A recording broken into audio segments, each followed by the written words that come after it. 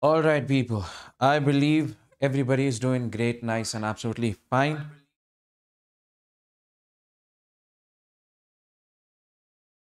So, welcome to this beautiful session and welcome to An Academy NEET English. If you have not subscribed to the channel, hit the subscribe button as soon as possible. Okay. And before that, let me know in the live chat if I am audible and visible properly, if you can hear me and if you can see me properly. Everybody in the live chat, okay? Everybody out there.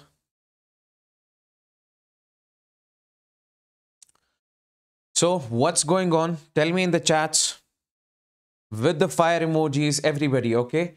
So we have today this semiconductors, okay? We'll have to finish this semiconductors today. We'll be starting from the scratch and I'll be showing you each and every single question in this particular chapter, okay?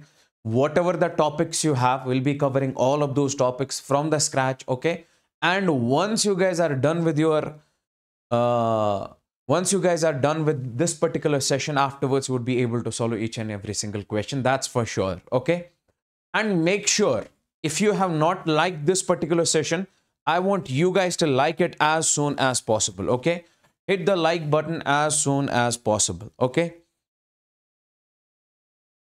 So so so my dear people. Okay great great great great great great great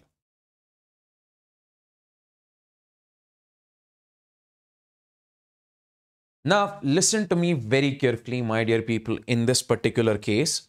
See, as if you guys are preparing for your NEET, okay, for the upcoming, if you are basically looking to crack NEET in the upcoming time, so we say we have got a scholarship test for you people, okay? You can win up to scholarship, we say 90%, okay? You can get the laptops, okay? You can win the mobile phones or the other exciting rewards. The link is in the description below. You can join this particular scholarship test, okay? And you can give it and you can win so many excited prizes over here. One more thing I just want to tell you that we have recently launched this particular batch, okay?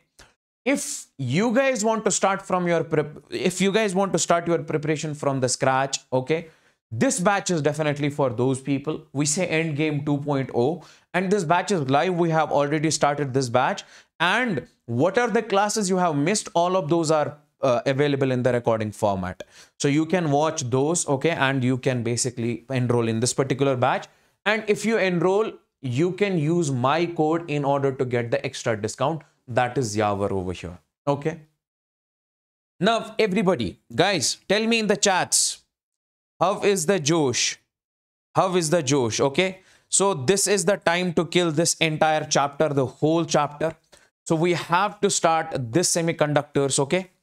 Now let me start this particular chapter from the scratch, from the basics. Okay. The ones who have not studied this chapter as of now.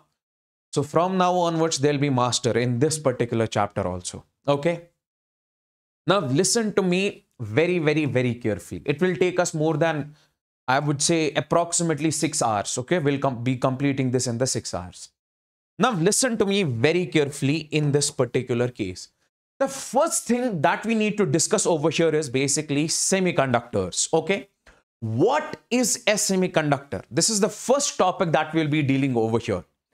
Now, my dear people, everybody of you know that, everybody of you know that when it comes to the materials, sir, we have heard about, we have heard about, we say conductors. We have heard about conductors, okay? When it comes to the different materials, we have heard about the conductors. And we have also studied about the insulators. Okay, we have also studied about the insulators. Sir, what is a conductor? When it comes to a conductor, we say, sir, if I say I have got a conductor in front of me over here, we say current can flow easily through this conductor, okay? We say conduction is possible in this particular case. Conduction is possible. Conduction is possible. What does conduction mean? Means current can easily flow. There are so many free electrons present over here. Free electrons, free electrons. Okay, lot of free electrons are present in this conductor. Everybody knows it. And when it comes to the insulator, we say, sir, in case of an insulator, we say, sir, conduction, conduction is not possible. Conduction is not possible. If I say I have got an insulator in my hand, sir, will the current flow through this insulator? We say, sir, no, current does not flow through the insulator over here. Okay. So we say no free electrons, no free electrons. Free electrons are present inside the insulator. Okay. Everybody knows it. So we say when it comes to the conductor, sir, current can flow easily through the conductor. When it comes to an insulator, sir, current does not flow through the insulator. We have got so many free electrons inside the conductor. Because of those electrons only, we say, sir, current can flow over here. And when it comes to the insulator, we say there are no free electrons when it comes to the insulator. Now, this is what we have studied already. Now, sir, in between the conductors and insulators, we have got the third material. In between the conductors and insulators, we have got the third material. That's what we call the semiconductor. Semiconductor. Okay. So we say, we say, we can clearly say in this particular case, we can clearly say in this particular case, this conductor lies between the semi this conduct sorry this semiconductor lies between the conductor and insulator so we say we say over here i can write the first point semiconductor semiconductor lies between the conductor the conductor and insulator and insulator. Means sir what does that mean? It means that it has dual nature. It has it has dual nature. Dual nature. Sir what does that mean? Means it can behave.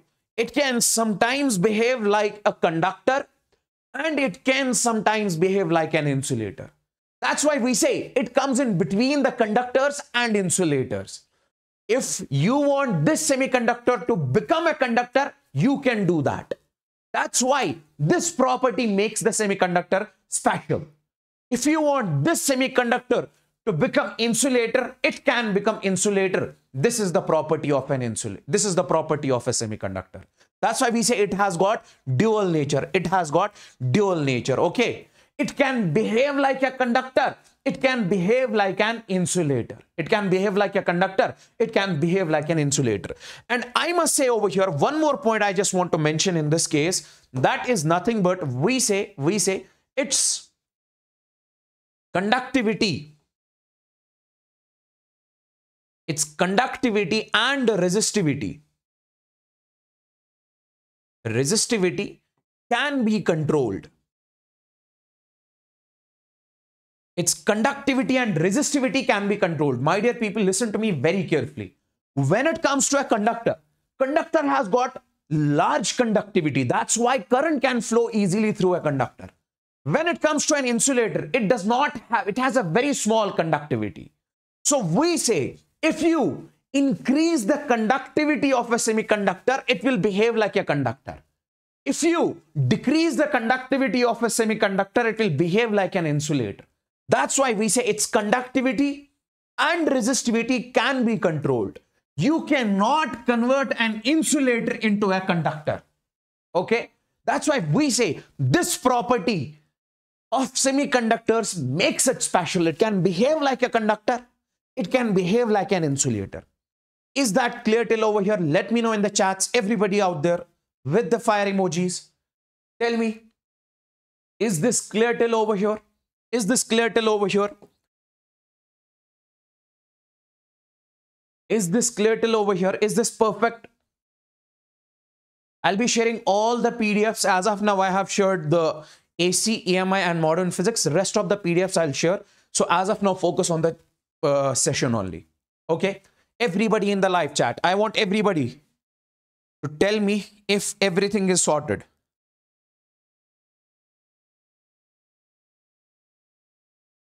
Now see, now see, listen to me very carefully. Listen to me very carefully. when it comes to, when it comes to, let's suppose conductor, when it comes to a semiconductor, and when it comes to an insulator, we say, we say, sir, when it comes to their conductivity, when it comes to their conductivity, we say the conductivity of a semiconductor, it lies from 10 raised power 2 to, we say 10 raised power 6 ohm meter inverse, 10 raised power 8, 10 raised power 8 exactly. So we say 10 raised power 8 ohm meter inverse. Okay. This is the conductivity of a semiconductor means it has got a large conductivity. Current can flow easily. The more, if I say this, this material has got a great conductivity, means current can be produced very easily in this material. Now listen to me very carefully. When it comes to the semiconductor, we say in case of semiconductor, its conductivity lies from 10 raised power minus 5 to 10 raised power 6, we say ohm meter inverse. And when it comes to the insulator, its conductivity is, we say, less than 10 raised power minus 9. 10 raised power minus 9, we say ohm meter inverse. My dear people, we say, let's take a look at the conductivity of the semiconductor.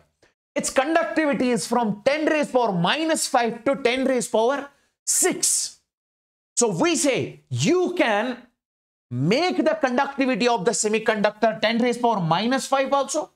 You can increase its conductivity and make it 10 raised power 6 also. If you make the conductivity of the semiconductor as 10 raised power 6, it will behave like a conductor. If you decrease it, it will behave like an insulator. Just a normal data, that's what I wanted to tell you over here. Now, listen to me very carefully. One more important point, one more important feature or a property of semiconductor I just want to tell you. What is that? That is, we say, we say only unidirectional, only unidirectional current is allowed, only unidirectional current is allowed in semiconductor.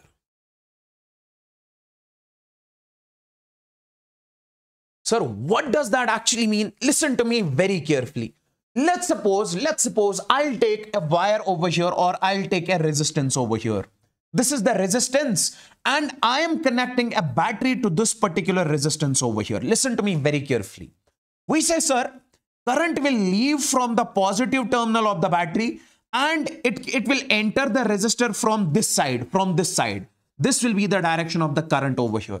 Current moves from positive terminal to the negative terminal. This higher, this is the higher, higher one, positive terminal.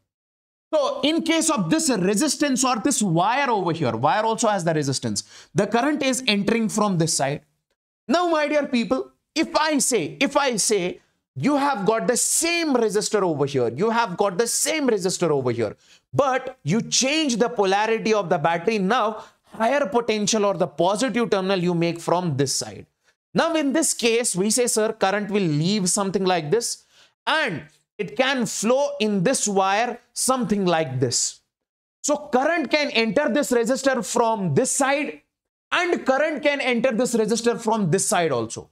So, in case of resistance wire conductor, current can enter from both the sides. Current can enter from both the sides. But, but, I mentioned the statement over here, only unidirectional current is allowed. Over here, both bidirectional current in this case is allowed.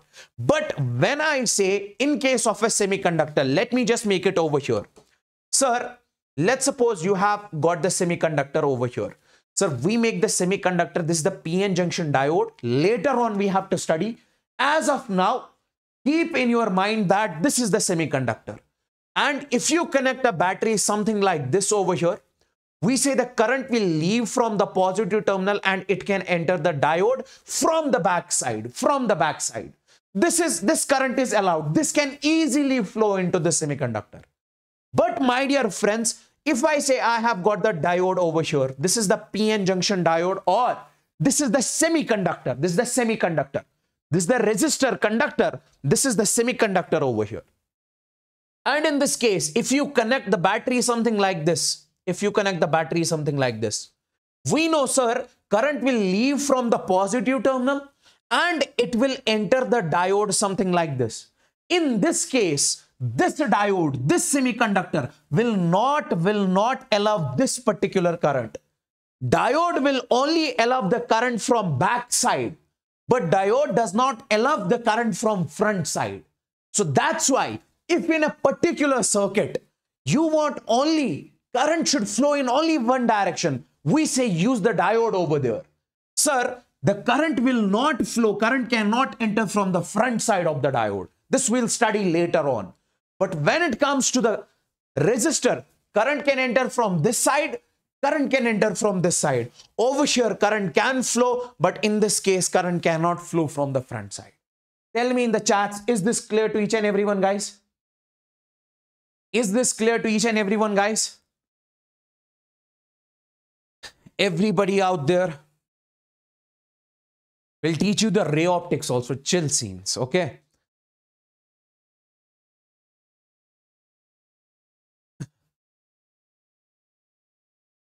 Great, great, great, great, great.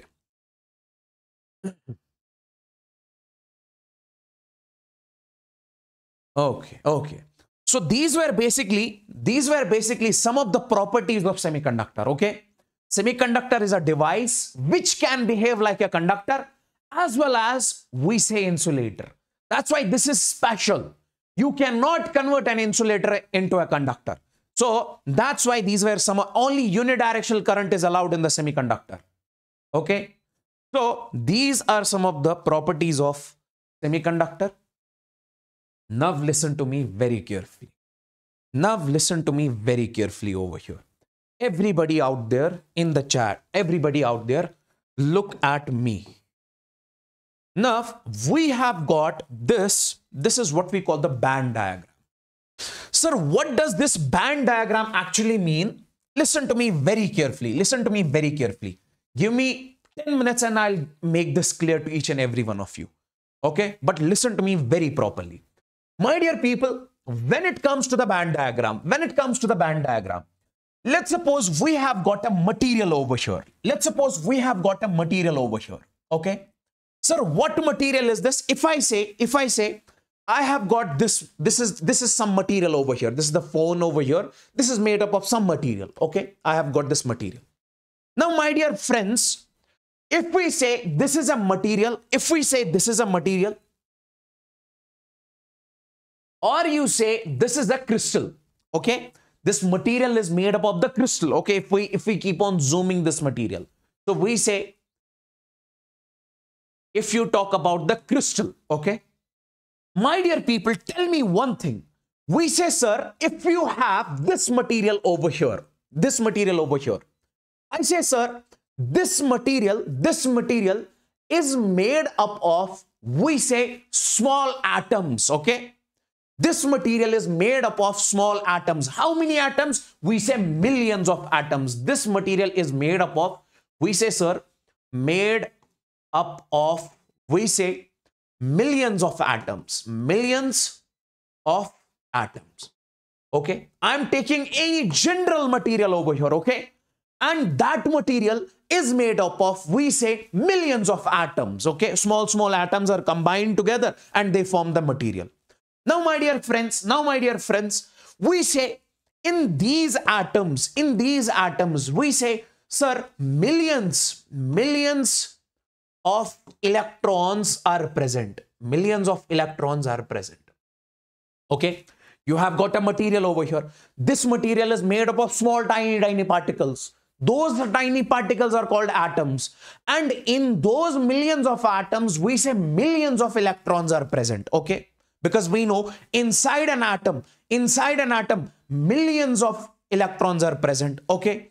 Now, now, now, listen to me very carefully we say millions of electrons are present inside these millions of atoms.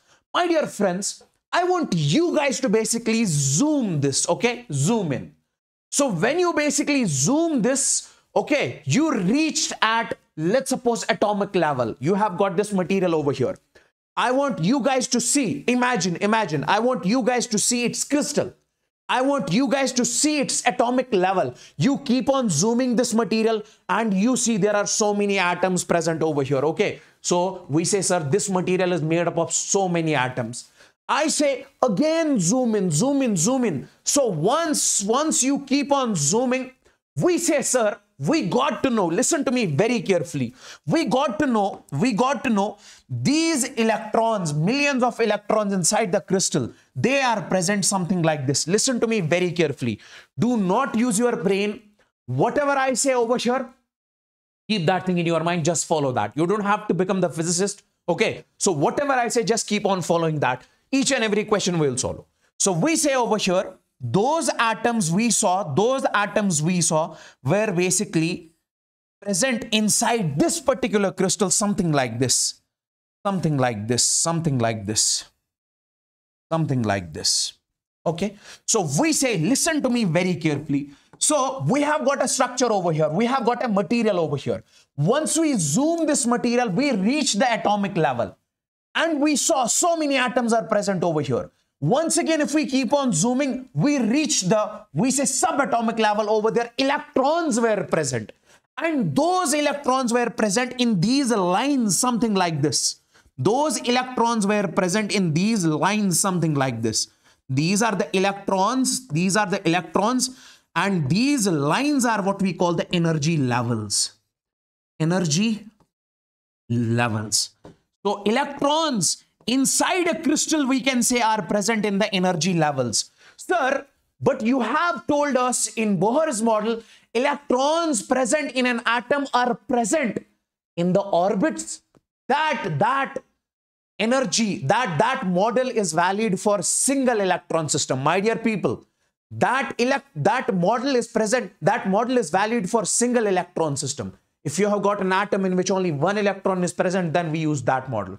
But in the actual crystal, we say millions of electrons are present and millions of electrons are present in like, like how? We say in these lines and these lines are we call the energy levels. And this is what we call, this is what we call the energy band diagram.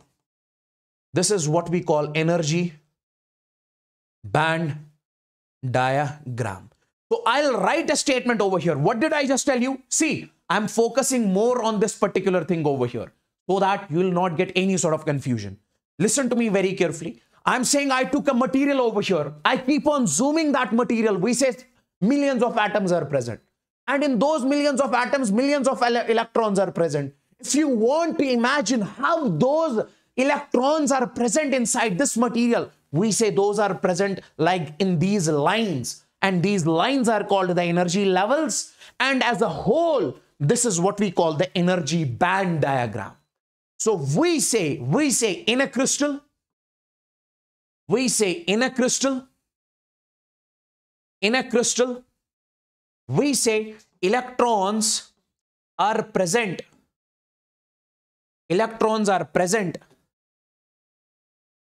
Electrons are present in the energy band.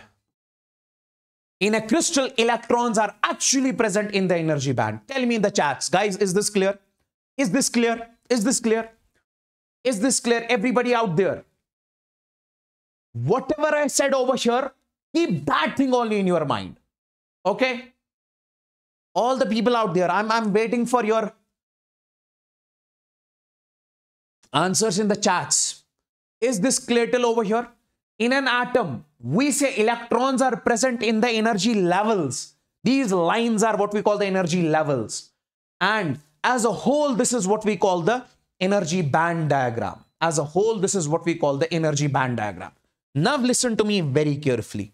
Listen to me very carefully. See, this energy band diagram, if I ask you, sir, what is present in the energy band diagram? You say electrons, okay? Now, if you have got a conductor, that is one material. If you have got semiconductor, that is another material. If you have got an insulator, that is another material. We say energy band diagram for different materials looks different. That's what I'm going to teach you over here. So we say band diagram for semiconductors. If we take a material, let's suppose I say this is a material over here. This is a pure silicon over here. So we say, my dear friends, is a semiconductor. Can you tell us, sir, how does the energy band diagram of this semiconductor look like? Yes, I will tell you. Listen to me very carefully. When it comes to the energy band diagram of semiconductor, it looks something like this. Listen to me very carefully. It looks something like this.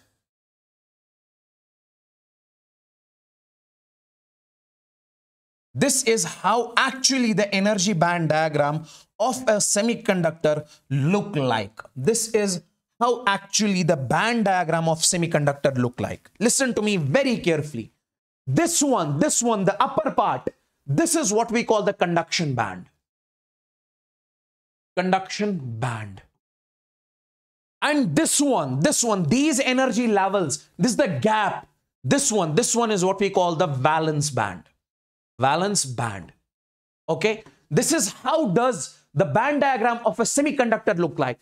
And this gap between the two, this gap between the two, this is what we call the energy band gap energy band gap. Okay, this is what we call the energy band gap. Now listen to me very carefully, my dear friends. These are the energy levels and in case of these energy levels, we say, sir, electrons are present. If we say this is a band diagram of semiconductor, we say electrons are present inside these energy levels. Okay, in each energy level, two electrons are present. Now, my dear friends, this one is what we call the conduction band. And in case of conduction band, this is the lowest energy level. And in case of, case of valence band, this is the highest energy level.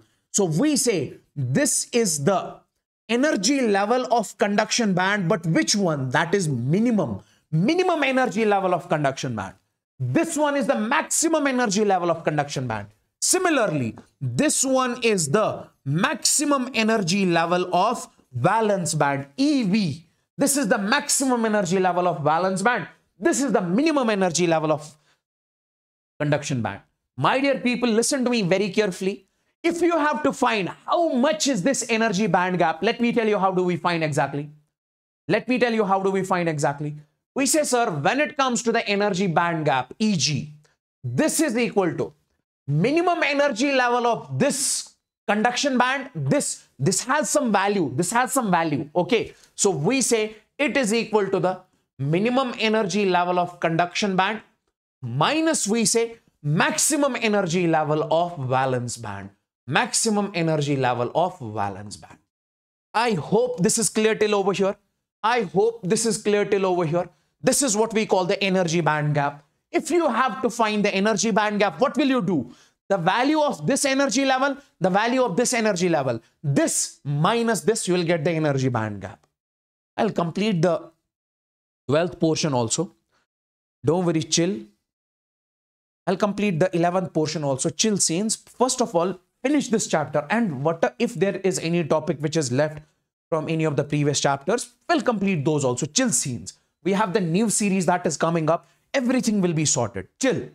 All the people out here, out there, listen to me very carefully. Focus on this particular chapter as of now. Don't keep on spamming over there.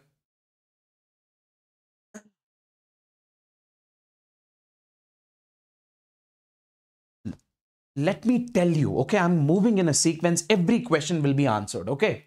First, let me complete this. First, let me finish this.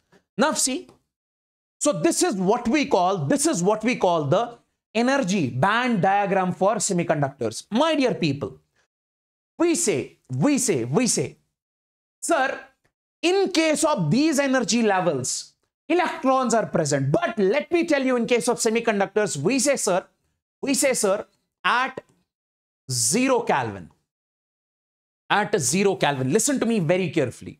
We say this valence band, valence, valence band is completely filled. We say if you take a semiconductor over there, if you have not increased the temperature in case of any semiconductor, so we say at zero Kelvin, at zero Kelvin, we say, we say, we say it is filled with the electrons. Valence band is filled with the electrons. We say completely filled. Completely filled.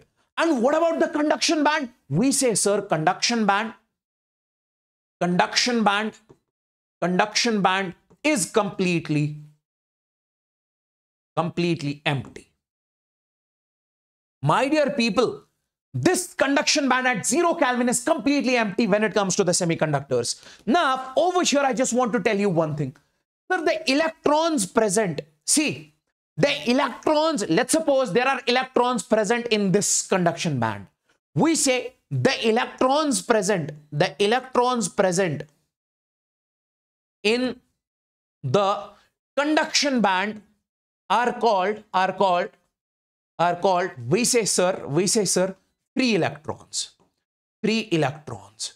Sir, if there are electrons present in this conduction band, which as of now are not, but those electrons are what we call the, we say free electrons, free electrons which make electricity, which make electric current. And what about these electrons, sir, which are present in the valence band? We call these electrons as bonded electrons. Over here, I'll just write the electrons present in valence band are called are called we say bonded bonded electrons bonded electrons. Okay okay. Now my dear people my dear people is this clear till over here? Is this clear till over here? Is this clear till over here? Now listen to me very carefully. One more thing i just want to tell you Let's suppose if we increase the temperature over here, by any means you have got the semiconductor, you are increasing its temperature. So if we increase the temperature, let's suppose we are increasing the temperature over here. And if we increase the temperature, we say, listen to me very carefully, at 300 Kelvin, we say, if we increase the temperature we say, sir, if you keep on increasing the temperature in case of semiconductor material, we say, sir, these electrons will shift. These electrons will shift from valence band to the conduction band. These electrons will shift from valence band to the conduction band. So we say if you increase some temperature, we say these bonded electrons will break and they will shift to the conduction band. Now this electron will go over here. So it will be present over here. This electron will reach over here. Now, from now onwards, you will remember that if you have to basically send the electrons from valence band to the conduction band, you have to increase the temperature. So I'll write over here, if we increase the temperature, we say electrons shift from valence band to conduction band. Valence band to conduction band. Now, my dear people, one more important information I want you people to keep in your mind is that we say, sir, at 300 Kelvin, at 300 Kelvin, we say if the temperature has been increased to 300 Kelvin, we say now the electrons present in the conduction band will be equal to the electrons present in valence band. So many electrons have shifted to the valence, to the conduction band. So, so at 300 Kelvin, we say, we say, we say, we say valence, we say conduction band conduction band is is partially partially filled and valence band is partially filled also. Or you can say partially empty. So we say if you increase the temperature the electrons will shift over here. So now electrons will get occupied inside this. Okay? Now my dear friends on increasing the temperature we say sir electrons will shift over here and these electrons, I already told you, the electrons present in the conduction band are called free electrons. Now, these are the free electrons.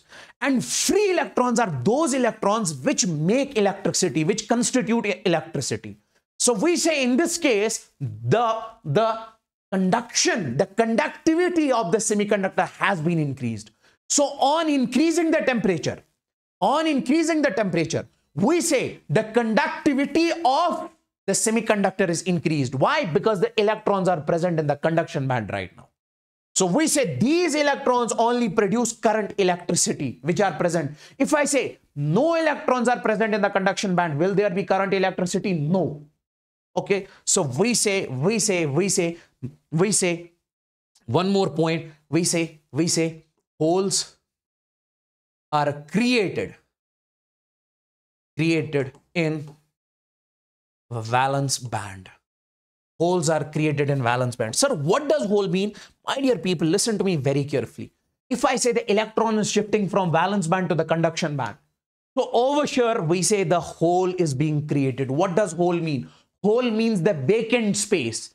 If let's suppose electron was present over here, it left this place. What is present over here? Nothing. So we say, we say nothing that is vacant space is present over here. That's what we call the holes. So if I say four electrons are shifted, how many holes have been created? We say, sir, four holes have been created.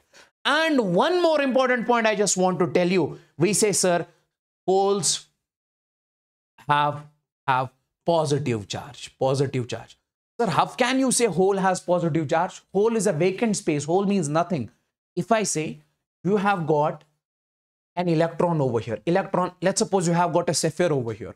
On the sapphire, you have got plus 3 coulomb charge, minus 3 coulomb charge. If you, if you remove this minus 3 coulomb charge from this particular sapphire, what is the charge which is now present on this one? This becomes positively charged.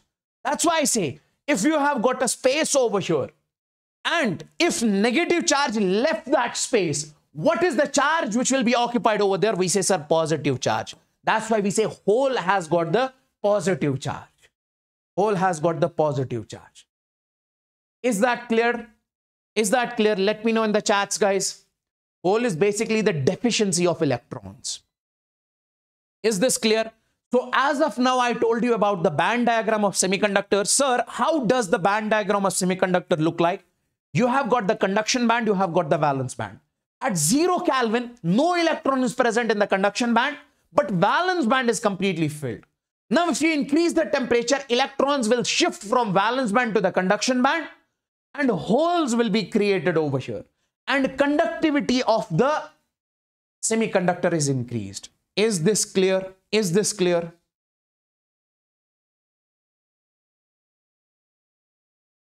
Everybody, guys. Enough, enough. Come over here. Now we have the material, that's what we call the conductors. How does the band diagram of conductors actually look like?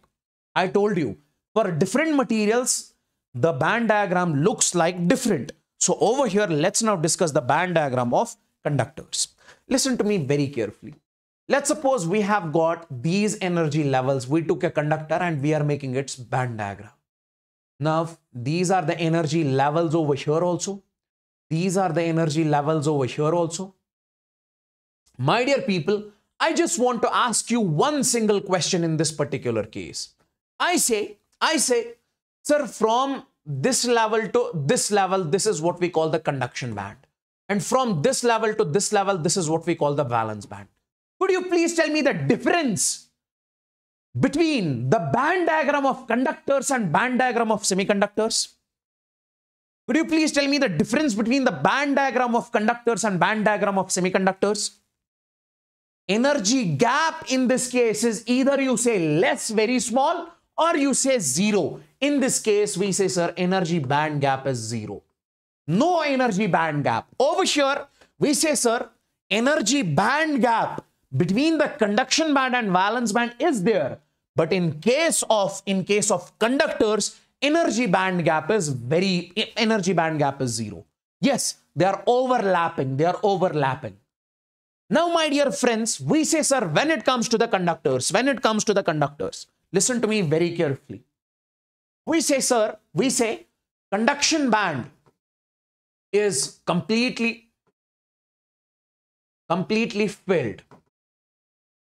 And valence band is completely completely filled. Sir, in case of semiconductors, you said valence band is completely filled and conduction band is completely empty at zero Kelvin. But over here, we say this conduction band is also filled with the electrons and valence band is also filled with the electrons because this is a conductor. As I told you, conductor has got so many number of free electrons. Free electrons means the electrons which are present in the conduction band. So we say over here, sir, these are the free, these are the bonded electrons in this valence band and these are the free electrons over here. Now, my dear friends, that's why we say when it comes to the current, this, this current is conductivity of this is very large. Why? Because it has got conduction band which is completely filled. Now, now, in this case, if we say, if we say, if we say, if temperature is increased, if we increase the temperature, what's going to happen in this particular case? We say, sir, we say, sir, these electrons, bonded electrons will basically shift to the conduction band. Bonded electrons from valence band will shift to the conduction band. My dear people, so we say hole will be created over here. Hole will be created over here. But, but, then there are so many free electrons present in the conduction band, every free electron wants to become bonded electron. Everything, everything in this universe wants to become stable. If we say, if you increase the temperature, these electrons will shift from valence band to the conduction band. But already in the conduction band, so many free electrons are present. So over here, any of the free electrons will actually see the vacant space is present. So it will go and it will occupy himself in that vacant space. And this happens in a very small amount of time. So we say if temperature is increased, we say holes are produced. Holes are produced, but, but life span of hole is very small, very small. Lifespan of hole is very small. If you increase the temperature over here, hole is created, but that gets occupied within a very small of time once again. Within a very small amount of time once again. Let me let me explain it once again. See, I'm saying, I'm saying, if you increase the temperature over here, let's suppose, we say, sir, this bonded electron will shift to the conduction band from valence band hole will be created over here. But, but this hole will be occupied very soon once again. How? Because another electron from conduction band will shift over here. Sir, why will the electron shift from conduction band? Because so many free electrons are present over there. The free electron wants to become the bonded electron. That's why it will come and it will be occupied in this case. So that's why we say lifespan of hole is very small in this case. Tell me in the chats, guys, is this crystalline clear? Is this crystalline clear? So we say, we say in this case, in this case, electron hole pair. What does electron hole pair mean? My dear people, in case of semiconductors, if you increase the temperature, electrons will shift from valence band to the conduction band. So we say electron hole pair, electron hole pair is created. So on increasing the temperature, in case of semiconductors, electron hole pair is created. But in this case, we say, sir, electron hole pair remains constant. Remains constant. Why am I basically telling you this story over here? Sir, is this important? When it comes to the semiconductors, theory is very, very, very important because I will be showing you the questions over here, tons and tons of questions, previous year questions, which have been directly asked from this theoretical part. Okay, directly. A certain reason have been asked in the AIIMS from this theoretical part. That's why I'm telling you each and every single point over here. And you have to listen to this, you have to keep note of this. Everybody out there.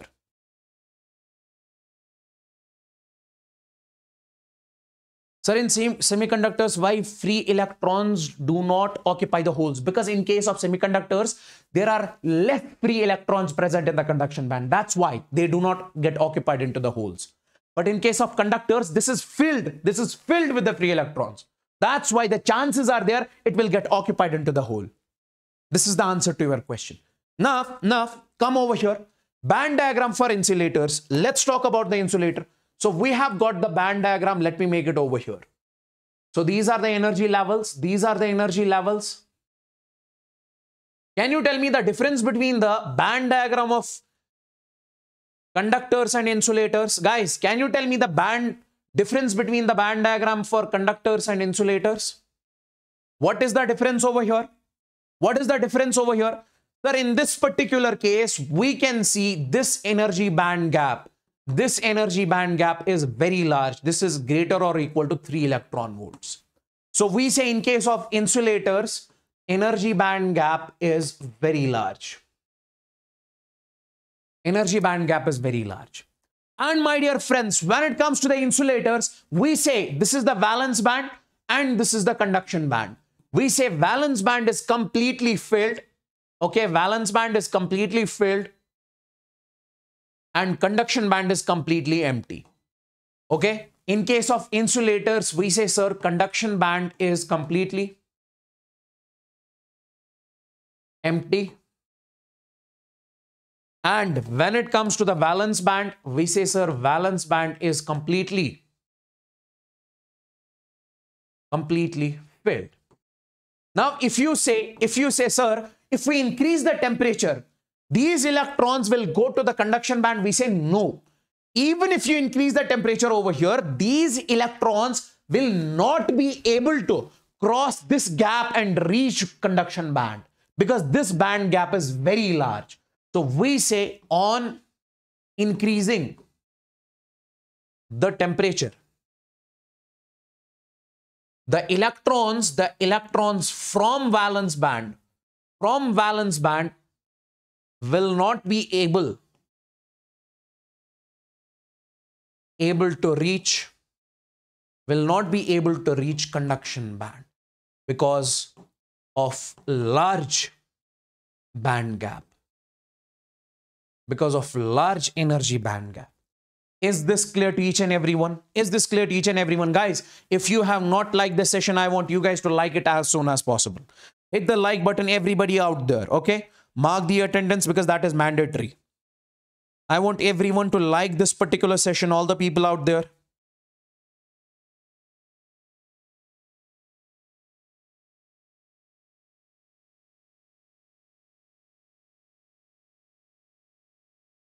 Everybody, hit the like button. Okay. So this was the detail, complete detail about the band diagrams. Okay. So many questions have been asked from this band diagrams. That's why I told you about this. Now, this is very important. This is very important. I want you guys to take a look over here. I want you guys to keep your mind over here. This chart is very important. Listen to me very carefully. We are taking the material over here, we say conductors, and we are taking the material over here, we say semiconductors. Now, this is the temperature. My dear people, listen to me very carefully. Let's suppose I am taking, let's suppose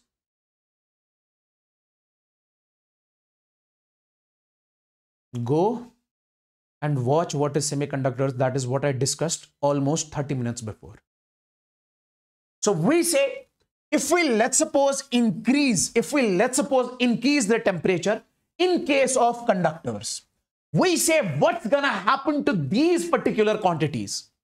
And, and if we decrease the temperature, we say what's gonna happen over here. That's what we need to discuss. This is very important. So we say, let's suppose if we are increasing the temperature, we have got a conductor over here. I have got the conductor in my hand. And, and I am increasing the temperature in case of a conductor, in case of a conductor. Tell me one thing. What will happen to the electron hole pair? Recently, I told you, sir, electron hole pair remains constant. Electron hole pair remains constant. Sir, we say in this case, if this is a conductor, increase if you increase the temperature, electron from valence band will shift to the conduction band but that elect that hole hole gets occupied once again in a very small amount of time. So we say electron hole pair remains constant. Tell me one thing. What will happen to the randomness? See you know it. You have studied this in your chemistry also. If you increase the temperature we say vibrations increase. We say randomness increases okay? Randomness increases inside an induct inside a conductor okay so if randomness increases, my dear friends, we say, let's suppose we have got, let's suppose we have got a conductor over here. Okay. And inside the conductor, we have atoms, molecules, ions over here. And these are the free electrons which are moving, let's suppose over here. My dear people, if we increase the temperature, we say, sir, randomness, collisions will increase. randomness, vibrations will increase over here. So these electrons, free electrons, which produce the current electricity will suffer more collisions. Will suffer more collisions. Will suffer more collisions. Will suffer more collisions. Okay. We say these free electrons will suffer more collisions. Is this visible, guys? Yes, dark mode is on. So we say these free electrons will suffer more collisions. And if they suffer more collisions, what will happen to the resistance? We say, sir, resistance in that case will increase. Resistance in that case will increase because they are now facing more resistance over here, more collisions over here. And what will happen to the conductivity? We say, sir, if resistance increases, we say conductivity will decrease. If resistance will increase, we say, sir, conductivity will decrease. So we say, sir, conductivity will decrease. Now, what will happen to the drift velocity? This is the point over here. Listen to me very carefully. My dear people, when it comes to the drift velocity, we say, sir, drift velocity is Vd. The formula for drift velocity is EE divided by m into tau. E is the charge on an electron. Capital E is the electric field applied. M is the mass. Mass of an electron. We say, sir, tau is the relaxation time. And what is this time? This is the time between two successive collisions. Listen to me very carefully. Let's suppose I have got the conductor over here. I have got the conductor over here. Now, this electron is basically suffering the collisions over here. We say, we say, if you increase the temperature, now this electron will suffer more collisions. Collisions will happen more fastly now. We say, sir, over here you have got, sir, let's suppose ions. This will collide with this one first, then this will collide with this one first. Now, my dear friends, then afterwards it will collide with this one first.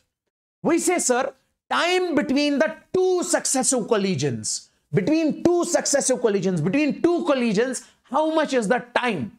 That is what we call the relaxation time. My dear friends, if we say temperature increases, collisions will increase, we say, sir, now it will collide very fast. So we say relaxation time in this case will decrease.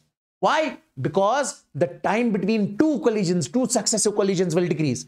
If collisions are happening more fastly, we say the time between two successive collisions. Let's suppose collision was happening uh, between the two collisions, the time was, let's suppose, four seconds. Now, between the two successive collisions, if the collisions increase, the time is only two seconds. So we say on increasing the temperature, this relaxation time will decrease. And if relaxation time decreases, the drift velocity will decrease because it is directly proportional to this. If this is creating some sort of confusion in your mind, just remember it directly. We say, sir, drift velocity in this case will decrease. Why drift velocity in this case will decrease? We say, sir, because, because drift velocity is directly proportional to relaxation time if relaxation time decreases, drift velocity decreases. My dear people, I don't want to waste the time over here. What I'm trying to say is that if you have got a conductor, if you increase the temperature, we say electron hole pair will remain constant. We say, sir, randomness will increase, vibrations will increase. Sir, if vibrations increase, collisions increase, electrons suffer more collisions, we say resistance will increase. And if resistance increases, we say conductivity will decrease. Conductivity is the opposite of resistance. And what is what about drift velocity? It will decrease because relaxation time decreases. Guys, tell me in the chats if this is clear. Is this is this portion clear? Is this portion clear? Because this is this is very important. I want you guys to tell me over here, is this portion clear? Everybody with the fire emojis, then only I am moving forward. Is this clear? Is this clear? Is this clear? Yes, yes, I'll take the optics, bro. Please tell me first. Is this clear? Everybody out there?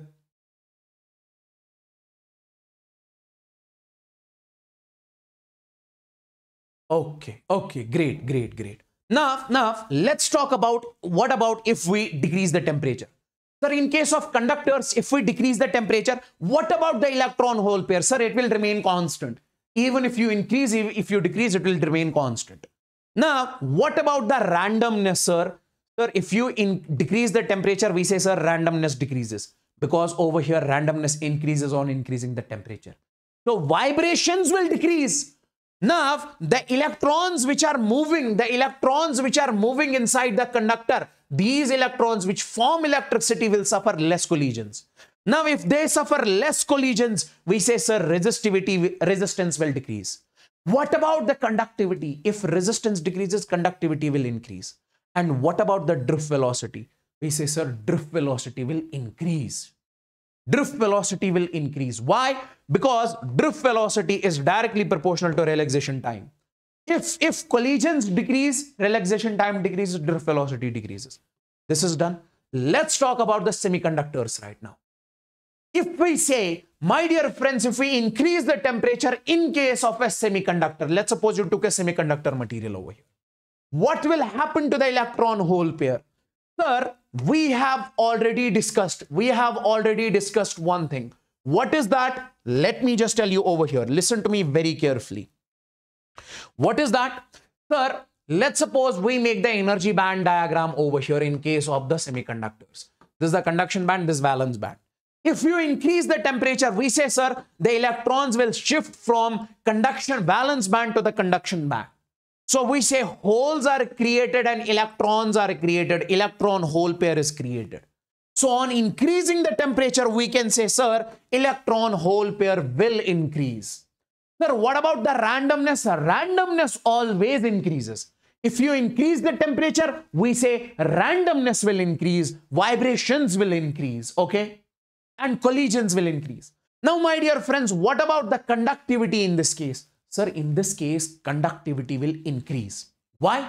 Because if, if more electrons are present over here on sending the electrons from valence band to the conduction band, we say these electrons are those electrons which constitute electricity, which produce electricity. Now, if you are increasing the conduction, if you are increasing the electrons in conduction band, we say current electricity will increase. That's why in this case, conductivity will increase. And if conductivity increases, we say, sir, resistance will decrease. And what about the drift velocity? Sir, drift velocity will decrease. Why? Because on increasing the temperature, vibrations, randomness will increase, collisions will increase, relaxation time will decrease, and drift velocity will decrease. Is this clear, guys? Is this clear, guys, about the semiconductors? Is this clear? Let me know in the chats. Is this clear? Everybody out there, guys. Where is that Josh? People.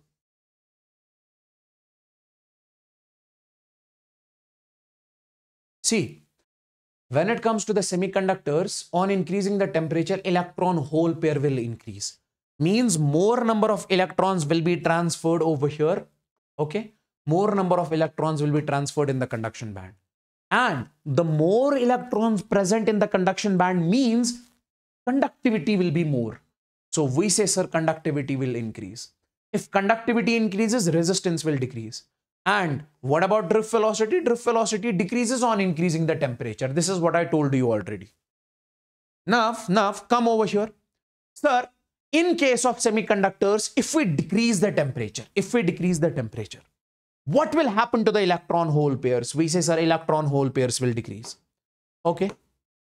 What will happen to the randomness? Sir, obviously randomness will decrease. Randomness will decrease, vibrations will decrease, collisions will decrease.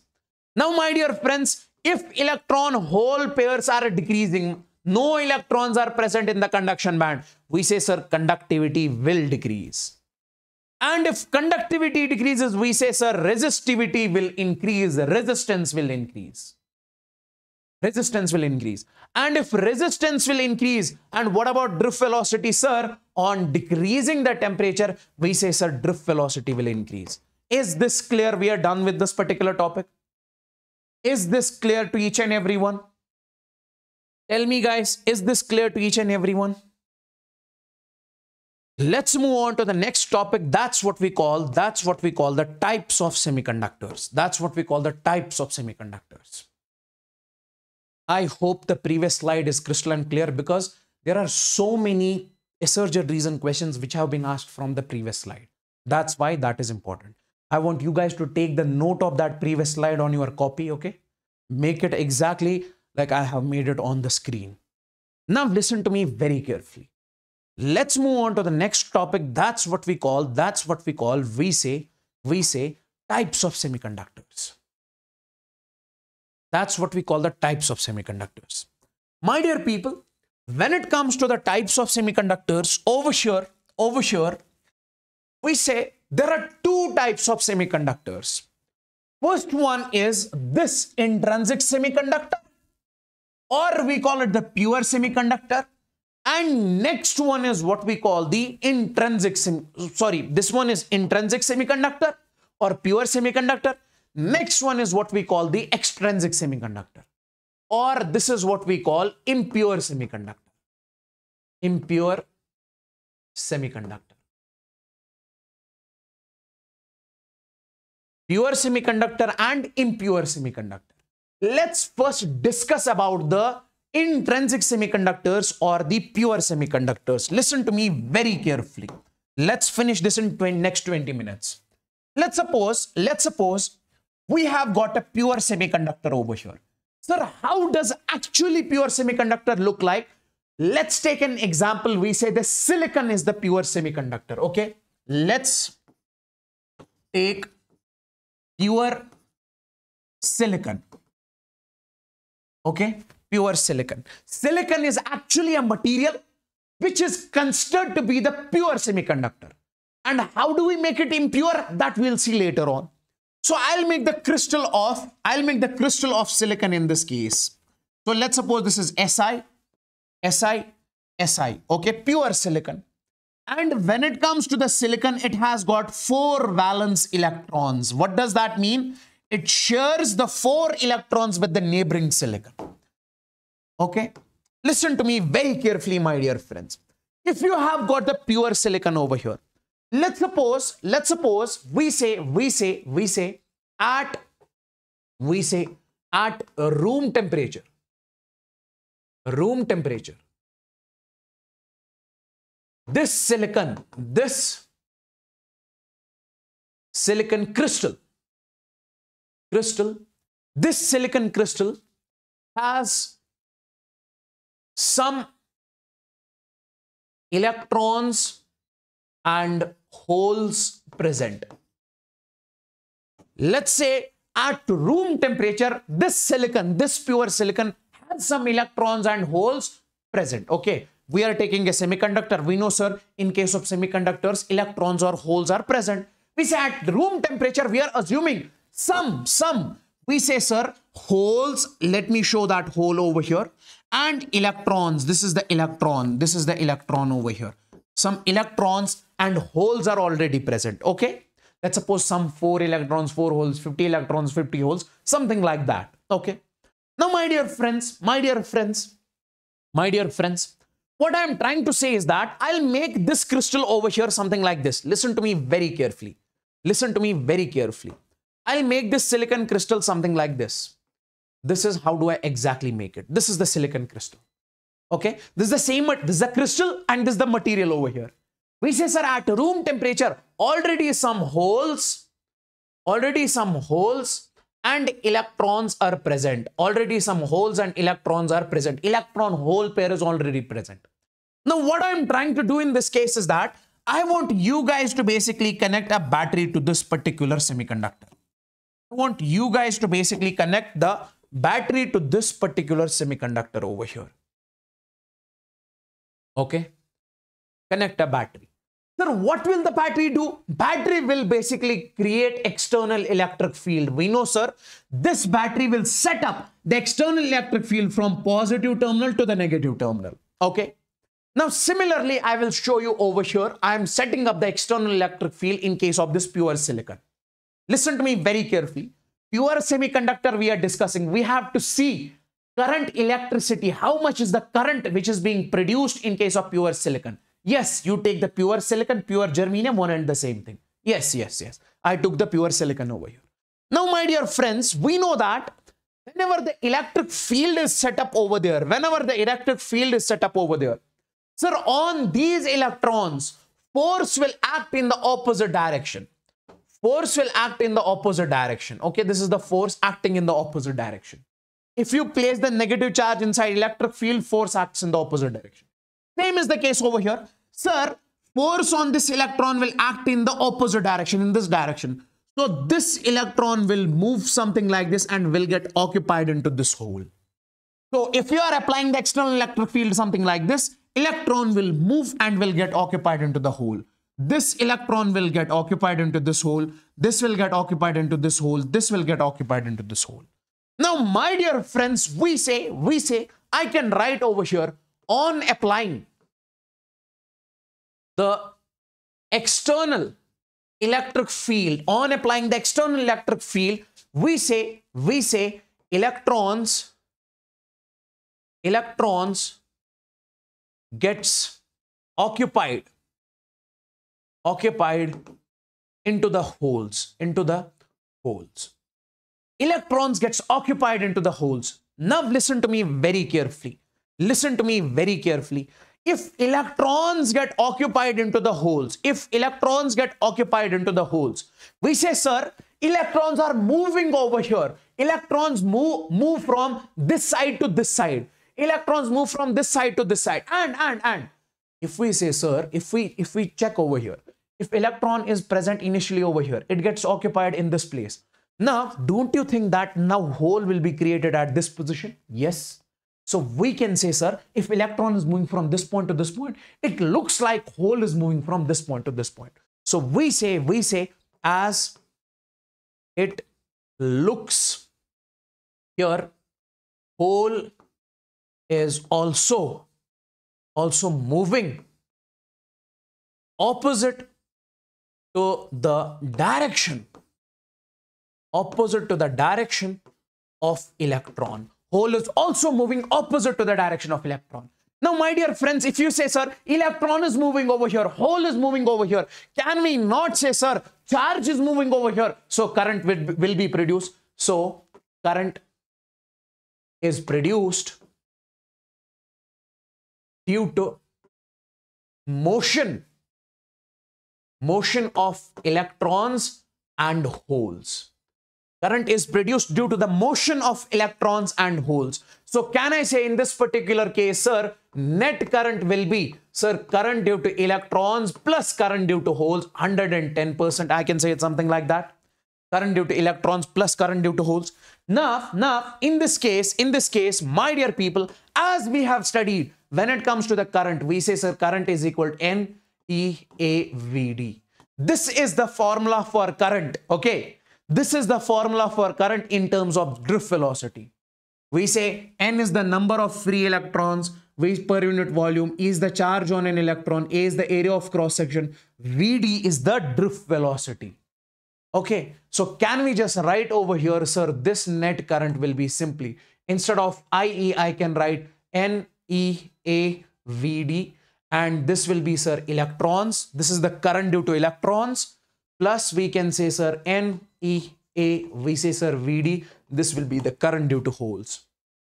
Now, my dear friends, we can say one more thing I just want to remember over here. I want you guys to remember that is, we say, sir, mobility is equal to drift velocity divided by electric field.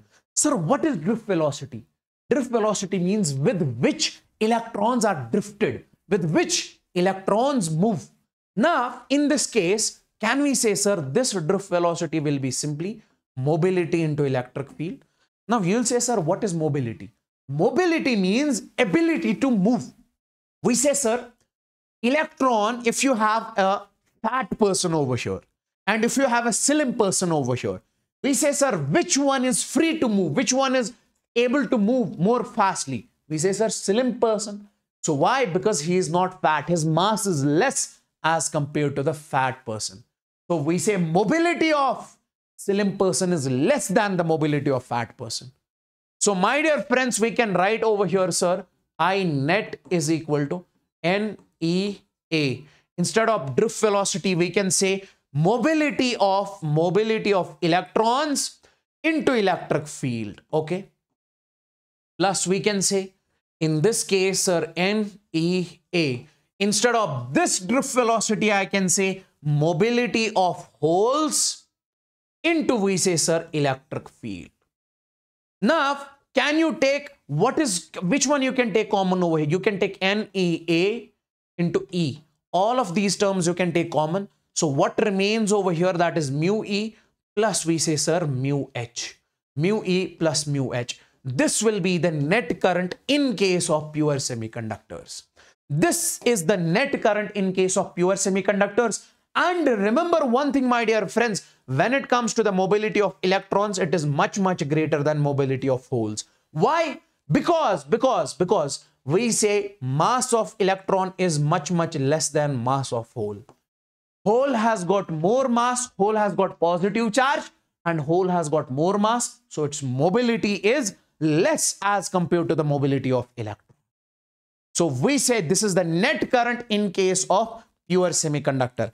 Tell me in the chats, is this crystalline clear? We say this is the net current in case of pure semiconductor pure semiconductor or you say intrinsic semiconductor. So in case of intrinsic semiconductor, we say current is because of the electrons and current is because of the holes. Okay. And how much this current will be? This current will be very small. Why? Because the number of electrons and number of holes at room temperature inside a semiconductor is very small. So this current will be very small. Guys, tell me in the chats if this is crystalline clear to each and everyone. I want everybody to tell me over here. And all the people out there, like this particular session if you have not liked it yet. Is this clear? And, and will be very small. This current will not be very huge, it will be small. Why? because the number of holes and electrons at room temperature are very small in case of semiconductors. Now let's come on to let's come on to extrinsic semiconductor. Let's come on to we say extrinsic semiconductor or you can call this semiconductor as impure semiconductor. You can call this semiconductor as impure semiconductor.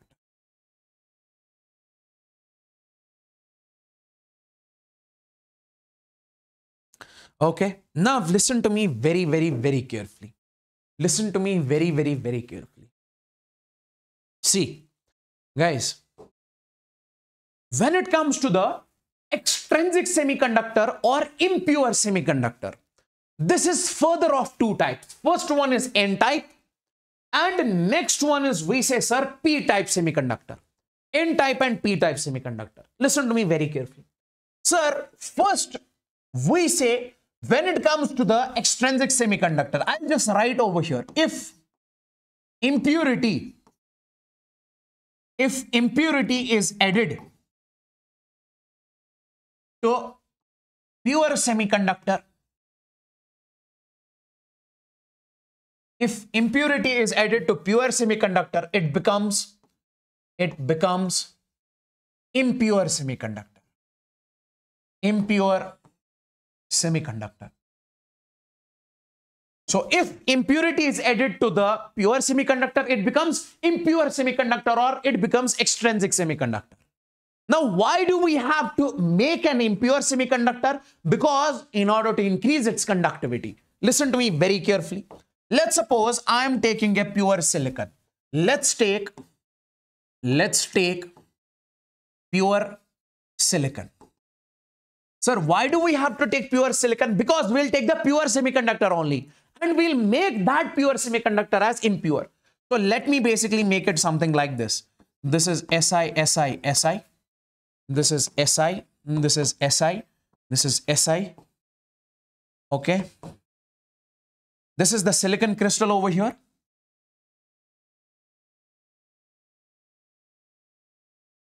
So I'm making this silicon crystal over here.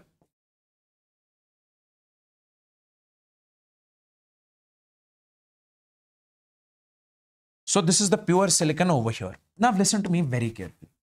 When it comes to the pure silicon, I say over here, I say over here, silicon has four valence electrons. Sir, what does that mean? We say silicon is sharing four electrons with the neighboring silicon over here.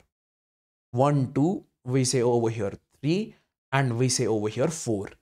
So if silicon has to remain stable in this particular crystal, if silicon has to fit in in this particular crystal, it should have four valence electrons, which it actually has. Now, my dear friends, listen to me very carefully. These are the only lights I have in the room right now because the electricity is gone. When the electricity comes, then only I would be able to uh, increase the lighting over here. Sorry. Okay, because this is the winter time and this is the winter right now.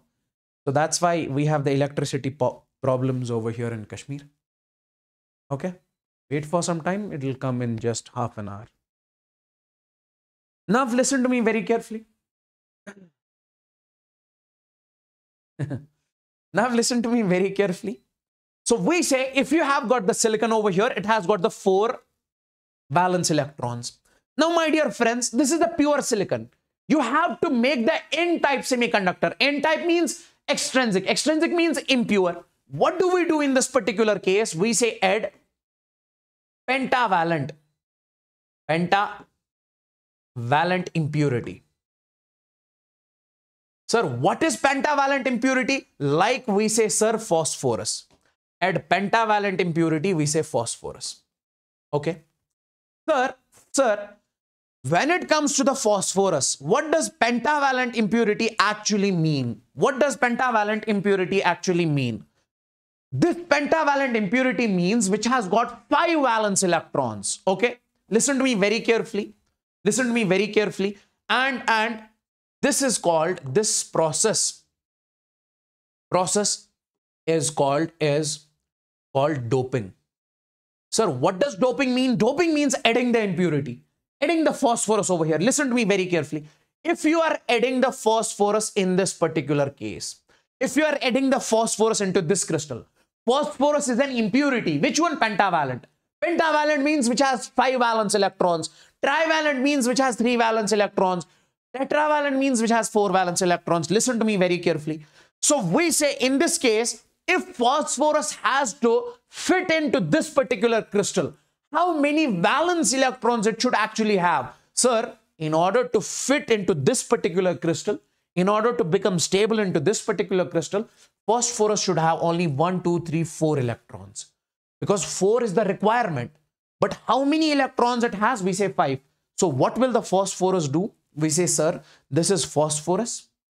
So this will basically lose one electron. We say, sir, minus one electron. It will lose one electron. And, and if someone loses the electron, we say it becomes positively charged. So we say it becomes phosphorus positive.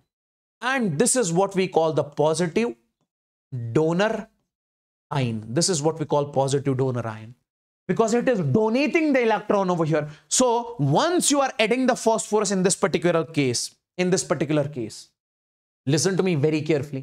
I'll show you over here. Listen to me very carefully. If you are, if you are, let's suppose donating the phosphorus over here. I'll make it over here. This is silicon. This is silicon. This is silicon. This is silicon. This is silicon. This is silicon.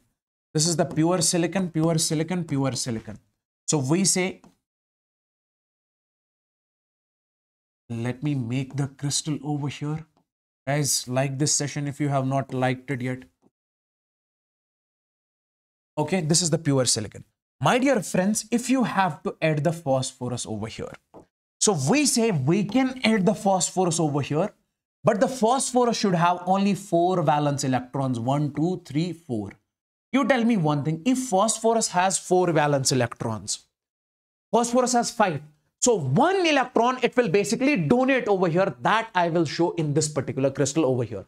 This is the phosphorus positive and this is the electron which it donated. Why does it donate the electron? Because phosphorus has to get, phosphorus has to fit into this particular crystal over here. So this is the one electron. Now you tell me one thing. On if you are adding one phosphorus, how many electrons are being donated? One. If you are adding two phosphorus, how many electrons are being donated? Two. Now we say, we say over here, we say over here on adding, on adding millions of phosphorus, millions of phosphorus. How many electrons will be donated? We say, sir, millions of electrons are donated. Millions of electrons are donated, and these electrons are called the free electrons. Millions of electrons are donated. These electrons are called the free electrons. Now, sir, on adding the impurity, on by doing this process doping, we say millions of free electrons are now donated into the crystal. We say so, so conductivity. Conductivity of semiconductor semiconductor is increased.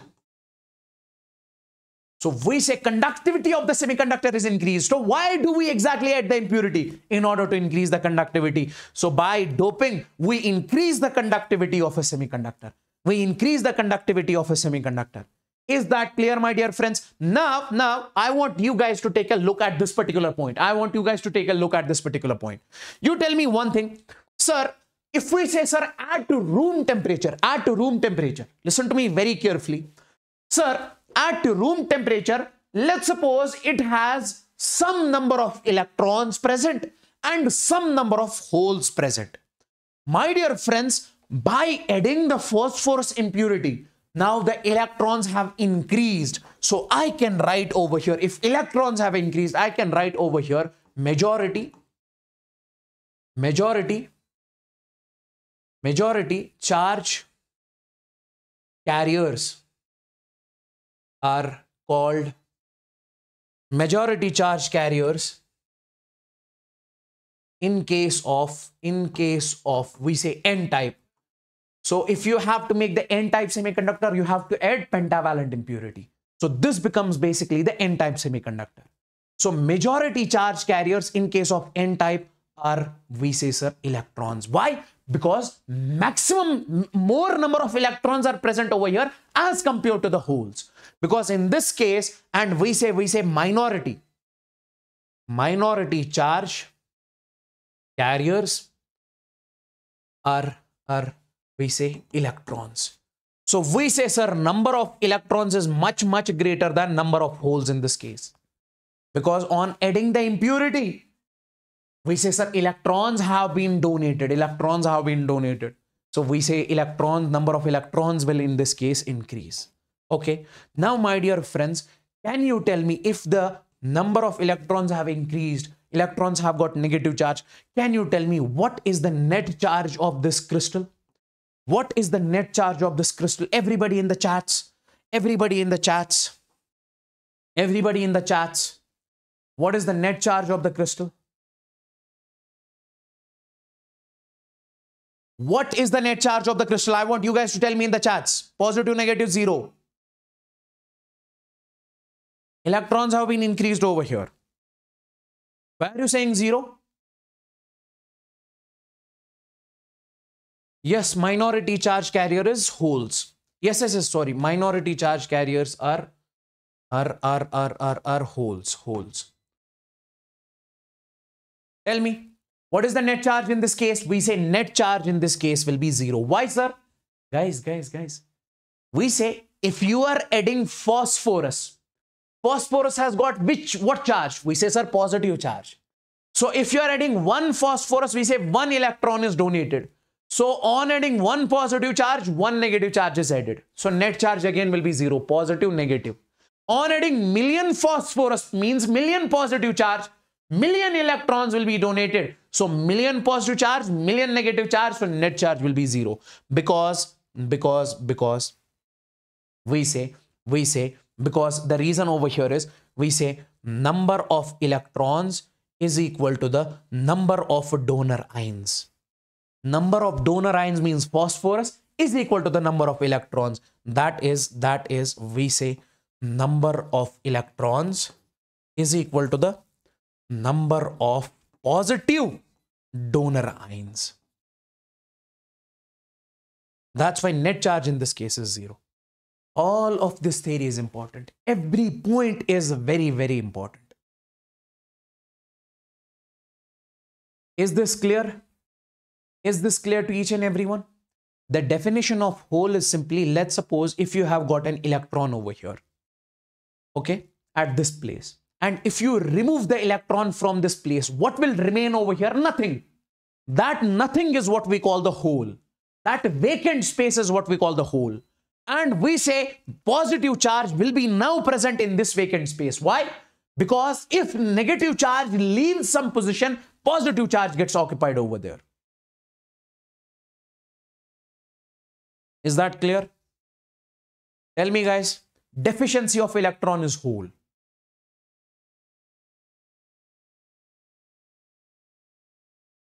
Is this clear?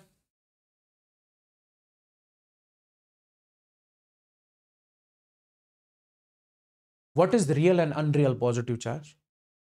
Huh?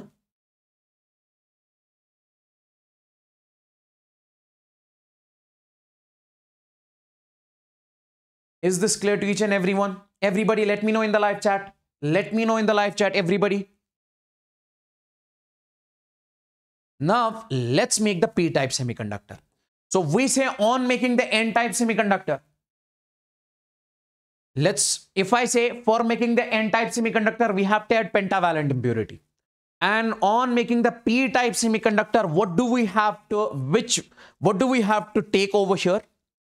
we say we say we have to take trivalent impurity okay we have to take trivalent impurity in this particular case okay okay okay one more important point i just want to tell you over here that is nothing but if we say the band diagram after doping we say sir band diagram after doping see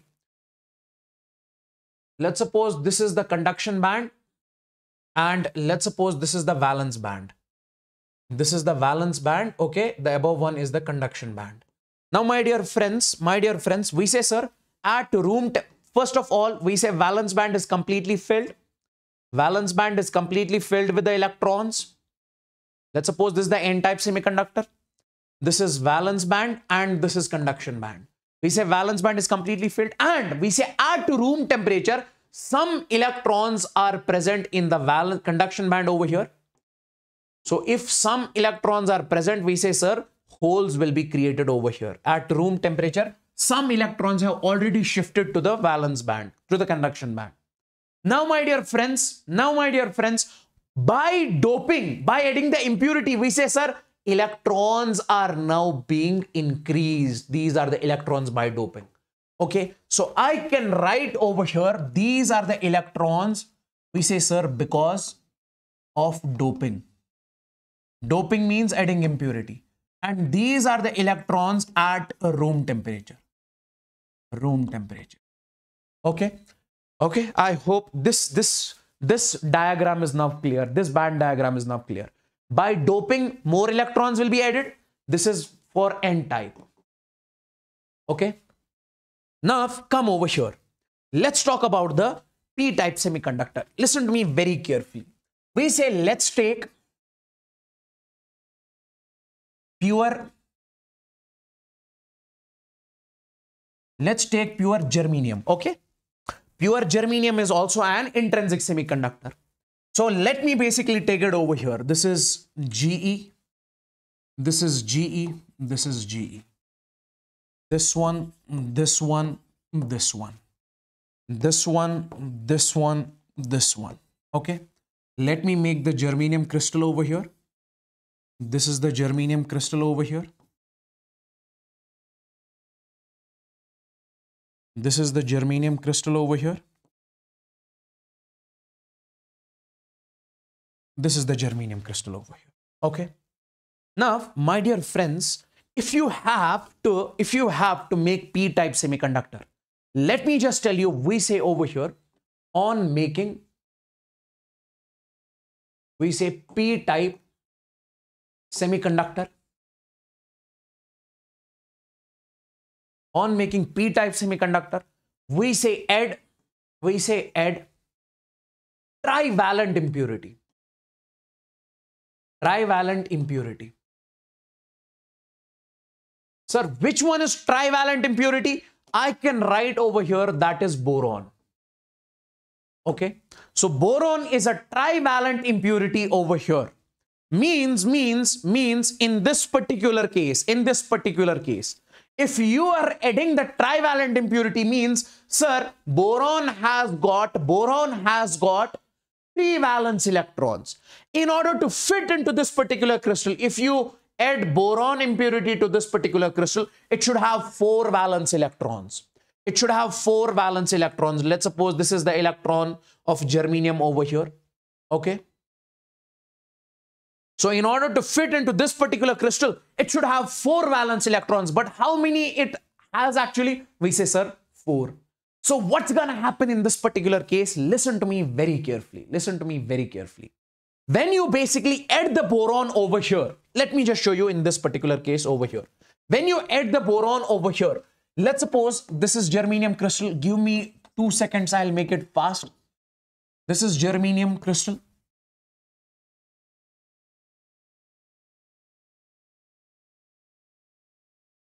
So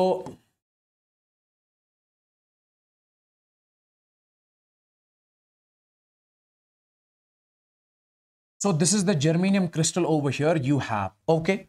Now inside this germanium crystal, you are adding the boron. Okay. Now, my dear friends, boron is a trivalent impurity. It has got three valence electrons. So if boron has got three valence electrons only, so we say in order to fit into this crystal, it should have four valence electrons. So what's going to happen in this case? Listen to me very carefully. We say germanium is already stable over here.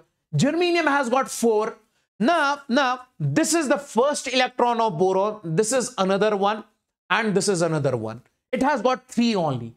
So we say this is the germanium over here. Germanium has got four valence electrons. We say this germanium, it will give this electron, it will donate this electron and will give it to the boron. It will give to the boron. Now boron has got how many over here? We say sir four. Now if germanium gives the electron, we say sir hole is being produced over here. Okay. So my dear friends, what I'm trying to say over here is on adding the trivalent impurity boron, we say, we say, we say it will actually gain the electron. It will accept the electron. We say, sir, plus one electron. So germanium will give it the one electron. So it becomes, it becomes, sir, boron negative. If somebody accepts the electron, it becomes negatively charged. So boron negative, this is what we call the negative negative acceptor ion, negative acceptor ion. Okay. And phosphorus is positive donor ion. This is what we call the negative acceptor ion. My dear people, if this is the negative acceptor ion, so we say, we say the boron which you have added over here, this becomes boron negative. And this hole has got positive charge. Now, I'll tell you the same point over here. We say on adding, we say on adding, millions of boron. Sir, by adding one boron, by adding one boron over here, how many holes have been created? One hole. By adding millions of boron, how many holes have been created? We say millions of holes. So we say, sir, on adding millions of boron, we say millions, millions of holes are created. Hole means positive charge. Millions of hole are being created over here. Okay. So, so we say conductivity. Conductivity increases. Why, sir? Because hole have got positive charge. Means positive charge is increasing. Means conductivity is increasing over here. Now, my dear friends, can I say in this case? So, can I say in this case? So, we say, sir, if you are adding the boron, sir, holes have been created. So we say in this case, we say number of hole is much, much greater than number of electrons because millions of holes are now present. So can you tell me in the live chat, majority charge carriers in case of p-type will be electrons or holes?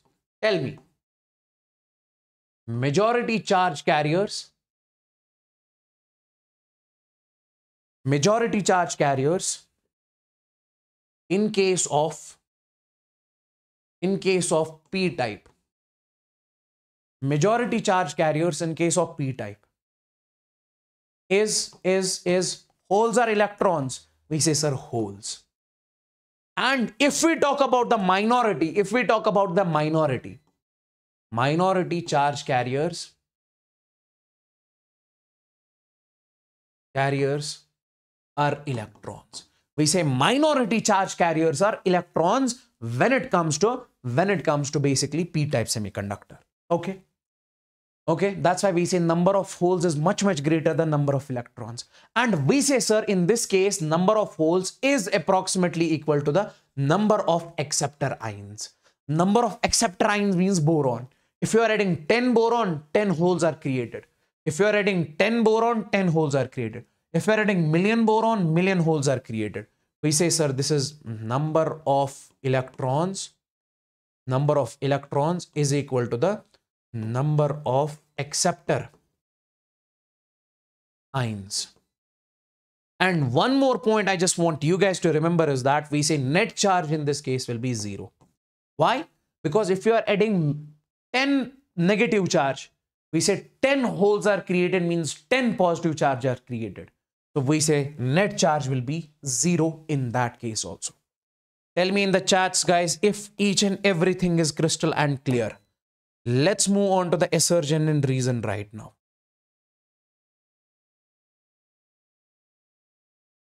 Is this crystalline clear? Is this crystalline clear?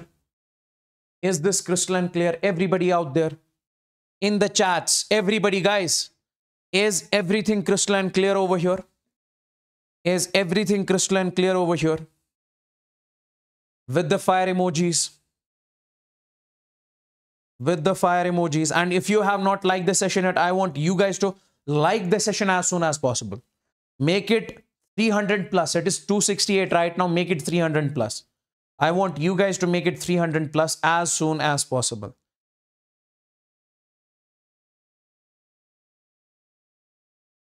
Everybody,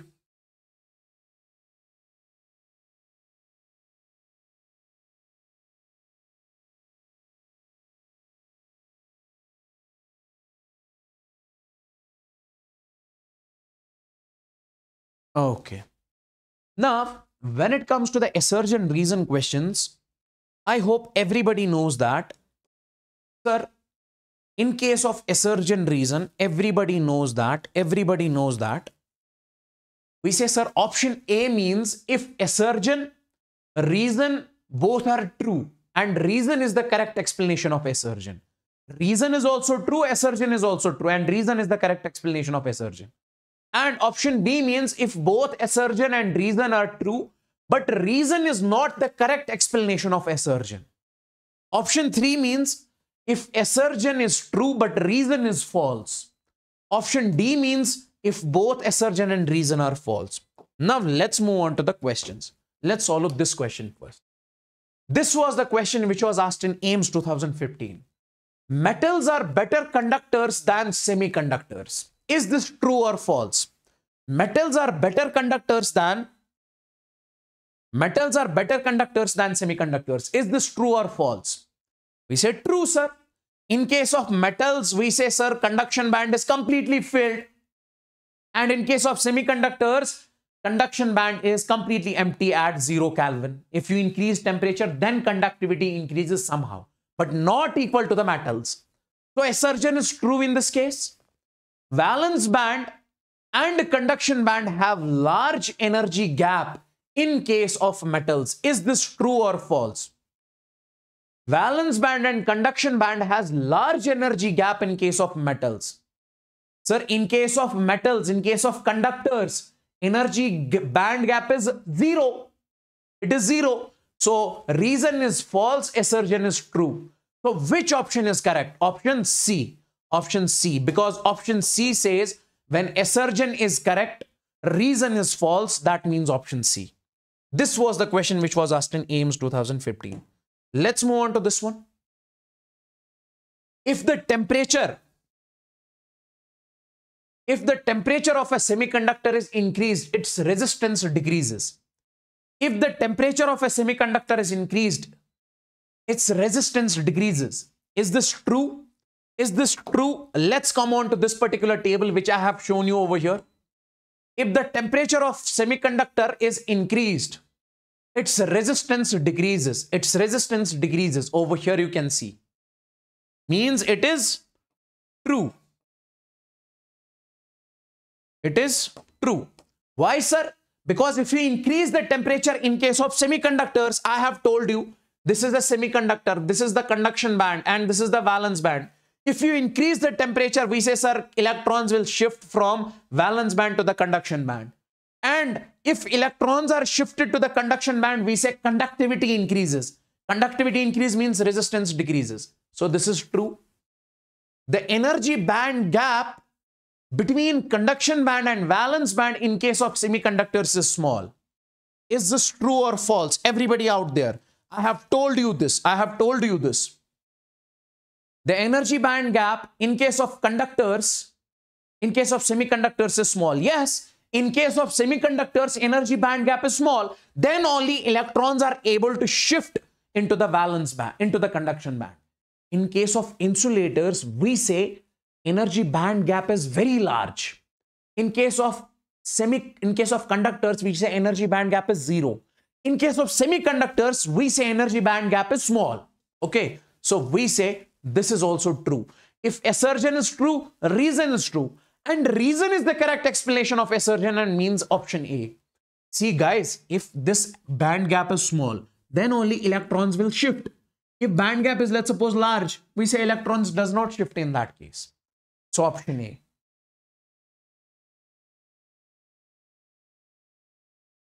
Next, can you tell me the answer of this question? Surgeon, conductivity of a semiconductor increases on doping. Does conductivity of a semiconductor increases on doping?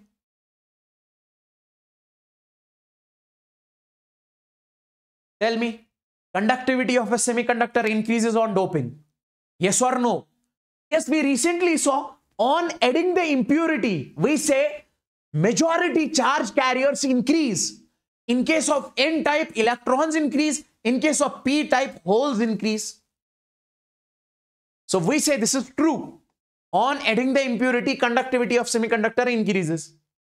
Now tell me, doping raises the temperature of semiconductor. We say no, doping does not. See, on adding the impurity, we say free electrons will increase, holes will increase, but temperature will not increase in this case.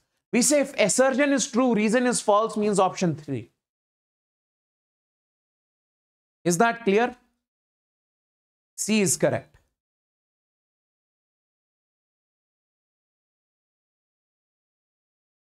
Tell me, for a given applied voltage, conduction current in N-type semiconductor is more than that in P-type semiconductor. Conduction current in N-type semiconductor is more than in P-type semiconductor. Reason? Mobility of electrons is greater than mobility of holes. This is true. Sir, mobility of electrons is greater than mobility of, we say, sir, holes. My dear people, listen to me very carefully. Why? Because mass of electrons is much, much less than mass of holes. So we say mobility is more. Now, if we talk about, sir, we have got N-type over here. We have got P-type semiconductor over here. Sir, in case of N-type semiconductor, if you say majority charge carriers are electrons, okay? Majority charge carriers. And in case of P-type semiconductor, majority charge carriers are holes. Now, my dear friends, we say, sir, mobility of electron is greater than mobility of hole means they are more free to move. They are free to move easily. So we say they constitute more current as compared to the holes. So that's what it is saying. For a given applied voltage, conduction current in N-type semiconductor, in this case, conduction current is more than the P-type semiconductor is more than the P-type semiconductor. Is this true? Yes. In case this is true, reason is also true means option A.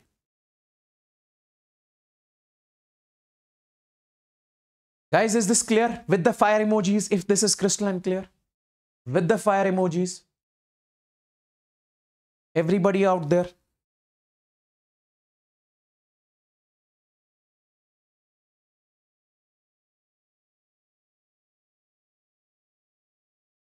Okay, great, great. Now, let's come on to this one. That is mass action law. And let me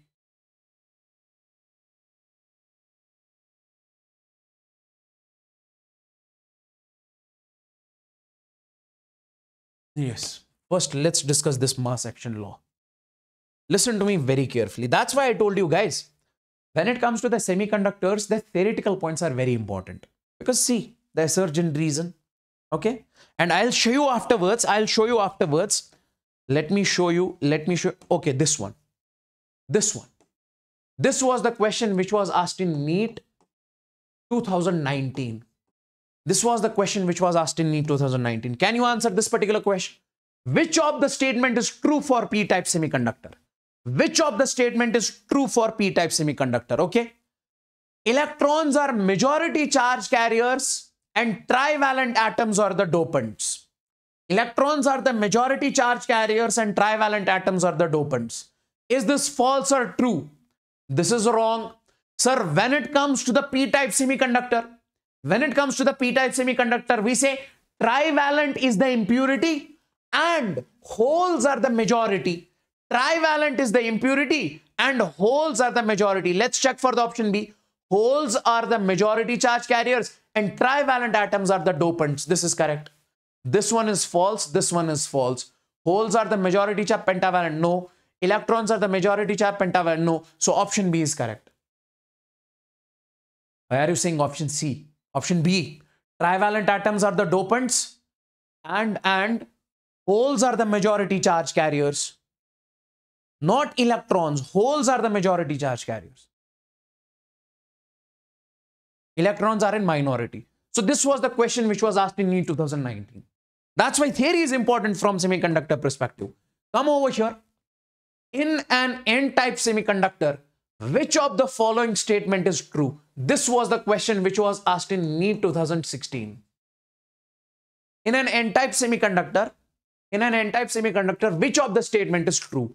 Holes or majority carriers and trivalent atoms are the dopants. No, we're talking about the N-type. In case of N-type semiconductor, when it comes to the impurity, we add phosphorus. Phosphorus is a pentavalent impurity. And we say electrons are majority charge carriers.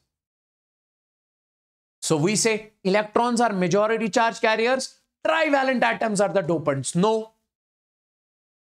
Electrons are minority charge carriers and pentavalent atoms are dopants. No. Electrons are majority charge carriers. Holes are minority charge carriers and pentavalent atoms are dopants. Yes. When it comes to N-type, holes are in minority and pentavalent atoms are the dopants. Pentavalent impurity is added. Yes, yes. Okay. Okay, let me first complete this one first. Come over here. Yes, let's talk about this mass action law. Later on, we'll do the next questions. Is this clear? I hope I am making the semiconductor butter also. Huh? Smooth crystalline clear semiconductors like never before. Okay. Now, come over here, my dear friends. Mass action law. What does mass action law actually mean? Yes. Mm-hmm. what does mass action law actually mean? Now, see, we say according to this law, according to this law, okay if you read the statement from the book it is very difficult to understand but i'll i'll make you understand over here according to this law we say if majority if by doping doping means adding impurity. If by doping majority majority charge carriers majority charge carriers increase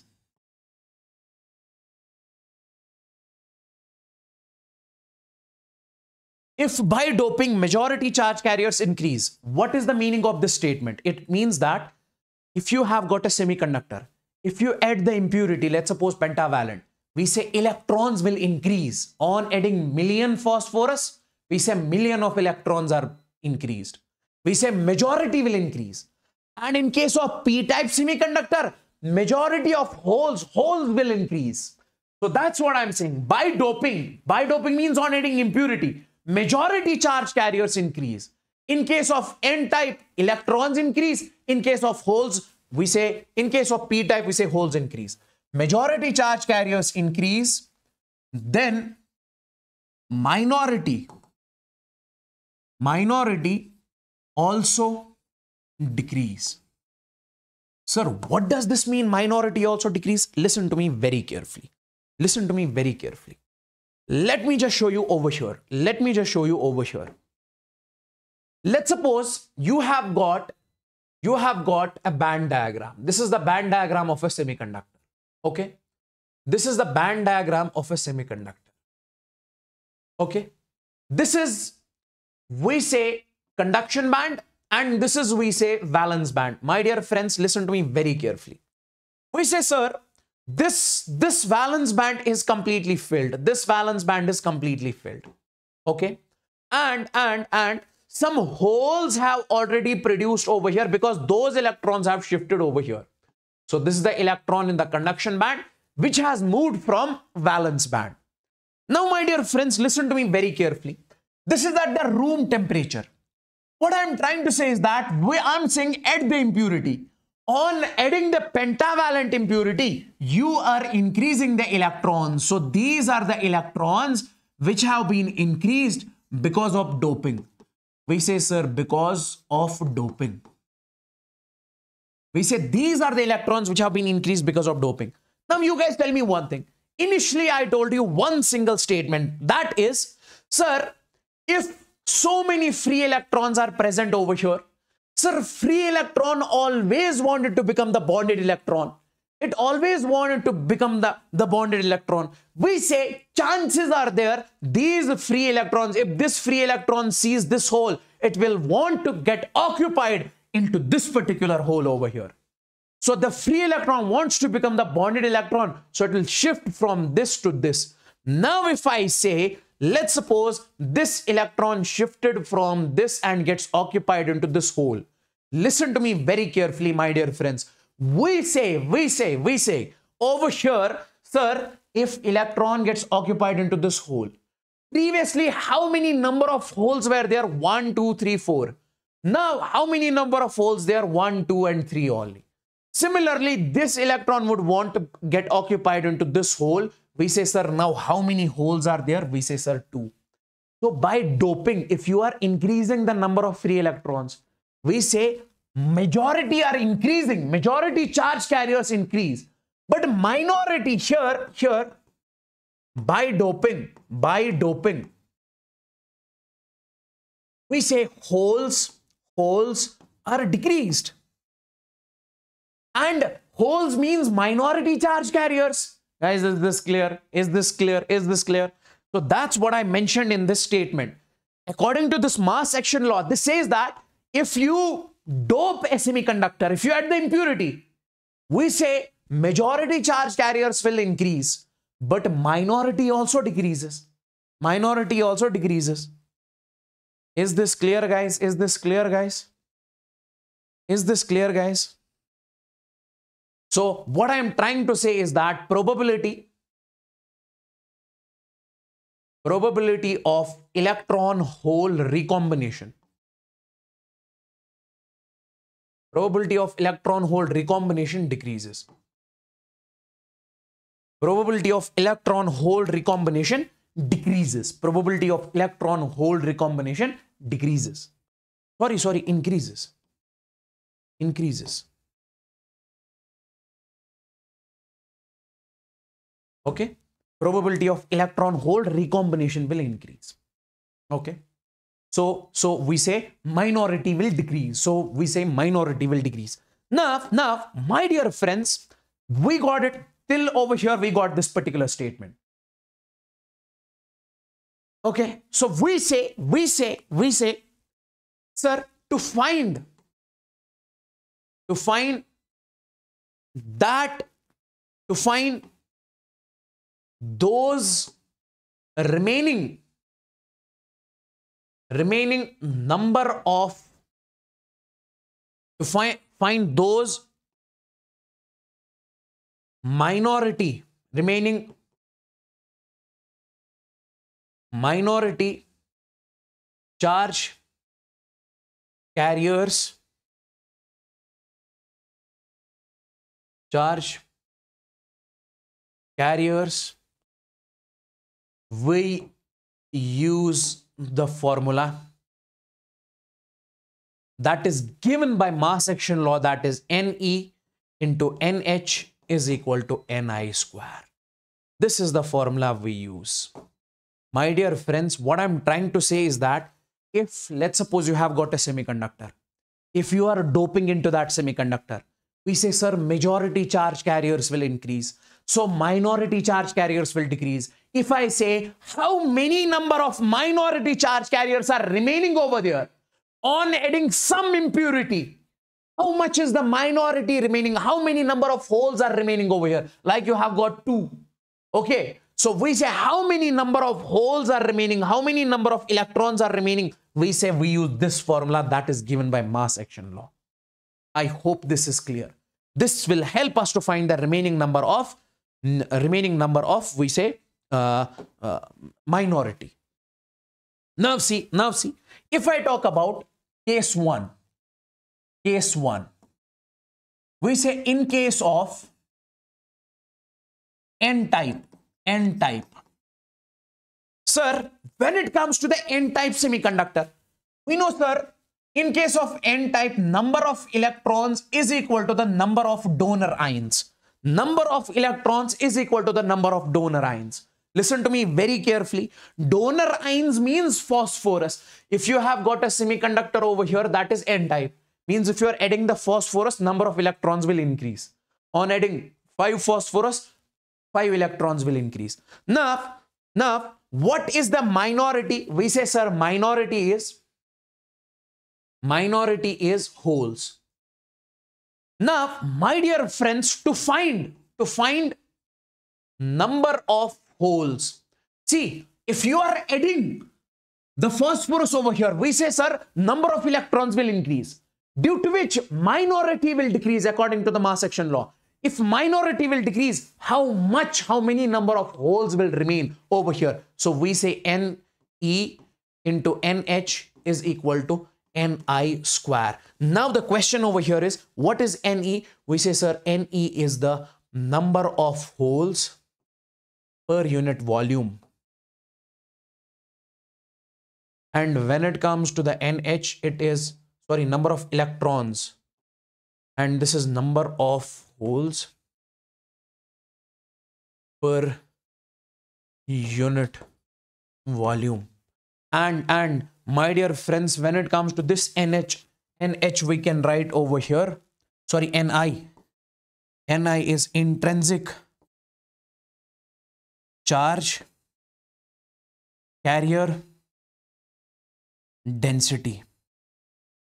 See, intrinsic charge carrier density means it is basically the charge present inside a semiconductor before doping that will be electrons plus holes. Number of electrons plus number of holes is what we call the intrinsic charge carrier density. Charge carrier density before doping. Charge carrier density after doping is increased. Now, my dear friends, we say if we take an n-type semiconductor, in case of n-type semiconductor, we say minority charge carriers are holes. So on adding the impurity, holes will decrease. How many number of remaining holes are there? we can use this formula. Now see, my dear friends, listen to me very carefully. We say instead of Ne, I can put Nd. This is number of donor ions into number of holes is equal to Ni square.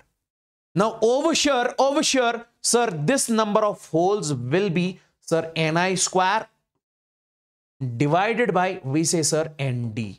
Now this is what we call, this is what we call the number of holes remaining in case of, in case of the n-type semiconductor. How to find number of holes? Now see, let's suppose I have, I'm, I'm, I'm given a n-type semiconductor over here. I'll show you the question on this one also.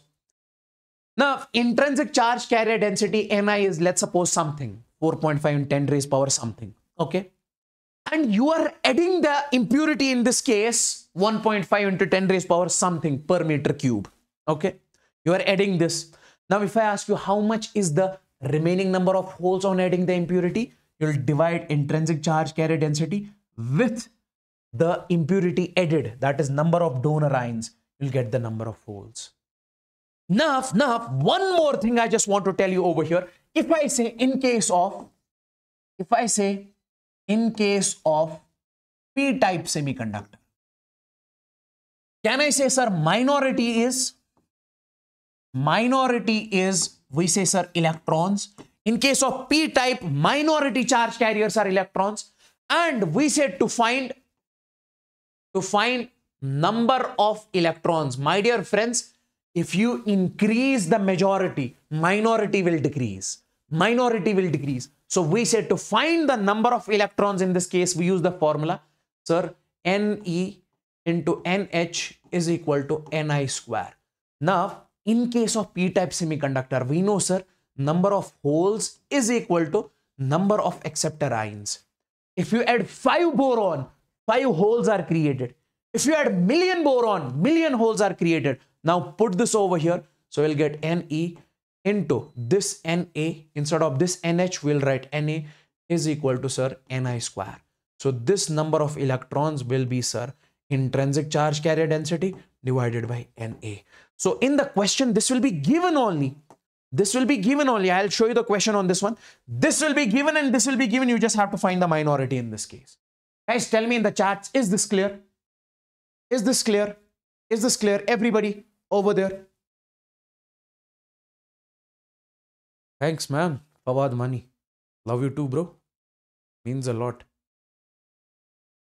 Is this clear to each and everyone? Is this clear? Tell me in the chats. Now, let me basically give you the question on this particular thing, something like this. Sir, pure Si at 300 Kelvin has equal number of electron and hole concentration. Sir, pure Si, you have got the pure semiconductor. You have got the pure semiconductor. You have got the pure semiconductor over here which has got equal electrons and hole concentration. That means that is how much? Sir, in this case, Ni is giving 1.5 into 10 raised power 16. This is intrinsic charge carrier density. You have got a semiconductor. Intrinsic charge carrier density is 1.5 in 10 raised power 16 per meter cube. These are the number of holes and electrons present at 300 Kelvin, intrinsic charge carrier density. After doping, doping by indium, it is doping by indium increases. We say, sir, after doping, number of holes become, in this case, we say, sir, increases NH2 4.5 into 10 raised power 22 per meter cube. So you have basically got a semiconductor over here in this semiconductor, you are doping, okay? In this semiconductor, intrinsic charge carrier density is this much. Now, on adding, on doping, doping, if you are adding the impurity, number of holes in the semiconductor has increased. If number of holes, majority increases, we say, sir, minority decreases in this case. And minority is in this case, we say Ne. So here, here, Ne is, is minority. And to find, to find Ne, how do we find Ne in this case? We say, sir, Ne into NH, Ne into NH is equal to, we say, sir, Ni square. Okay? Simply, sir, this NH in this case will be, this NH in this case will be how much? That is 4.5, the impurity you are adding. So we say, sir, we say Ne will be in this case, that is Ni square divided by NH. Put the value of Ni over here, it's square. Put the value of NH over here, it's square. The answer will come out to be option first. Is this clear? Tell me in the chats. Tell me in the chats. This is not the Hindi channel. This is the English channel. That's why you are getting confused. Round to head gaming. You're getting confused because I'm teaching in English and this is the Unacademy NEET English. I'm not supposed to speak in uh, Hindi over here. Is this clear? Is this clear to each and everyone? Tell me in the chats. Yes, JEE students can watch this also. So mass action law simply says, mass action law simply says, mass action law simply says, on adding the impurity, majority charge carriers increase and minority charge carriers decrease. Now, to find those minority charge carriers, we use this formula. Now, in case of n-type, this is how do we find the minority charge carrier, that's holes. And in case of p-type, this is how do we find the minority charge carriers, that's electrons. Okay. Next question, we have this one. That was, this was asked in AIIMS 2014. Tell me the answer of this question. This was, this is the assertion reason. Tell me the answer of this question. This is the assertion reason. Tell me.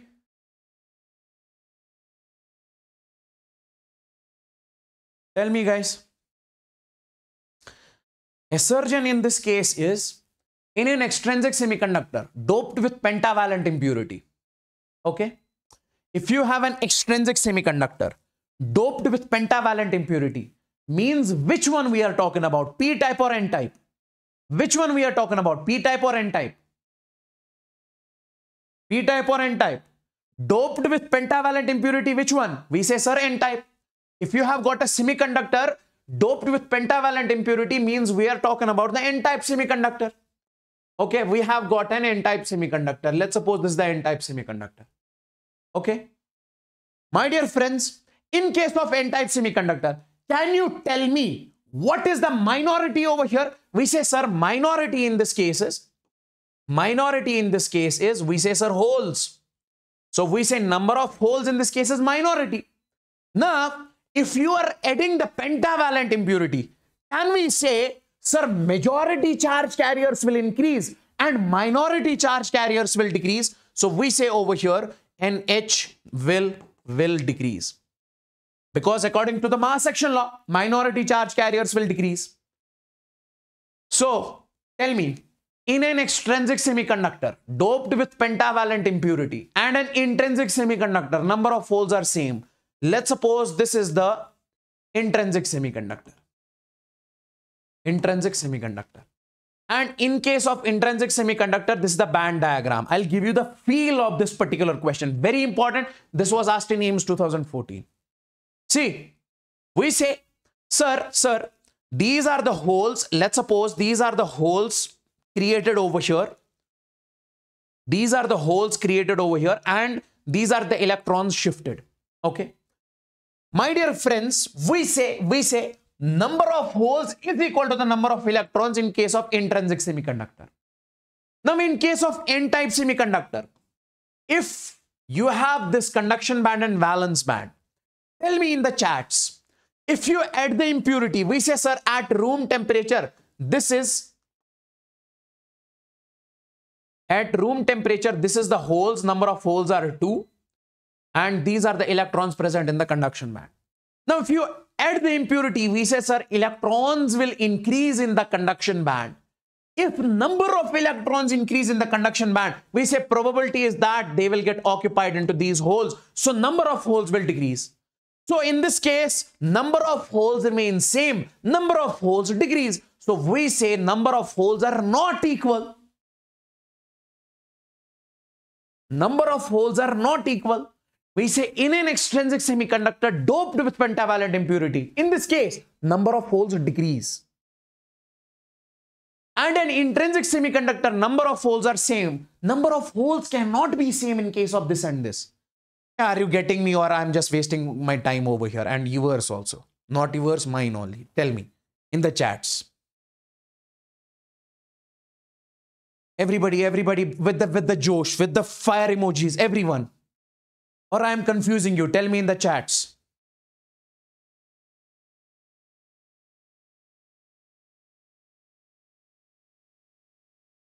Everybody, guys. There are so many people watching and few people are over here answering in the chats. So we say number of holes in this case cannot be equal to the number of holes in this case. Okay. Because in case of n-type, when you add the impurity, number of holes decrease. So assertion is wrong. Assertion is wrong. Reason number of holes doesn't depend upon the doping concentration. Does number of holes depend on doping concentration? Yes. Sir, when it comes to the number of, in case of p-type semiconductor, if you add boron, we say, sir, on adding the impurity, number of holes increase. On adding 5 boron, 5 holes are increased. So we say this is also wrong. So option D. Option D, option D. Is this clear?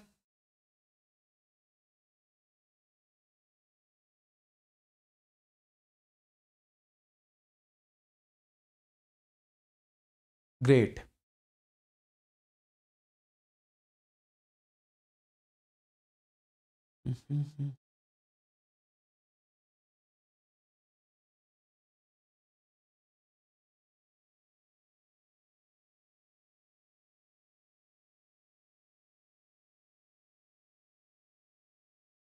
Now let's come on to the PN junction diode.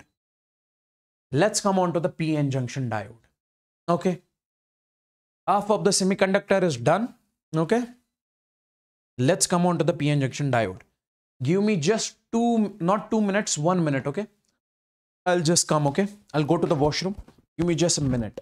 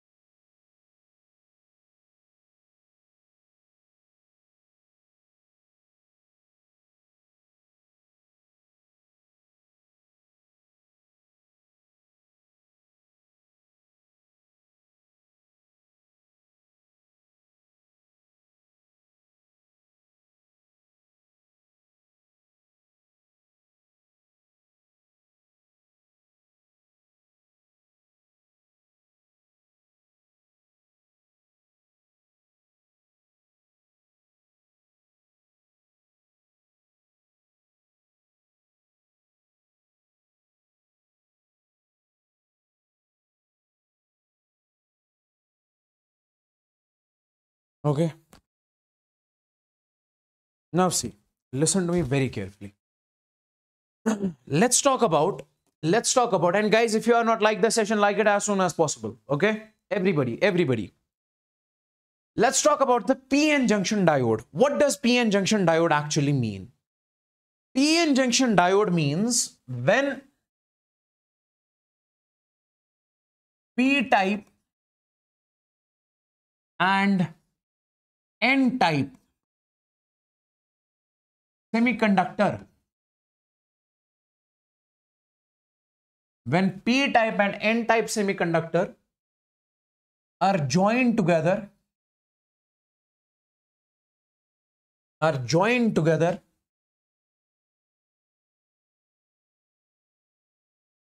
they form, we say PN junction they form PN junction diode. Okay. The symbol of PN junction diode is this one. This is the P type and this is N type. So when p-type and n-type semiconductor are joined together, they form the p-n junction diode. Let me just show you over here. Let me just show you over here. So we have got, we have got in this case, we have got in this case, we say p-type semiconductor and we have got n-type semiconductor joined together. This is, we say, sir, p-type. We say, sir, p-type. We say, sir, p-type. And this is, we say, sir, n-type. Okay. P-type and n-type semiconductor are joined together. And they form the PN junction diode. This is what we call the PN junction diode. Now you guys tell me one thing. You guys tell me one thing. When it comes to the PN junction diode, my dear friends, when it comes to the PN junction diode, my dear friends, we say, sir, in case of p-type semiconductor, we can clearly say, sir, majority charge carriers are holes. These are the majority charge carriers in case of p-type semiconductor. Okay. And, and we have studied, we have studied, sir, in case of p-type semiconductor, if you add 5 boron, boron has got, we say, sir, negative charge. We say, sir, 5 holes are created. So if I'm making the 6 holes over here, so we say I'll make the 6 boron negative, 6 boron negative, 6 boron negative. Boron negative is the fixed, fixed charge over here.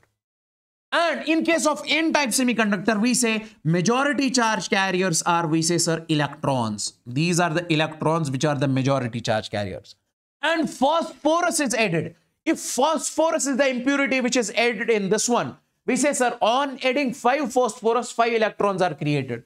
And phosphorus has got positive charge. We say, sir, phosphorus positive. Because that is the positive donor ion. That is the positive donor ion. Okay. Okay. Okay. Now, my dear friends, you tell me one thing. You tell me one thing. If p-type semiconductor and n-type semiconductor are joined together, this has got majority charge carriers. This is what we call the majority. Okay. And these are what we call the fixed, fixed ions. Okay. And this is what we call the majority over here. This is what we call the majority over here. You tell me one thing, my dear friends. You tell me one thing, my dear friends.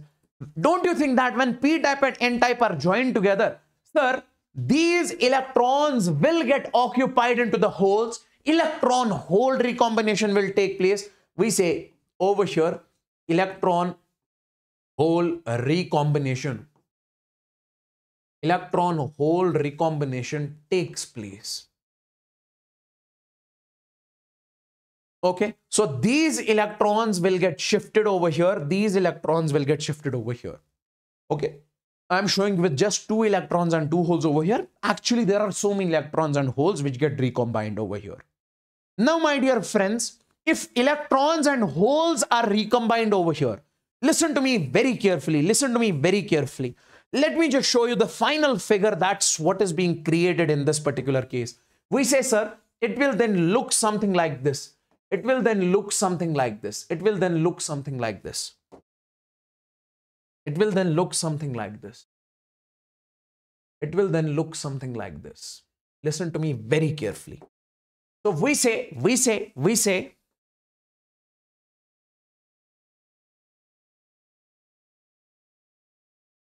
So it will then look something like this. So we say, sir, when electrons and holes are recombined, so it will look something like this then. See, my dear friends, if I say, if I say, these electrons are shifted over here. This electron gets occupied into this hole. This electron gets occupied into this hole. What will remain from this side? Positive charge, positive charge. And these electrons means negative charge come over here. What will come over here? That is negative charge. So I will show you over here. Sir, positive charge will remain from this side in this line and negative charge will remain over here, come over here in this line. And from this side, we have got this hole and this electron, this hole and negative charge, fixed charge, this hole and negative fixed charge, something like this. This is electron and positive Okay. This is how does it actually look like. Why, sir? Because when these electrons get shifted over here, what remains in this line? Positive, positive. What will come in this line? Negative, negative, negative, negative. So we say, we say this is what we call the depletion region. Depletion region. So I can clearly say over here, sir, when electrons and holes are recombined, electrons and holes are recombined, we say, sir, depletion, depletion region is created. Depletion region is formed over here and depletion region is created over here. Depletion region is formed over here and depletion region is created over here. We can say it something like that. Now, now, you tell me one thing. You tell me one thing in this particular case. In this particular case. Sir, sir, as the electrons and holes have shifted. See, electrons have shifted from n side to p side. Holes have shifted from p side to n side. We say as, as due to the, due to the motion of electrons and holes, electrons and holes. Due to the motion of electrons and holes, electrons shifted from p n side to p side. Holes shifted from p side to n side. Due to the motion of electrons and holes, we say current. Current is produced and is called and is called we say diffusion and is called diffusion current and is called diffusion current. Diffusion current is that current which is being produced when the electrons and holes recombine, okay? And this diffusion current and this diffusion current, I'll just write over here. Guys, tell me one thing. You have, I have told you in current electricity, if this is the direction of motion of electrons, current flows in the opposite direction. Current always flow opposite to the flow of electrons. Now, if electrons flow from n side to p side, we say current will flow from p side to n side. So this diffusion is from, is from, we say p side to n side. This is the diffusion current. Diffusion current is being produced.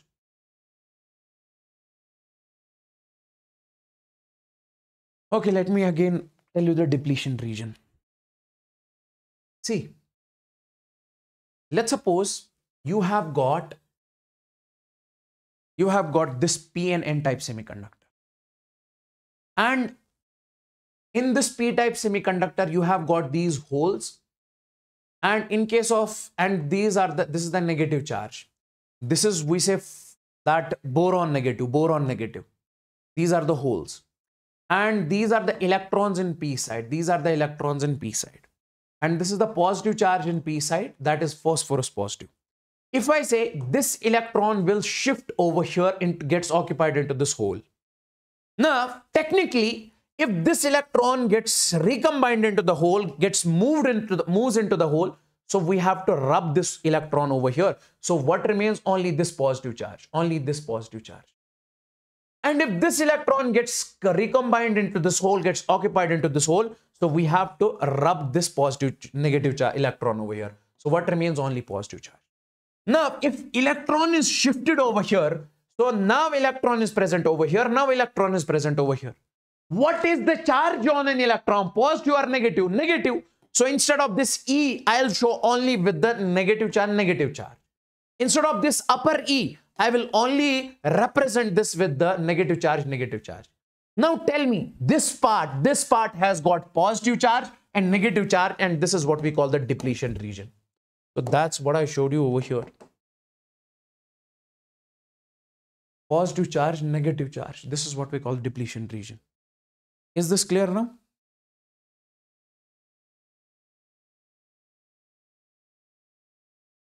Now, now, come over here. We say diffusion current is from P to N. Now, my dear friends, one more thing I just want to tell you in this particular case. That is, sir, that is, sir, that is can you tell me, sir, whenever you have positive charge and negative charge separated, we say, we say electric field is set up.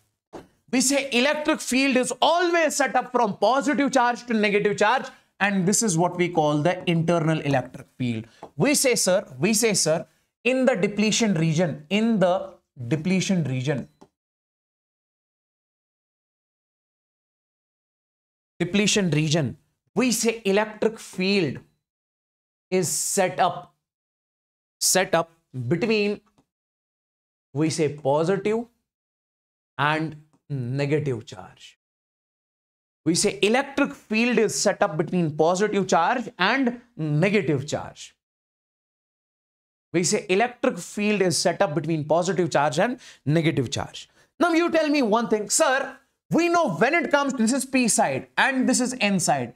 In case of P type semiconductor, we say, sir, electrons are in the minority. This is, these are the electrons and this is what we call the minority. So we say these are the electrons and these are what we call the minority. We know minority charge carriers in case of p-type semiconductor is electrons and these are the minority over here. Sir, what are these? These are the majority, holes. And what is this negative charge? This is boron negative, boron negative. Okay, I hope you remember it. And in case of n-type semiconductor, we say, sir, holes are minority, holes are minority.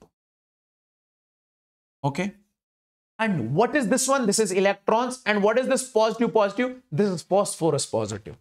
Now, because of this internal electric field, sir, now force acts on, force acts on these electrons. So they will flow something like this. So we say whenever you place a charge inside the electric field, force acts on that charge. So because of this electric field, force acts on these electrons. Now we say due to that electric field, due to that electric field, we say minority, minority charge carriers, minority charge carriers move. These electrons will get shifted from P to N and holes get shifted from N to P. Due to that electric field, minority charge carriers move and current is produced called we say drift current. Drift current. Now tell me what is the direction of drift current guys? Electrons move from p to n. So direction of current is opposite to the direction of flow of electrons. So direction of drift current is from n to p. So we say this i we say this i drift is from I drift is from we say N to P is from N to P. And and we say, my dear friends, after some time, after some time, this diffusion,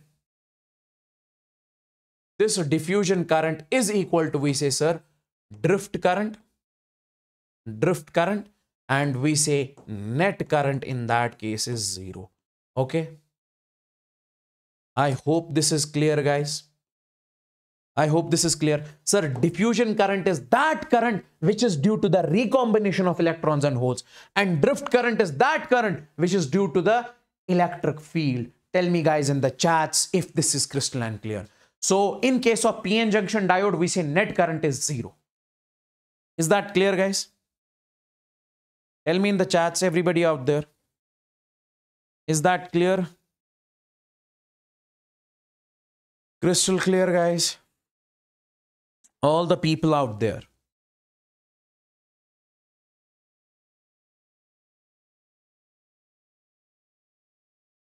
And make sure you hit the like button. Everybody out there. Okay, make it 350.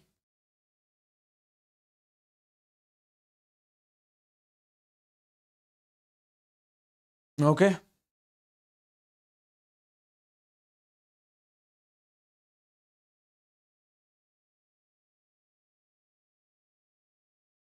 Okay, great.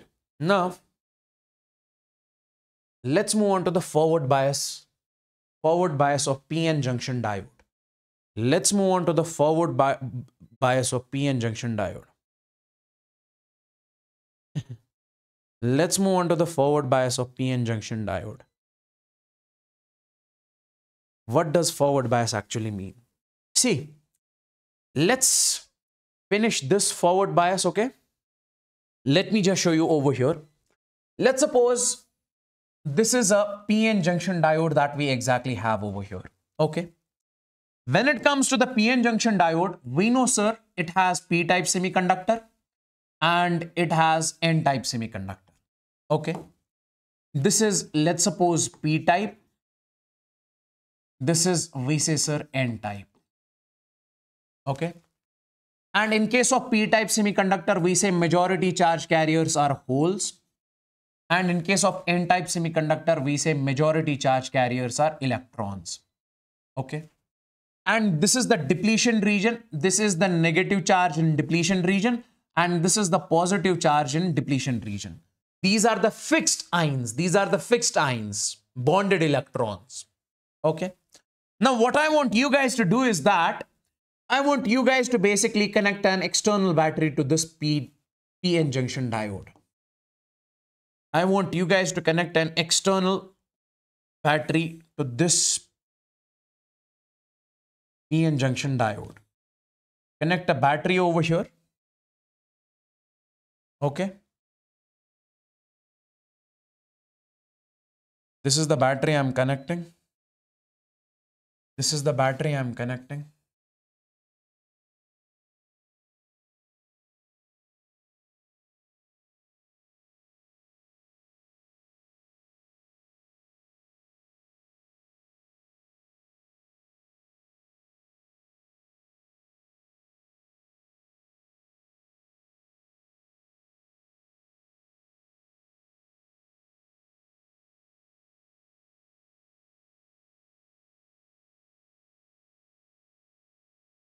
Now see, listen to me very, very, very carefully.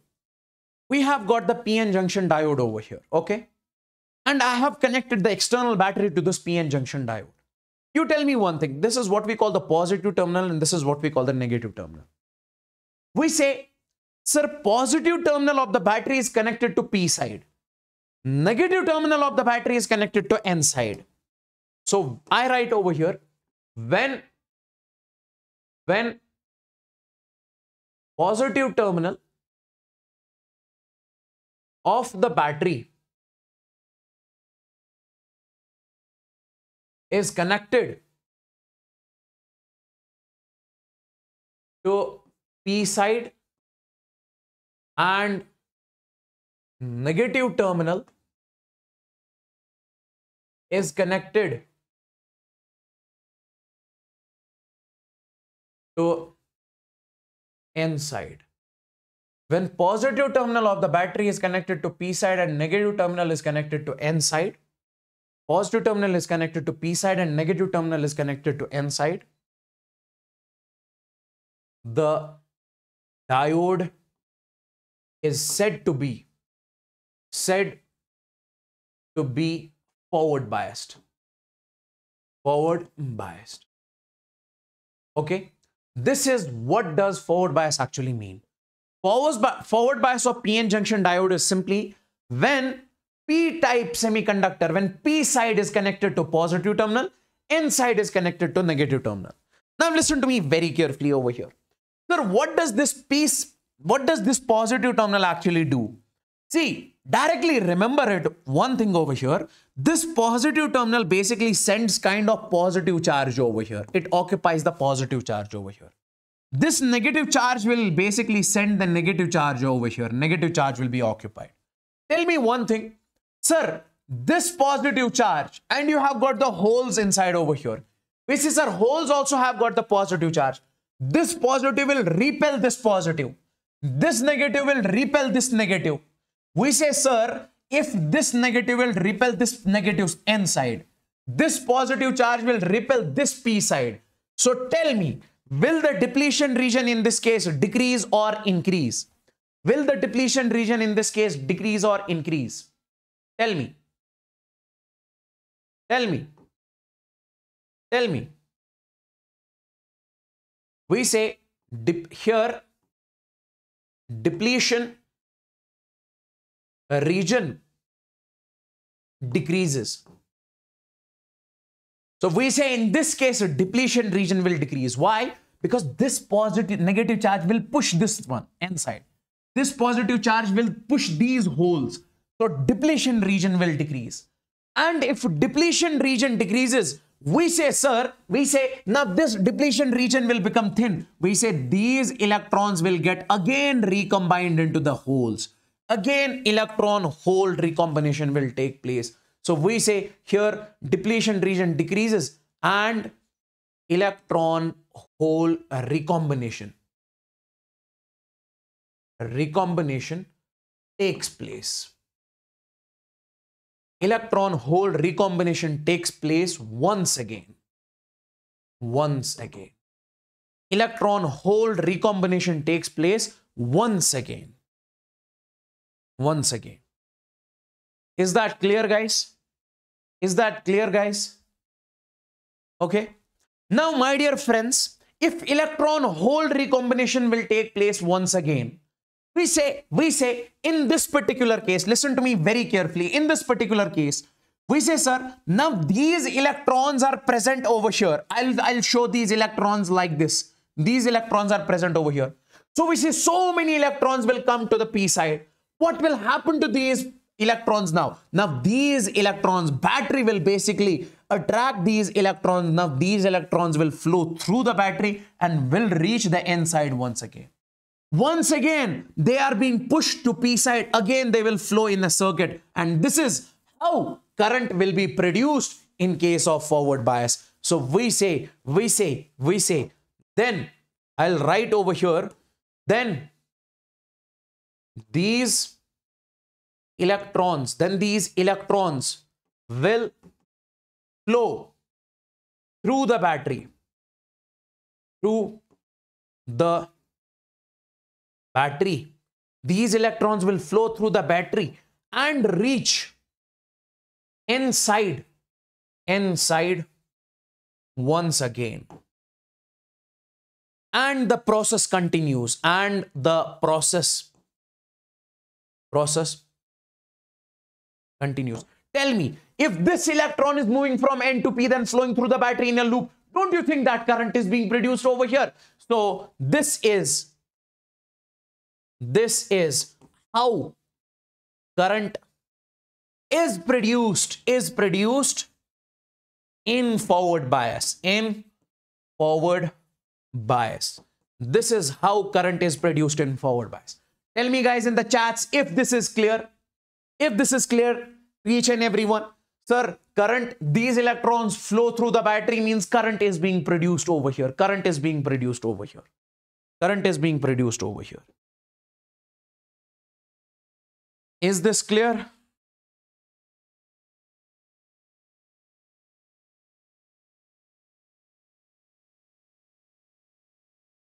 Okay, this is how current is exactly being produced in this particular case, in this particular case. Okay, one more point I just want to tell you over here. Don't you think that, don't you think that, sir, when it comes to this forward bias, Sir, internal electric field is from positive charge to negative charge. Everybody knows that. This is the internal electric field. This is the internal. Okay. And when it comes to the external electric field, external, sorry, external electric field is from this positive charge to this negative charge. And this is the external electric field. This is the external electric field because of the battery. This external electric field is set up because of the battery. And because of this external electric field, only we say the, this charge exactly flows and current is being produced over here. Now, if I just tell you in this particular case, I'll just say graph, graph between, we say current and voltage in case of, in case of forward bias. Graph between current and voltage in case of forward bias. Let me just show you what is the graph exactly over here. Now, the graph between current and voltage in case of forward bias is something like this. See, see. Let me just show you. On this axis, I show, we say, sir, current. And on this axis, we say, sir, this is EMF or potential difference. Now, my dear friends, listen to me very carefully. Let's suppose you have this battery over here. It is giving 10 volts of potential difference. So 10 volts of potential difference means it is occupying some positive charge over here, some negative charge over here. And some electric field will be created over here. Now, if I say we are increasing this potential difference, let's make it 20 volts. Sir, on increasing this potential difference, we say, sir, this is 20 volts. Now, more positive charge is created, more negative charge is created. Sir, more depletion region will decrease, more electron hole recombination takes place, more current will flow over here.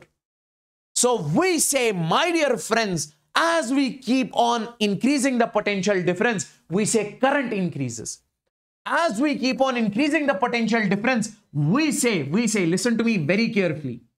We say, we say more positive and negative charge is occupied, more depletion region will decrease, more electron hole recombination takes place, more electrons will flow, more current is produced. So the graph between current and potential difference will increase something like this. Will increase something like this. This is the graph between potential difference and we say current. So let's suppose initially, initially, let's suppose, let me show you something like this. Let, let me show you something like this. Let's suppose initially we are giving some potential difference. Let's suppose 0.1 volts, some current is flowed. So we say, sir, let's suppose at, at we say 0.1 volts, some current is being produced. If you send more potential difference, strong electric field, strong charge, more current is produced. And, and, my dear friends, listen to me very carefully. If I say inside this one, inside this voltage, inside this, let's suppose this has got 0.4 volt potential difference. This electric field is also the potential difference over here. Separation between the charges. So we say, my dear friends, if you are applying the external electric field, which is stronger than this one, so this will decrease this electric field. This will decrease this barrier. It will decrease this, uh, we say, uh, depletion region. So then these electrons will cross over here. So means, means, means at certain voltage, at certain voltage, let's suppose, sir, sir, let's suppose at 0.5 volts, when you applied 0.5 volts, you can see the graph of current, the current is very large. So we say on increasing the potential difference, we say current increases. So on increasing the potential difference, current increases.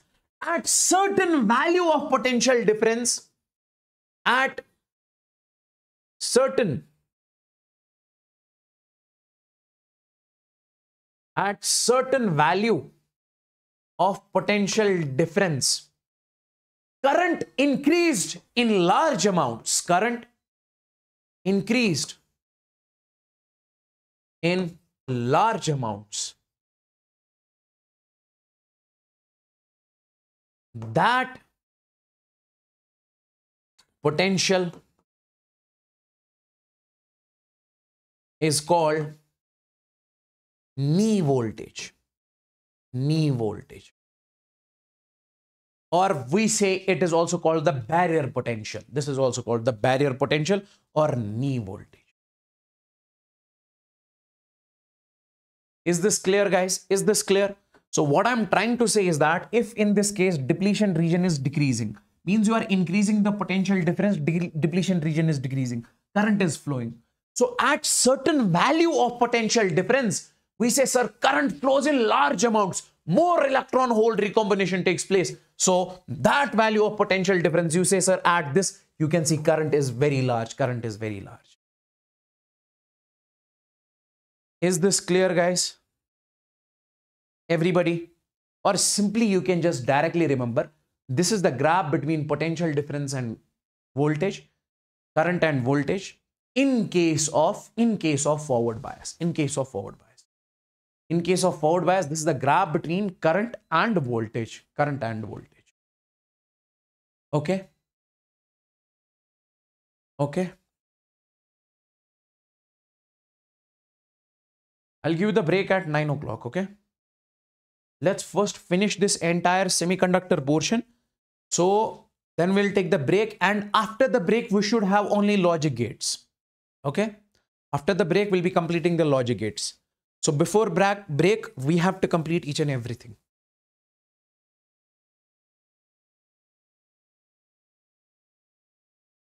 Now see, one more point I just want to add over here. So we say, we say, we say, in case of forward bias,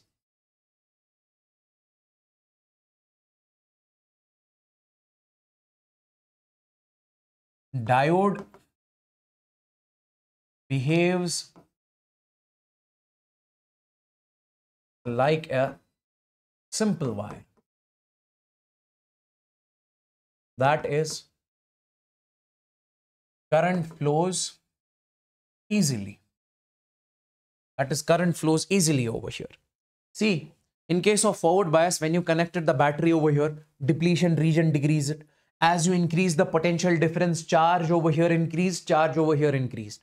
So we said depletion region more decreases, so more electron hole recombination takes place, more current flows in this case. And how to make the graph of current versus voltage? As you keep on increasing the current, we say as you keep on increasing the potential difference, we say, sir, current is increasing, current is increasing. At certain value of potential difference, we say, sir, current is very large. Okay. Okay. That is what we call the knee voltage or the barrier potential. Now, my dear friends, let's talk about the reverse bias. Let's talk about the reverse bias. Listen to me very carefully. In case of forward bias, we observe that current flows very easily. Okay. Diode behaves like a simple wire. Diode behaves like a simple wire. But, but, but, when it comes to the reverse bias, my dear friends, my dear friends, my dear friends, listen to me very carefully. We say, we say Sir, in case of a reverse bias, let's take a PN junction diode over here. So we say this is the P-type semiconductor, this is the N-type semiconductor. And in this particular case, let's connect a battery to it. Let's connect a battery to it. Let's connect a battery to it. Okay. This is the battery we are connecting over here. This is the battery we are connecting over here.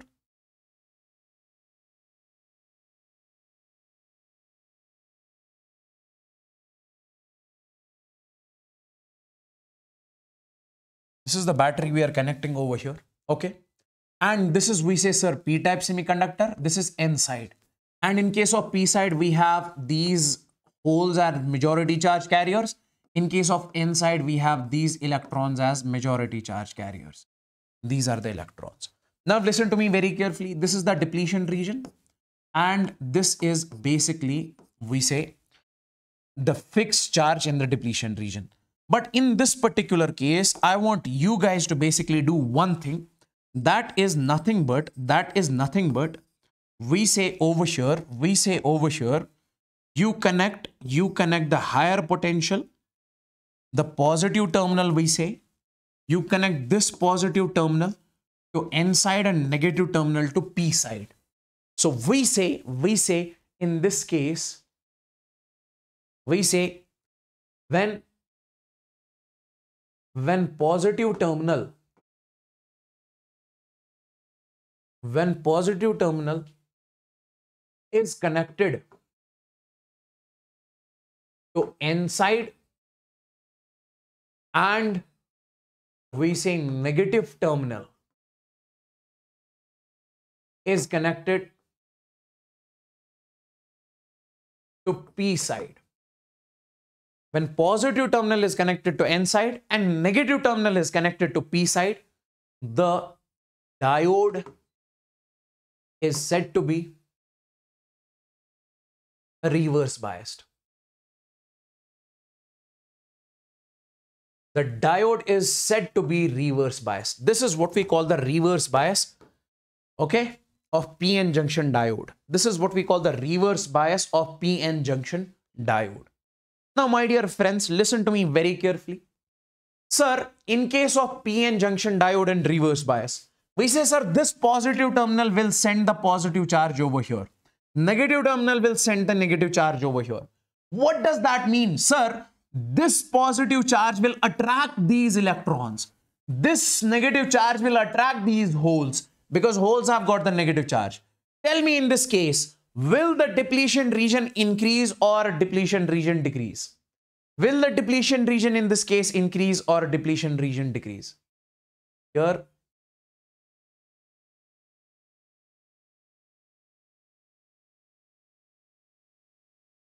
yes, in this case, depletion region increases because this positive charge is attracting this n side negative charge is attracting the holes of p side so we say in this case depletion region will increase and tell me guys in this case if depletion region increases in this case will the electron hole recombination take place will the electron hole recombination take place we say electron hole recombination recombination electron hole recombination does not take place. Does not take place. So in this particular case, we say electron hole recombination does not take place at all. Okay. Because this depletion region has actually increased. This depletion region has increased. Okay. Now, if electron hole recombination does not take place, tell me guys, Will there be current produced? Will there be current? We say so no current is produced. So that's why we say in case of reverse bias, current is zero. That's why we say in case of reverse bias, current is zero. Okay. Now, my dear friends, I just want to tell you one single thing. Sir, this is, we say, the internal electric field from positive charge to the negative charge from positive charge to the negative charge. And when it comes to the external electric field, external electric field is from this positive charge to this positive, this negative charge. This is the E external. This is the external electric field because of the battery. Now, now, let me just make the graph over here. Let me just make the graph over here. Graph between current and voltage in a reverse bias. In reverse bias. Graph between current and voltage in case of reverse bias. Listen to me very carefully. Let me just make the graph. If I just tell you, the graph will be something like this.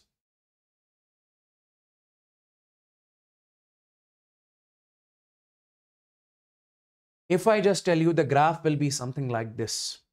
See, my dear people, this is we say sir current and this is, we say, sir, voltage over here. Listen to me very carefully. Listen to me very carefully. As, as you keep on increasing the potential difference, let's suppose I'll tell you over here. Listen to me very carefully.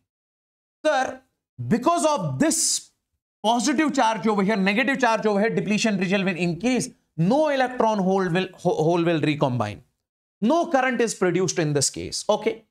Now, so the graph, when we make the, this is the graph in case of forward bias. This is the forward bias. Forward bias. And, and on reversing the polarity, reversing the polarity means positive terminal is from this side, negative terminal is from this side. This type I have shown you in case of photoelectric effect also. So we say, we say, we say, in this case, in this case, this is current and this is voltage. In case of reverse bias, we make the graph from this side and the graph of current will be something like this. See, the current is very small over here. In case of reverse bias, we say current is or current is zero or we say very, very, very small. Guys, guys, what I'm trying to say is that, what I'm trying to say is that we say, listen to me very carefully. In case of reverse bias, current is very small or current is very, current is zero. Now, now, on increasing the potential difference. Let's suppose you applied, let's suppose you applied 5 volt potential difference, current is 0. 10 volt potential difference, current is 0. 15 volt potential difference, current is 0. Now let's suppose you applied 40 volt potential difference means you have occupied a large positive charge over here. You have occupied a large negative charge over here. due to a strong electric field has developed over here. Tell me one thing. If electric field is strong, we say, we say, sir, this positive charge, this, this negative charge and positive charge, these are, we say the, this is, these are, we say the bonded electrons over here. These are, we say the fixed, fixed charge over here. This is fixed charge over here. So we say, if you increase this external electric field, if you increase it so much that these bonds will actually break in the depletion region and current will start flowing. Guys, what I'm trying to say, you have got the negative charge over here. You have got the charge, positive charge over here. These are the bonds, okay? Now, if you increase this external electric field, and this is so huge that these bonds will break, this negative charge will flow in opposite direction, this positive charge will flow in this direction. So that's what I'm trying to say over here. That's what I'm trying to say over here on increasing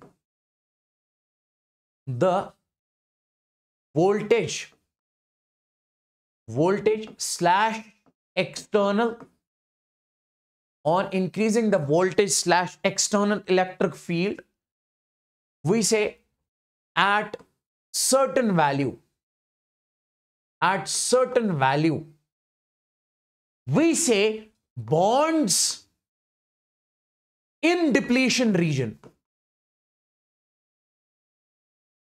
will break will break in large amounts in large amounts bonds in depletion region will break in large amounts and current increases What's up? hello, hello, hello, hello, hello, hello. Can you all hear me? Hello, hello, hello, hello. Hello, hello, hello, hello, hello, hello. Hello, hello, hello, hello, hello. What's up? guys What's up, guys? What's up? How are you all doing? we have someone over here What's up? What's up, people? How are you? How are you? Where is the Josh? Boss in Kashmir. Yes, Yeah. the boss is back to Kashmir. he was in bangalore actually i hope you guys have watched that short huh? Yes. Ambika ma'am short, huh? cat fight Uh-huh. All right, nice. Good going, guys. Good going. So today So- it's day 50. I Two. don't know about- Is it day 51 or day 52? tomorrow it's your lecture huh? Yes, tomorrow it's going to be me. Oh, it's day 52. So day 53 is mine basically, yeah? So tomorrow I'll see you all live, okay, at 5 p.m. It's ionic equilibrium. But please make sure that you uh, go through chemical equilibrium once before joining the session, yeah? Tomorrow it's ionic equilibrium, but make sure, please and please, you go through the chemical equilibrium once. No technical glitch this time because I'm back at my studio, right? I'm back at my studio. Relax, you need not to worry. Yeah, cool. He'll be taking the session tomorrow for sure. Huh? Uh, the session duration will be five to six hours because it's a small chapter. It's not that big. Sir आप कब आए मैं आज ही आया I am just I just now reached home basically I just now reached home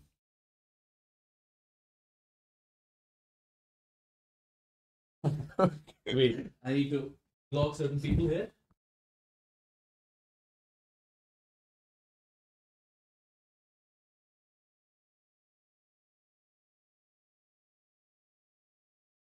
Remove, remove.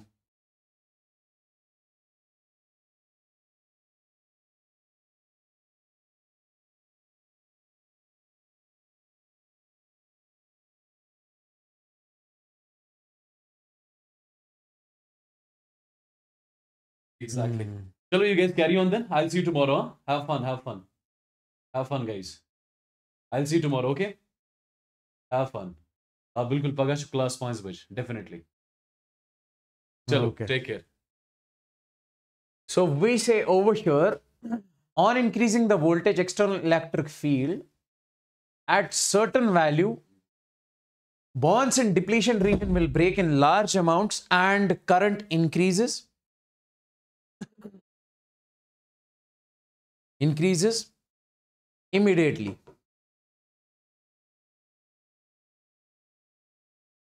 That value, that value of that value of potential potential is called is called we say breakdown voltage. Breakdown voltage. So so the graph would be something like this the graph would be something like this in case of reverse bias let's suppose you applied 10 volts potential difference. Sir 20 volts potential difference 30 volts potential difference okay? And at 40 volts potential difference you you observe that current has increased a lot. This is the graph of current okay? The current has increased a lot and this value is what we call the breakdown voltage. Breakdown voltage. Okay so we say at breakdown voltage current is very large. At breakdown voltage we say sir current is very large okay? Current has increased a lot. So my dear friends in this particular case listen to me very carefully. Listen to me very carefully. If you have got the p side n side and this is depletion region and you applied and you applied in this case and you applied in this case the external electric field okay now on increasing the external electric field we say these bonds in the depletion region will break and current starts flowing but but remember one thing when it comes to this current and this current, remember always this current in the reverse bias is much, much smaller than the current in the forward bias. Okay. This current is in, in the reverse bias is much, much smaller than the current in forward bias. And we say current in the reverse bias is, we say we consider it zero. So at breakdown voltage, we get the value of current, we get some current, but compared to the forward current, it is very small. It is very small. So we say, we say, so in reverse bias, reverse bias, we say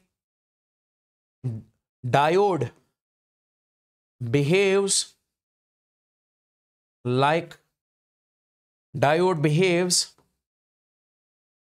diode behaves like an open wire diode behaves like an open wire so in case of reverse bias, we say diode behaves like an open wire. Okay. So let me just tell you over here, sir. Let's suppose we have got the diode over here. This is the diode we have got. And we are connecting a battery to this one. Okay. Always remember this is P side and this is N side. So in this case, the positive terminal is connected to the P side. So we say this is nothing but forward bias. Forward bias. And if we have the diode over here, this is the diode, okay? And you have got the battery connected something like this. Okay, this is the positive terminal connected to N side. So this is what we call reverse bias. This is what we call reverse bias. This is the forward bias and this is what we call the reverse bias. Over here, diode behaves like a simple wire. Current can flow easily in large amounts over here also current can flow. Over here also we say diode behaves like an open wire. Current is almost zero. But at breakdown voltage, current will flow, but, but that current will be small compared to the forward current. Tell me in the chats if forward bias and reverse bias is crystal and clear. Everybody out there, is forward bias and reverse bias crystal and clear? Everybody in the chats, I need to know. I need to know. Is this crystalline clear? Is this crystalline clear? Is this crystalline clear?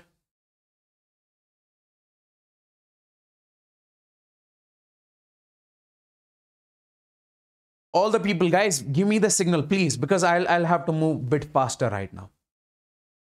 Now, assertion reason. In an unbiased PN junction diode, holes diffuse from P region to N region. In an unbiased PN junction diode, holes diffuse from P region to un, uh, sorry, P region to N region. See, let's come on to the PN junction diode without any biasing. So we say in just normal PN junction diode, electrons shift from N side to P side, holes shift from P to N. Means this is correct. Assertion in this case is correct.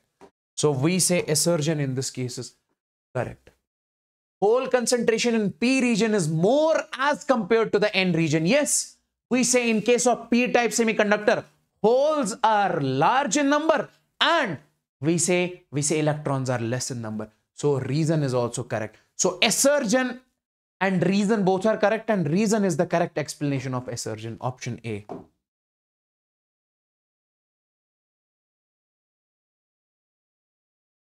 This is already we did this tell me in this one. This was the question which was asked in NEET 2020 this was the uh, question which was asked in NEET 2020 tell me the increase in the width of depletion region in PN junction diode is due to? Increase in depletion region is due to option A both forward and reverse bias. Option B increase in forward current. Option C forward bias only. Option D reverse bias only. Which one? Which one? Which one increase in the depletion region happens in forward bias or reverse bias sir increase in the depletion region happens in the reverse bias only recently we studied this that's why I was telling you the theoretical points over here. Okay, that's why I was telling you the theoretical points over here from the, uh, in case of when it comes to the NEET. Okay, because tons and tons of questions have been asked directly from the theory. Okay, now can you tell me, consider a diode junction, uh, consider the junction diode as ideal the value of current through AB is, you have to tell me the value of current in this case. Okay. So this is 4 volts potential over here. This is 6 volts minus 6 over here. You have to tell me the current in this case. We say, sir, as, as. When it comes to current, we say, sir, current is V divided by R. Okay. We say, sir, current is V divided by R. Okay. Now you tell me one thing. What is this V? This V is actually delta V divided by R. V is actually delta V. That is potential difference. If you have to see how much is the current over here, you will simply say I is equal delta V. Delta V is what? Final potential minus, uh, sorry, higher potential minus lower potential. Higher is we say, sir, 4 plus 4. Then minus, lower potential is minus 6. So we say minus 6, 4 minus of minus 6 divided by resistance resistance of this diode is 1 kilo ohm. So we say that is 10 raised power 3 ohms over here. Now, my dear friends, this will be I is equal to 4 plus 6 is we say sir 10 divided by 10 raised power 3. And if you take this in the numerator, this is 10 into 10 raised power minus 3. So it will be 10 raised power minus 2 ampere. Is that clear? Is that crystal and clear to each and everyone? Is that clear, guys? Tell me in the chats. Tell me in the chats, everybody. Okay, option D. Now we have got the next question over here. This was the question which was asked in mains 2021. This was the question which was asked in mains 2021. Everybody out there. Tell me in the chats, guys. Which is the correct option over here? In the following figure, the diode, the diodes which are forward biased are which of the four diodes are forward biased? Is this visible to everyone? Is this visible to everyone? I just need to know. This is plus 10 volts, 5 volts, minus 10, 0. Is this visible? Is this visible? Tell me in the chats fast, fast, guys. Is this visible? We say in this case, listen to me very carefully. Listen to me very carefully. Sir, when it comes to the diode, I have told you, sir, if we make a diode something like this, this means P side and this means N side. Listen to me very carefully. We say, we say, sir, this is, we say over here, this is N side and this is P side of the diode. Now, my dear people, this P side is connected to, we say, sir, plus 10 volts. And this N side is connected to plus 5 volts. Which one is greater? plus 10 is greater or plus 5 is greater. We say, sir, plus 10 is more than plus 5. So means, my dear friends, means, my dear friends, this is higher potential, this is higher side, and this is, we say, sir, lower side. Now, if P side, this one is back side of the diode, if P is connected to higher potential, N is connected to lower potential, means when P side is connected to positive terminal, N side is connected to negative terminal. In that case, we say, sir, diode is, we say, forward biased. So this is the case of forward biased. Okay. Option A is forward biased. Now tell me over here, sir, this is the grounded over here means zero volt. And this is P side and this is N side. Now, my dear friends, tell me in this case, sir, P side is connected to minus 10 volts. N side is connected to 0 volts. So this is higher side and this is sir lower side. So we say high is connected to N. So this is nothing but reverse bias in this case. This is reverse bias. Come over here. Sir, this is minus 12 and this is minus 5. In this particular case, you say, sir, this is N side and this is P side. P side is connected to minus 5. This is connected to minus 12. So we say this is in this case high. Okay, and this is in this case, we say, sir, low. Now tell me in this particular case, guys. Tell me in this particular case, guys. Okay, so we say P side is connected to higher side. Pause. P side is connected to positive terminal, kind of. N side is connected to lower side. So this is also forward bias. Okay. And what about this one? This is sir 0 volts and this is P side and this is N side.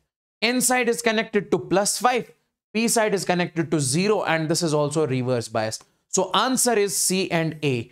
So A is in option A, it is forward biased. In option C, it is forward biased.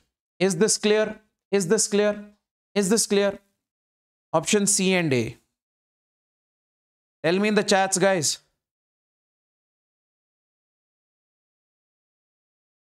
Is this clear to each and everyone? Now let's move on to the next question. This was the question which was asked in NEET 2017. I need to know how many of you people can exactly solve this. How many of you people can exactly solve this? Which of the following represents the forward bias? Which of the following is rep represents the forward bias? Okay. Which of the following represents the forward bias? Everybody out here, out there,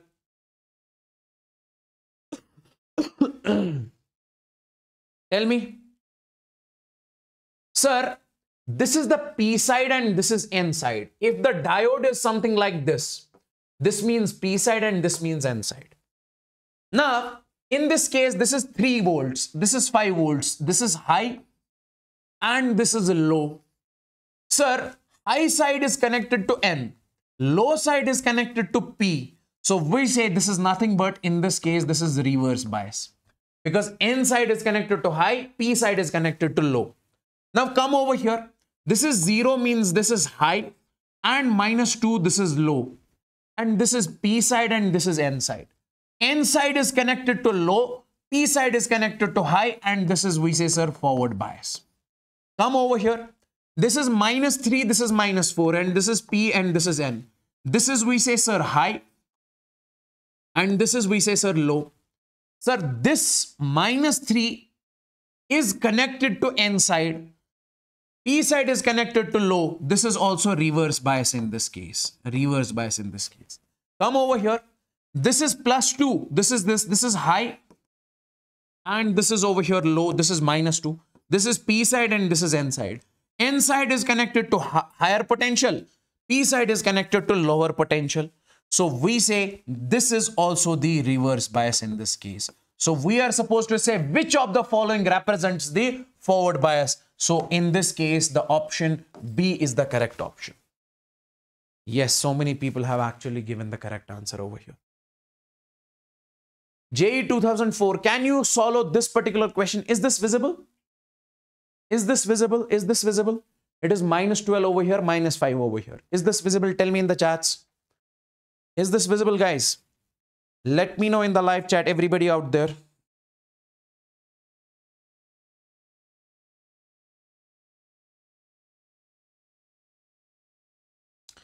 Like the session if you have not liked, make it make it 400 guys, make it 400. Okay, this is not visible. Let me show it something like this. Let me make it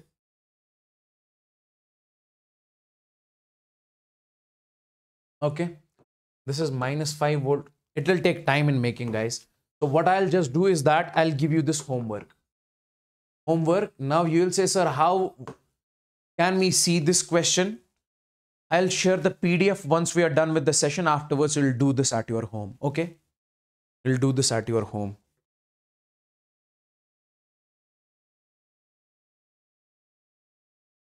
I don't think it is zooming over here. No.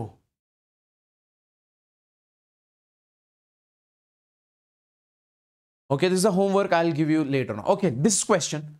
NEET 2016. NEET 2016. Can you solve this particular question over here? So you are supposed to tell me how much is the current flowing through resistance R1 or how much is the current flowing through the battery. In this case, you are supposed to tell me the current. Listen to me very carefully. Listen to me very carefully. In this particular question, yes, I'll be sharing the PDF. In this particular question, what you are supposed to do is you have to check which diode is forward biased and which diode is reverse biased. Which diode is forward biased and which diode is reverse biased. See, listen to me very carefully. If I say, sir, current will leave. If I say, if I say current will leave from this battery something like this, and this current flows something like this, now, some part of the current will enter this diode and some part of the current will enter this diode. Now, can you guys tell me, sir, this positive terminal is directly connected to this N side over here. Okay. And we can say, sir, this one, this diode over here is, we say, sir, reverse biased. And in case of reverse bias, we say, sir, no current flows. So this one is, we say, sir, over here, that is forward biased. Why? Because see, if the current is entering from the front side, you can understand it something like this. Current will come over here. Can the current flow through the diode from front side? No. So current cannot flow through this diode. So remove this one. Will the current flow through this diode? Yes. Current can enter from P side. Current can flow from back side because this is in the forward bias. This is in the reverse bias. So in this case, if we redraw the circuit, if we redraw the circuit, if we redraw the circuit,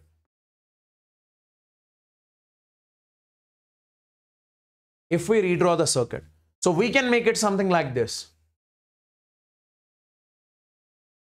This is the resistance over here. And this branch, this diode is reverse biased, so remove it. So then you have got this diode. This diode has got how much resistance? We say, sir, this is 2 ohms. We say, sir, this is also 2 ohms. And then we say we can make it something like this.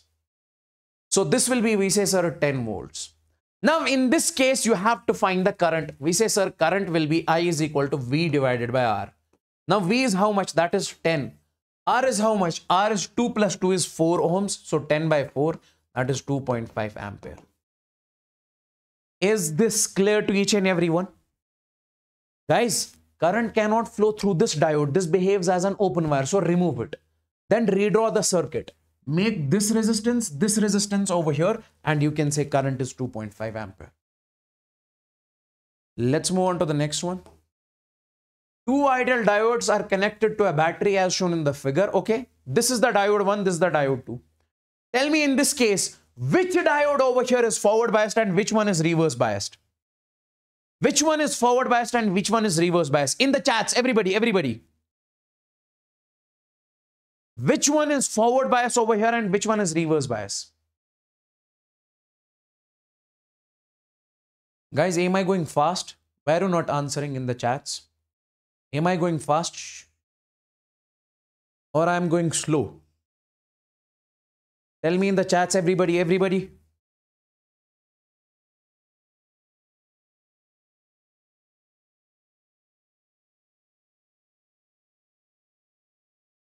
we say in this case D2 is reverse bias. Okay, already discussed.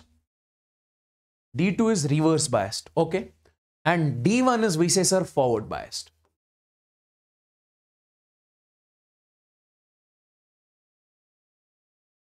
How can you say it, sir? See, positive terminal of the battery. Positive terminal of the battery See, this is the positive terminal of the battery. It is connected to N side over here. And in this case, it is connected to P side. Means this one is, this one is reverse bias and this one is forward bias. Okay. This one is reverse bias and this one is forward bias. Now, my dear people, so if we redraw this particular circuit, so we can make it something like this. This upper circuit, this will behave as open wire. And this is 5 volts over here. And then you can say this is 10 ohms. So in this case, you can say current is V divided by R. And what is the value of current over here? V is how much? That is 5 divided by, we say, sir, 10 ampere. Okay. That is 1 by 2 ampere or 0.5 ampere. Is that clear? 0.5 ampere. Okay, tell me the answer of this question. Find current flowing through the battery. Find current flowing through the battery. Okay, find the current flowing through the battery in this case. See, guys, how much is the potential difference of the battery? How much is the voltage? We say, sir, 5 volts. Now, this 5 volts, in this 5 volts, we say, sir, 0.7 volts. This diode will take 0.7 volts. Because in series combination, I have told you potential is divided.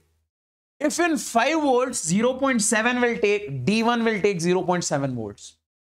So we say potential difference across this will be 0.3 volts. How much will be the potential difference across this? We say, sir, 0.7 plus 0.3 is 1. How much is remaining in 5? 5 minus 1, that is 4. So 4 volts will be across this. Now tell me the current in this one. So you say, sir, current, I'll just write over here current in the resistor. So we say, sir, I is equal to V divided by R. Now, in this case, when it comes to V, you say, sir, V is 5. R is how much in this case? That is 10. 5 divided by 10. sorry, sorry, sorry, sorry. It is not 5 because across this it is 4. 4 divided by 10. V by R. Yes, 0.4. Is that clear? Is that clear? Is that clear? Okay. Next one we have over here. I want you guys to tell me in this particular case how much is the current. How much is the current over here? You have got the diode this one. You have got the diode this one. We say this diode is forward biased and this diode is reverse biased. Why sir? Because in this particular case, you can see this is the N side, this is the P side N side is connected to higher positive terminal and P side is connected to we say negative terminal. So we say this is forward biased, sorry, reverse biased. So no current will flow through this particular diode. If no current will flow through this diode, we say current will only flow through the diode 1. So we say here current flows through we say D1 only. We say current flows through the D1 diode only in this case. Now, my dear people, if 5 volt is the potential difference by battery, how much is the potential difference across this? You say, sir, 0.3 volt. Now, if 0.3 this is taking in 5, how much is remaining? We say, sir, 4.7 that will be given to, we say, sir, this only that will be given to given to this only. So we say in this case current is equal to V divided by R. What is the value of current in this case? V. V is how much? That is 4.7 divided by resistance in this case is we say sir 10. This will be the current in this case. Is this crystalline clear? Is this crystalline clear? Everybody over there 0.47 yes.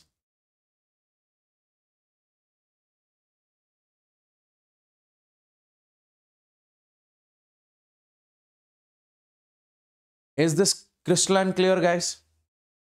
Okay. So whenever you see the diode is in reverse bias, then we say no current will flow through that particular diode. As simple as that. That will behave as open wire. Now let's come over here. Can you tell me the current in this case? This is an important question. Tell me. See, in this case, this diode has got 0.5 volts. This diode has got 0.3 volts. You have to tell me how much is the current in the resistance or how much is the current in the battery. Tell me. Tell me in this case. Tell me. This is your homework. I'll give you this as homework. And let me know the answer in the comments.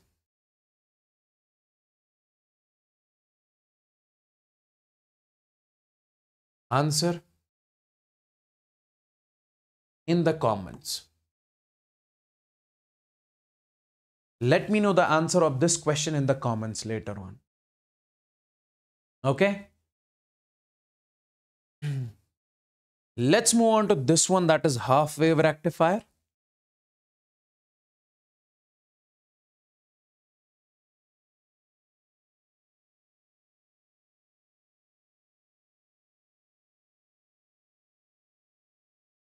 Let's talk about the half wave rectifier.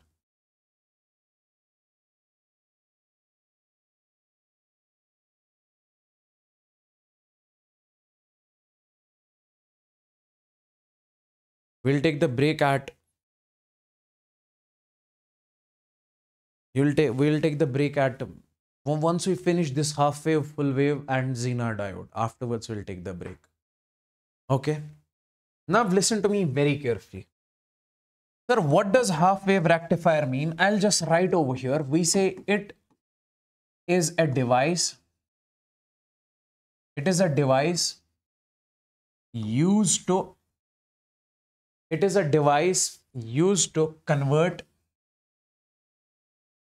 convert AC into DC. It is a device which is used to convert AC into DC. When it comes to the AC, we say AC is bidirectional current. Bidirectional current. And when it comes to DC, we say it is unidirectional current. Unidirectional current. Okay. AC, alternating current flows in two directions and we say direct current flows in one direction only. That is unidirectional current. Okay. This we have already discussed. What is the difference between AC and DC? Okay. Now, my dear friends, listen to me very carefully. Let me recall this. Let's suppose we have got, we have got the AC source over here. AC source means which provides the AC current. And in this case, you have used the resistance over here. We say in this case, current can flow in this direction also current can flow in this direction also. It, it gives one cycle in this direction, another cycle in this direction. This is the AC current. But when it comes to the direct current, let's suppose we have got the resistance over here. Okay. We say over here, sir, current will leave from the positive terminal and it will enter the negative terminal. So current only has one direction over here. That is from positive terminal to the negative terminal positive terminal to the negative terminal. Over here, the current can flow something like this. The current can flow something like this. Now, now, listen to me very carefully over here. If I say, if I say, sir, the graph of this bidirectional current, the graph of this bidirectional current is this. This current can be positive, means it can flow something like this. This current can be negative also, it can flow something like this. But when it comes to this one, the graph of this can be something like this. You can say this one also. You can say this one also. All of these are basically positive currents only, positive currents only. Current can flow in one direction only, unidirectional only. This is bidirectional current. Now, what is this half wave rectifier? This half wave rectifier is a device which converts bidirectional current into unidirectional current. Let me show you how does it exactly do it. Let me just show you. Let's suppose we have got over here, we have to make this half wave rectifier. We have got, so this is basically, I'm using over here a transformer. This is a transformer, okay? And I'm basically, I'm basically connecting a diode to it there is we have a diode this is a diode which actually we have and then we have the load resistance over here. This is the RL. This is the diode. This is the transformer, okay? And this is the AC supply that you are sending over here. This is AC supply. This is the AC supply that you are sending. This is AC. My dear friends, this is what we call the half wave rectifier. This is what we call the half wave rectifier. In this case, in order to create half wave rectifier, we take a diode, we take a transformer, transformer, we make it something like this, and we take a load resistance. Sir, why do we use the transformer in case of half wave rectifier?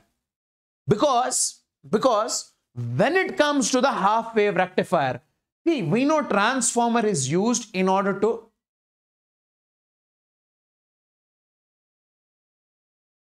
we know transformer is used in order to step up the voltage and transformer is used in order to step down the voltage. Let's suppose you have the instrument, let's suppose you have the refrigerator at your home. You use the transformer over there. Why?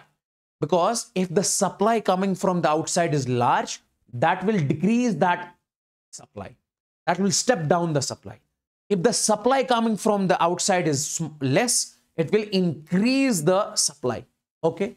Now, my dear friends, so we use the transformer over here. If the supply coming from the outside is large or small, so it will basically stabilize that. Okay. Now, now, my dear friends, we say, we say, listen to me very carefully. This AC current is bidirectional current. So when this current is sent to, when this current is sent to this particular half wave rectifier, we say it flows in two directions. Sir, this will be its one direction and this will be its another direction. This direction, this direction.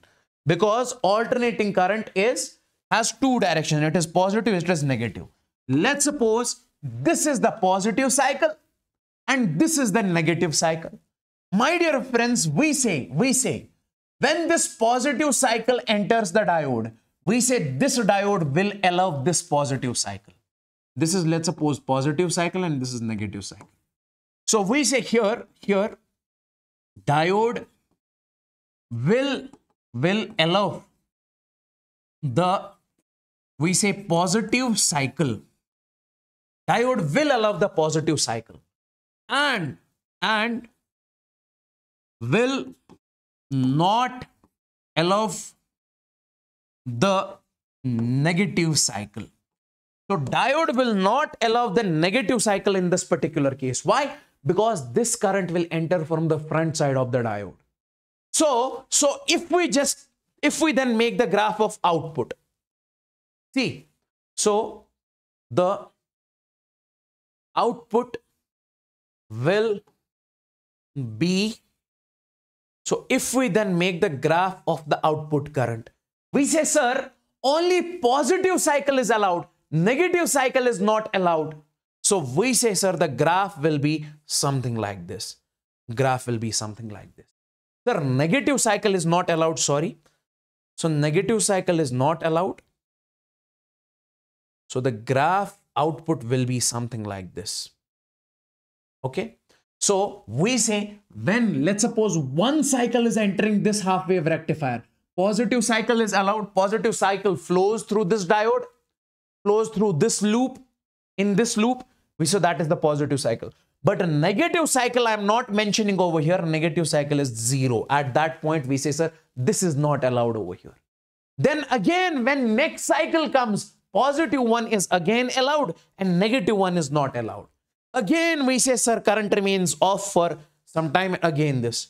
Tell me is this current is this current unidirectional or bidirectional is this current unidirectional or bidirectional? In this case, we say, sir, current is positive only. And tell me, is this current good or bad? The supply, the output, output is fluctuating. Output is fluctuating over here. Means current, let's suppose you are using the bulb at your room, in your room. So the current is basically coming, okay? Bulb glows for some time bulb glows for some time then current goes okay bulb remains off again current comes again current go again brightness is there no brightness brightness no brightness that's why we say this is the fluctuating output fluctuating output. Is this clear? Tell me in the chats, is this clear? This is how we convert. Okay. And is not good. This is how we convert. This is how we convert the AC into DC. AC into DC. Now comes basically the full wave rectifier. Now comes basically the full wave rectifier. Sir, why it will not allow the negative cycle? That's what I was explaining till now. Negative cycle because this diode will not allow the negative cycle. Current cannot flow from the front side of the diode. This is what I explained in the reverse bias also. And this is what I explained in the first slide of the semiconductors also. Is that clear, guys?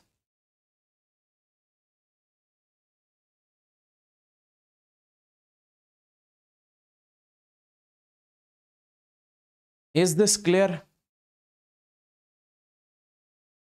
Is this clear?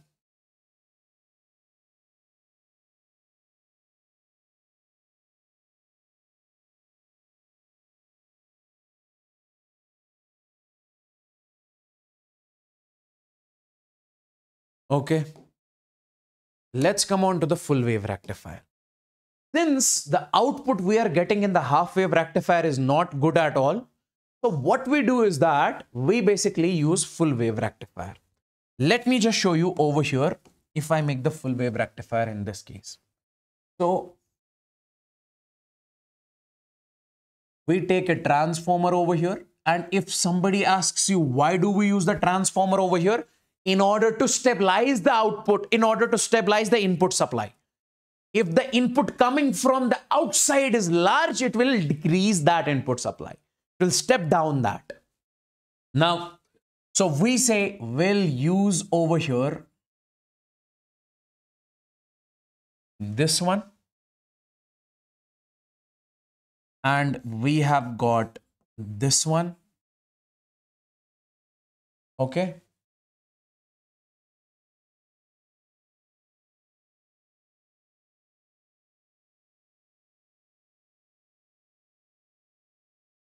tell me is this is this a full wave rectifier? Tell me is this a full wave rectifier in the chats everybody? Is this a full wave rectifier? Is this a full wave rectifier? Yes or no in the chats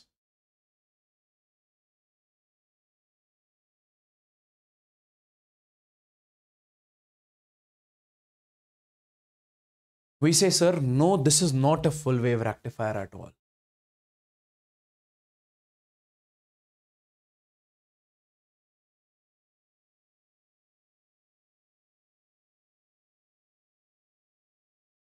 We say this is not a full wave rectifier at all.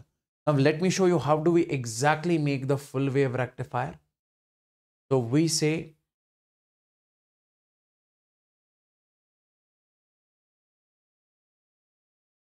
this is the load resistance and this is how do we exactly make the full wave rectifier. Okay? So this is the load resistance over here. This is how do we make the full wave rectifier. Listen to me very carefully. So we say full wave rectifier is that rectifier which allows we say it allows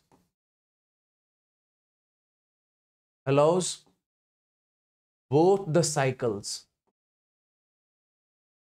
positive as well as negative. It allows both the cycles positive as well as negative. Okay. Now, now in this particular case, in this particular case, we say, sir, this is the input supply. This is AC over here. Okay. Now, my dear friends, half wave rectifier, if you take a look at the half wave rectifier over here, if you take a look at the half wave rectifier over here, we say the output of half wave rectifier is it is allowing the positive cycle only, negative cycle it is not allowing. when the negative cycle was flowing through this half wave rectifier, the current was zero. You can see no current is over there. But let me just show you when it comes to the full wave rectifier. See, you have got the diode 1 over here, diode 2 over here. And then you apply the load resistance, something like this. This is what we call the full wave rectifier. We say this is the positive cycle of the current. We say this is the positive cycle of the current. And this is, we say, negative cycle of the current. We say, sir, when positive cycle flows, let's suppose this is current which is positive cycle. And this is the negative cycle of the current which flows from the lower side. Okay. My dear friends, this positive cycle can flow through this diode D1, okay, over here. Now, when this current wants to basically come from over here, listen to me very carefully, I'll make you understand. This positive cycle, if we say, if we say this positive cycle will flow something like this, this, this. Now, this current, this positive cycle wants to now flow something like this, but this diode will not allow this positive cycle to flow through this. Why? Because diode does not allow the current to flow from the front side. The current cannot enter the diode from the front side.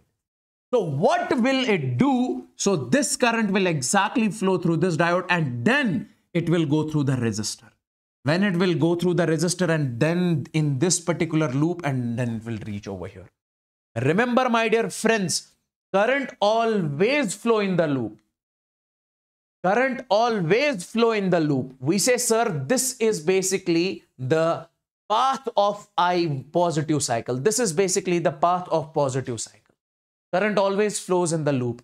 Now, my dear friends, when it comes to the negative cycle, we say, sir, this negative cycle will flow something like this, this, this, this, this. Now, it wants to go in the upper diode, but this diode will not allow this current to flow in the loop. Why? Because this negative cycle cannot enter from the front side of the diode.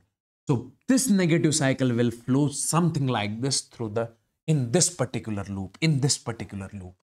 So we say, we say here, positive cycle is allowed, Negative cycle is also allowed. Both the cycles are basically allowed over here. Is that clear, my dear friends? Is that clear, my dear friends, in this particular case? We say positive cycle is allowed, negative cycle is in this case allowed. Positive cycle is allowed. We say negative cycle in this case is allowed. Okay? Is this clear, guys? Is this clear, guys?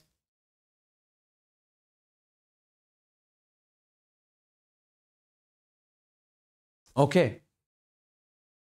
So we say here, here, here, positive as well as negative cycle flows in the loop, flows in the loop. Okay. Positive, the path of the positive, this positive cycle is this one.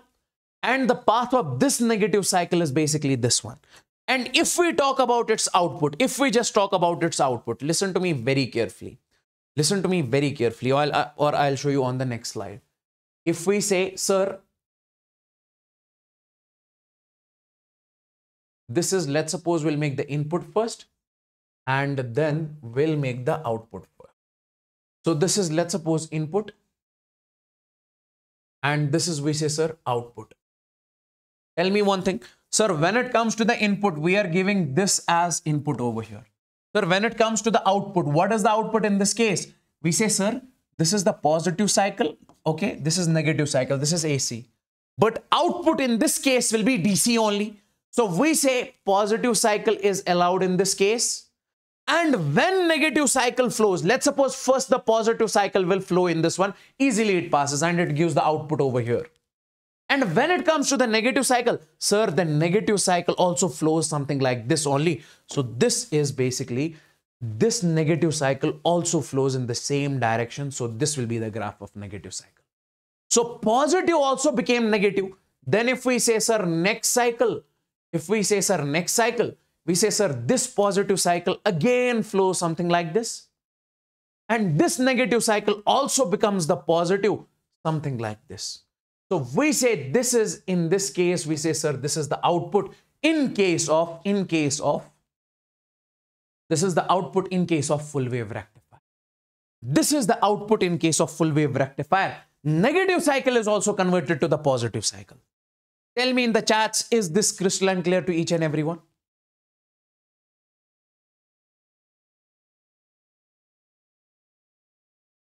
For JEE Mains, go with the previous year questions, okay?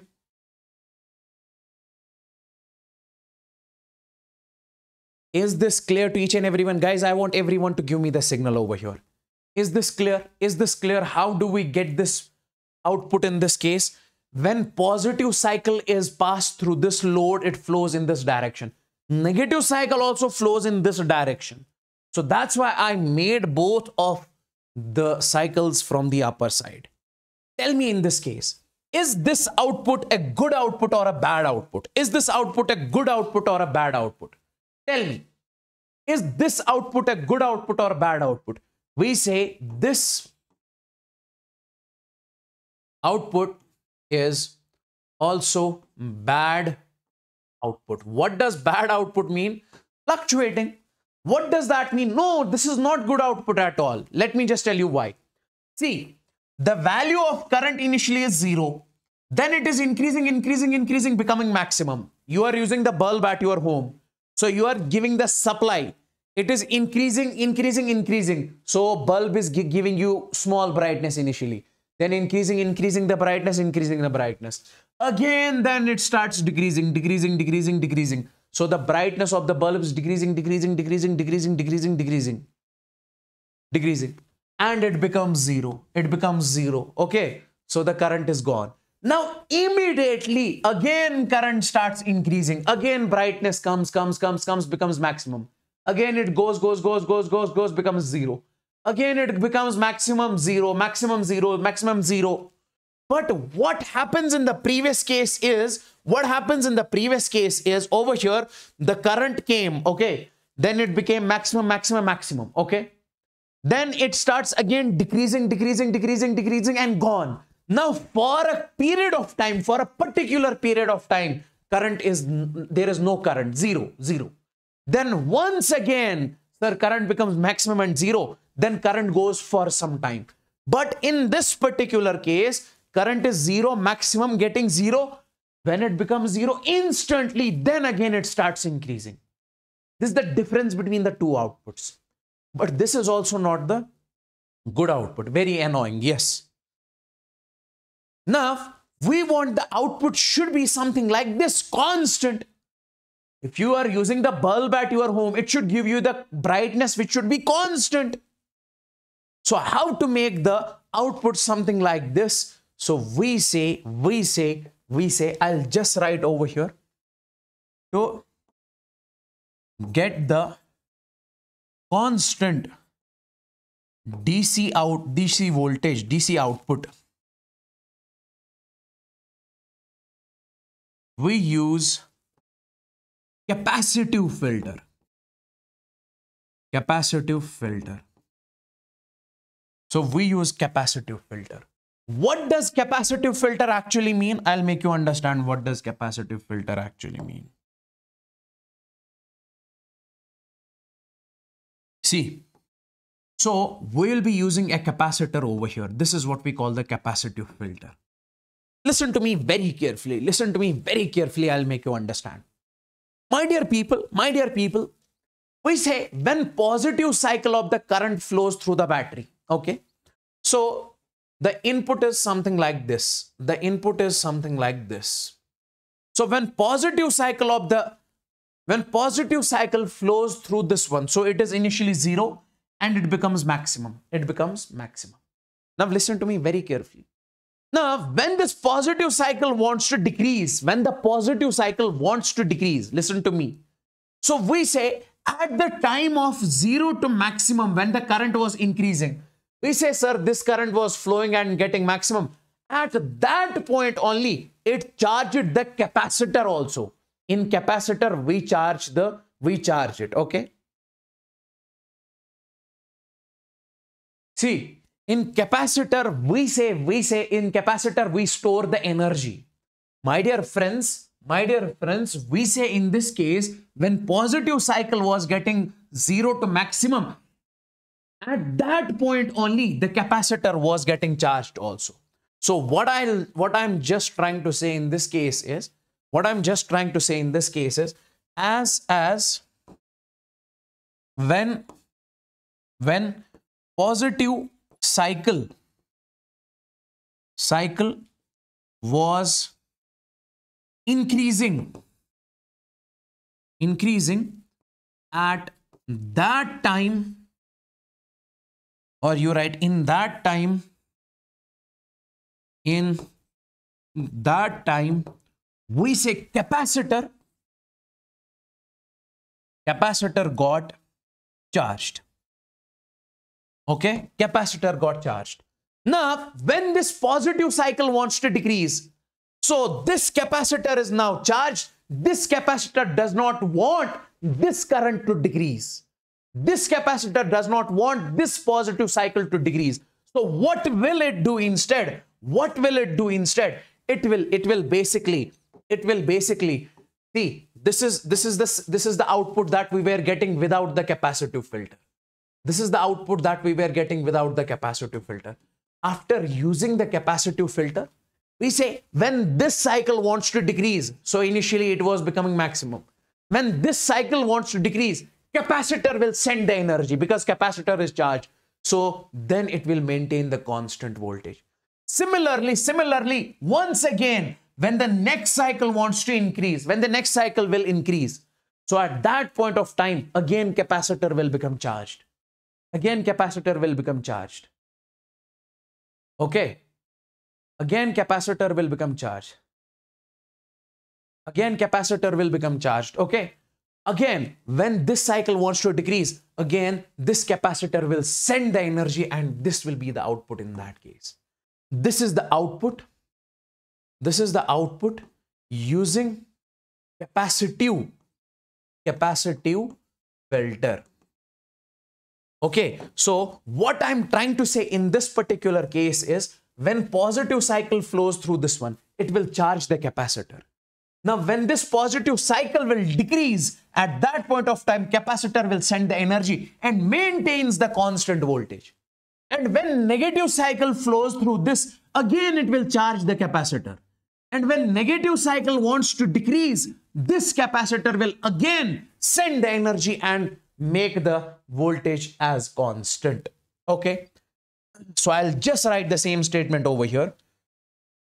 When the when it when it starts decreasing when it starts decreasing, the capacitor, the capacitor will maintain maintain the constant output constant output by sending the energy Is that clear? Is that clear, guys? Is that clear, guys? I hope this is clear. I hope this is clear. So we say over here, we say over here, without the capacitor, output will be, output will be this one. Output will be this one. This is without the capacitor. So on using the capacitor, capacitor will not let this cycle to go zero, but it will maintain the output over here. Is this clear or super clear? from I, I just need to know from everyone is this clear or super clear is this clear or super clear? I just need to know in the chats. Everybody everybody. I'm waiting for your answers only.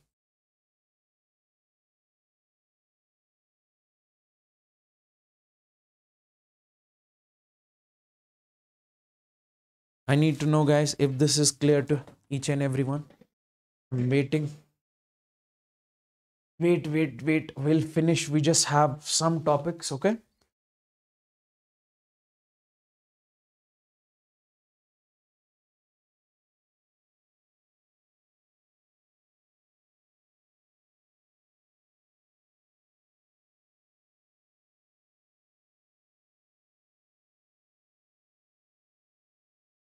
Is this clear? I just need, yes, Zener diode and then we have photodiode is a small topic. That will take just two minutes.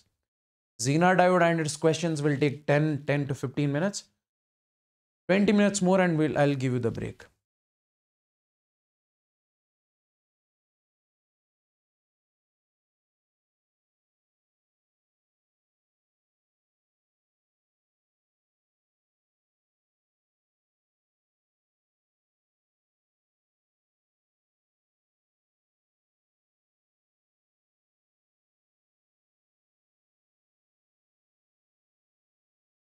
Now, see, my dear people, listen to me very carefully. Listen to me very carefully. Over here. What is a Zener diode? We say, sir, we say it is used as a voltage regulator.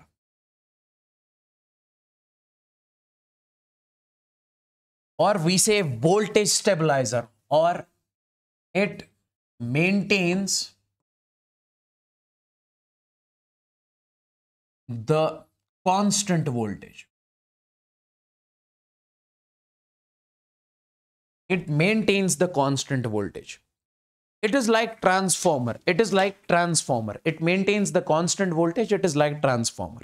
See, let's suppose you have got this refrigerator at your home or you have got the television at your home. Let's suppose this is a tv this is the supply which comes from the from the outside okay? This is the supply. So you basically use a small transformer over here and this supply input supply goes into the transformer and then it is given to the television okay? Why? Why? Because because the reason over here is if the supply coming from the outside is large this will step down that supply so that it will send the constant supply to this particular television. It will not, if you send the large supply, okay, the voltage is very large. This is this will burn out, okay? So if the voltage is small, this will not work. So in order to maintain the constant voltage, we use the transformer. Same is the case of Zener diode. Zener diode is also used as voltage stabilizer or we say it maintains the constant voltage like the transformer like the transformer. Now listen to me very carefully. Now listen to me very carefully. We say we say in this particular case it maintains the constant voltage. It maintains the constant voltage. Listen to me very carefully my dear people. We say we say when it comes to this one we say in when it let, let me basically show you the symbol. When it comes to the symbol of the Zener diode the symbol is something like this. This is the symbol of Zener diode. And in market you will get to see different types of Zener diodes. Means means let's suppose if we say if we say we have got a Zener diode over here. This Zener diode is having the VZ voltage that is, let's suppose 20 volts. What does it mean? You'll go to the market. There are different types of Zener diodes available. This is having 20 volts voltage. And we say, sir, this is the Zener diode, which is having, let's suppose 30 volts voltage. That means if you use this Zener diode somewhere, it will maintain the 20 volts voltage. If you use this Zener diode, it will maintain the 30 volts voltage. Okay, different Zener diodes can maintain different voltages. And one more point I just want to add over here. We say it, it works in reverse, reverse bias condition. It works in reverse bias condition. What does that mean? Sir, if the Zener diode works in reverse bias condition, means, can you tell me the graph in case of reverse bias? So the graph of current in case of reverse bias was something like this. Okay. So at certain voltage, at certain voltage, let's suppose V is equal to 20 volts, we used to get the large current. And this was basically the breakdown voltage. Breakdown voltage. So that's what is given over here. We say, sir, at VZ is equal to 20 volts. What is this VZ? If I say this is the Zener diode, this Zener diode has VZ is equal to 20 volts. It is the breakdown voltage of 20 volts. Means if you give 20 volts to the Zener diode, sir, the current can flow in the diode in large amounts. And if you give less than 20 volts to the diode, we say, sir, current in that case will be zero. Zener diode remains off. What I'm trying to say, don't get confused over here. This is a confusing topic. So listen to me very carefully. If I say I have got a Zener diode over here, Zener diode has got potential difference voltage 20 volts. What does it mean? It means that it is a breakdown voltage of Zener diode. Means if you give 20 volt potential difference to the Zener diode, then only current will flow through the Zener diode. Second, its meaning is if its voltage is 20 volts, it means that it can maintain the constant voltage across any load, across any load. Okay, and this is Zener diode. If we say if we give 30 volts to this Zener diode, current can flow in this one, this gets on. So we say, we say, if, if, if, we say, sir, we say, sir, V supplied is less than this VZ. If you give supplied voltage less than the Zener voltage, then diode remains off. Remains off. No current flows in that diode. Now, once again, I just want you guys to understand. Let's suppose we have got the battery over here. Okay, this is the 100 volt battery. You have got, let's suppose, resistance over here. And now you have got one more resistance over here. Listen to me very carefully over here. And this resistance is, let's suppose this is a television, this is a load resistance, or this is a television. Television also has the resistance. I want you guys to basically maintain the constant potential difference across this television. Let's suppose we have to maintain, let's suppose 20 volts potential difference across this. Why? Because if you give greater than 20 volt potential difference, it will burn out. If you give less than 20 volts, it will not work. So we don't have to give greater than 20 volts. So what we can do in this case, we'll use a Zener diode over here. Okay we'll use a Zener diode over here. Okay.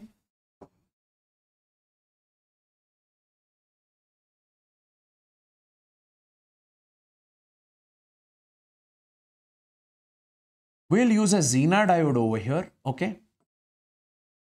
This Zener diode and this Zener diode should have the breakdown voltage of 20 volt only. But why? Because then only it can maintain across this 20 volts. See, this Zener diode and this television, they are in parallel. So potential difference across this Zener diode is equal to the potential difference across this television. So it will maintain 20 volts across the television. Now, if I say over here, you have got, let's suppose you have got the same battery, okay? You have got the same battery over here and you have got this load resistance or this is a television over here and you have to maintain, you have to maintain 30 volt potential difference across this. So you will be using which Zener diode in this case? You will be using, we say, sir, 30 volt, 30 volt. You have to maintain 30 volts. So you will be using 30 volt Zener diode. Because breakdown of this Zener diode is 30 volts. Breakdown of this Zener diode is 30 volts. And breakdown of this Zener diode is, we say, sir, 20 volts. So it will maintain 20 volts. And if, if, if we say potential difference across this diode is less than 20 volts, we say diode remains off. This will not work. It will give all of its supply to this one. No problem. But if VZ is greater than 20 volts, it will maintain 20 only. It will maintain 20 only. Tell me in the chats if this is clear to each and everyone. What is the work of Zener diode? I hope this is clear. I hope this is clear. Tell me in the chats, guys. Everybody out there. Everybody out there.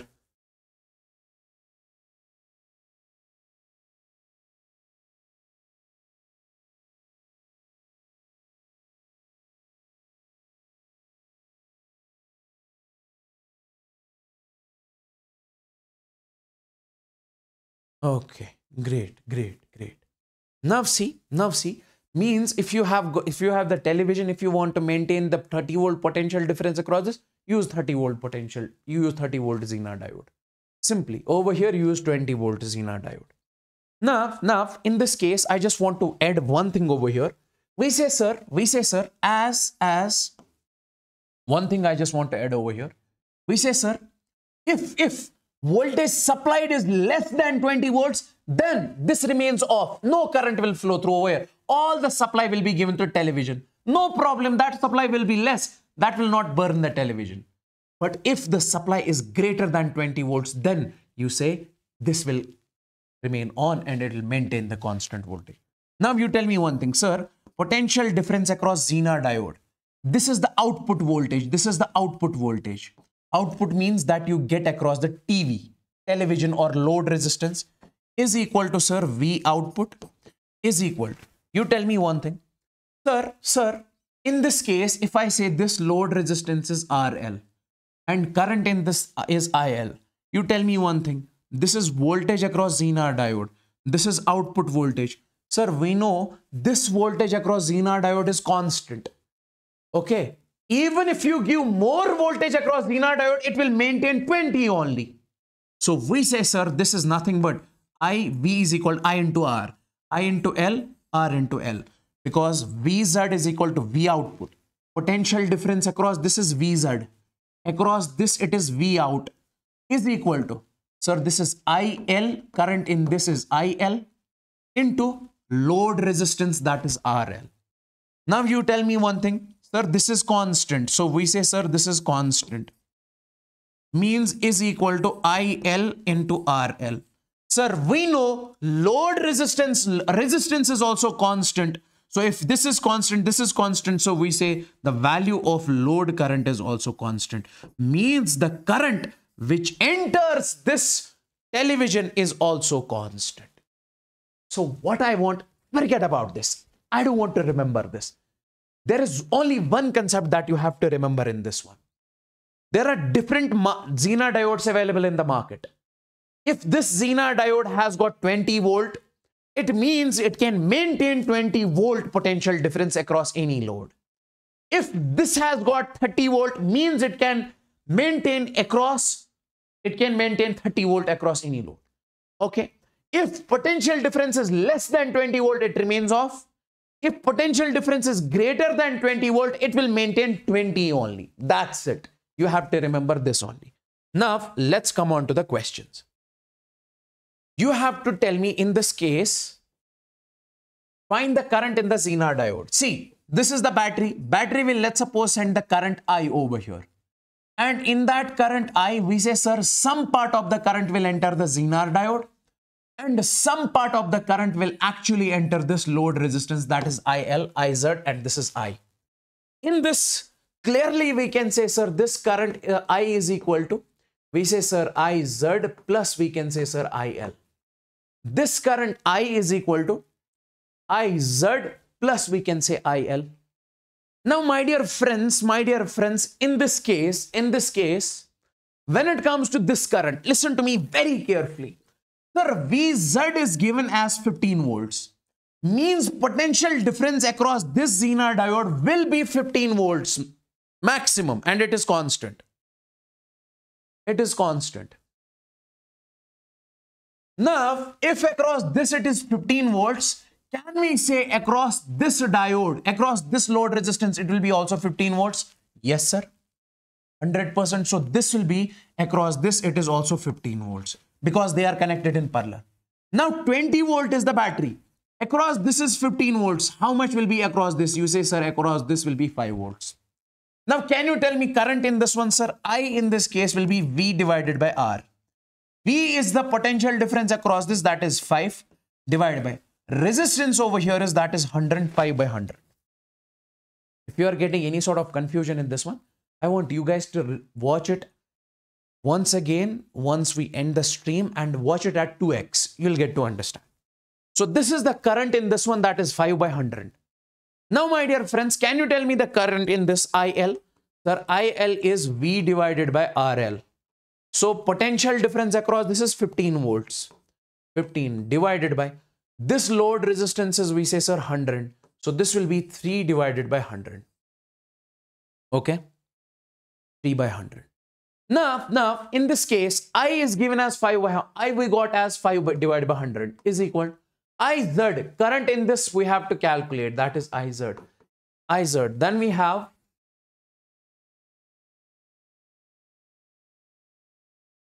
Then we have plus over here IL. What is the value of IL? That is 3 divided by 100. So we say in this case IZ will be 5 divided by 100 minus we say 3 divided by 100. So IZ in this case will be 5 minus 3 is 2 divided by 100 in this case. So this is the answer. This is the answer in this particular case. Is this clear? Is this crystal and clear to each and everyone? So we say this is the concept which I exactly used over here. If but VZ is given as 15 volts, we say it will maintain the 15 volt potential difference across this. So across this will be also 15 volts. Across this will be also 15 volts.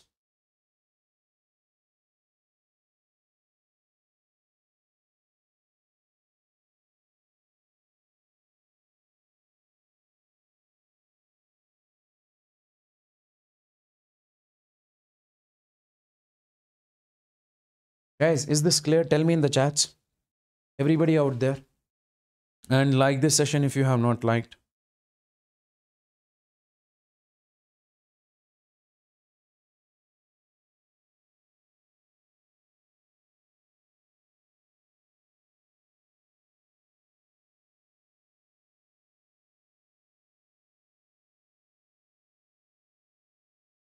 Wait, wait, wait, wait, wait. Let me solve this question. Okay, this is the question which was this was asked in JEE mains. JEE mains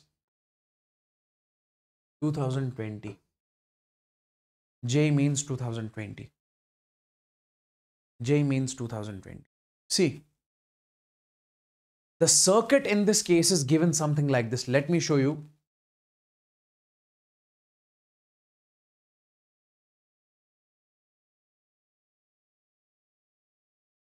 Okay. So we have got the Zener diode 1. Okay. And this is 6 volts. What is 6 volts? 6 volts is the breakdown voltage. Means it can maintain the 6 volts potential difference across any load. Now we have got one more diode over here. We have got one more diode over here. That is let's suppose 4 volts. And in this case we have got the 100 ohm resistance connected across it. This is the diode a this is the diode b. And then we have got the load resistance. Load resistance means television refrigerator whatever it may be. So this is rl and this is given as 400 ohms. And then across this you have got the output. This is the output voltage. V out and you are giving the V input over here. Now, in this case, you have to plot the graph between output voltage and time. See, you are giving input, input voltage. What you will get as output, you have to plot its graph. Okay, this graph, this graph, this graph, this graph in all the four options. Can you tell me the answer of this particular question? Can you tell me the answer of this particular question?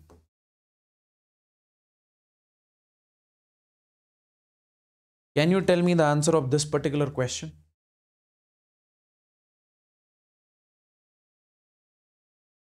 See, see, let me just tell you over here. Let me just tell you over here.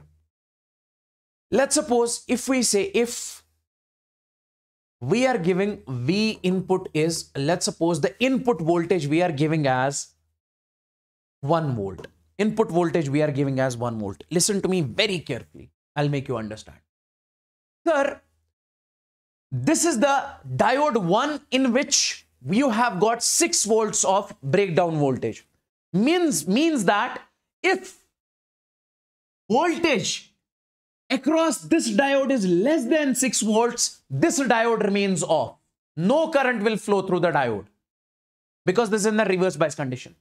Now, we say, sir, this diode has got 4 volts breakdown voltage. If potential difference across this diode is less than 4 volts, this also remains off. Now, my dear friends, if you are giving input as 1 volt, sir, all of the input will be given to this particular load resistance, okay? This is off, this is off. So, whole potential difference will be across this. So, output will be, sir, V output in that case will be, sir, 4 volts. Sorry, sorry, sorry. V output in that case will be 1 volt. Giving 1 output as 1. Now make the graph, make the graph of output. Make the graph of output over here. Make the graph of output over here. Sir, this is V output. If you are giving 1 volt as input, you are getting 1 volt as output. Now, let's suppose we are giving V input as 2 volts. Sir, in this case, if potential difference is less than 6 volts, it remains off. So it is off. This is also off. So 2 volts you are getting, getting the output. So output in this case will be 2 volts. So we say the graph will be the graph will be directly it will go till 2 volts. This is 1 volt and 2 volts. Okay. Now if we say if V input is let's suppose 3 volts, what will be the output voltage in that case? We say sir 3 volts on.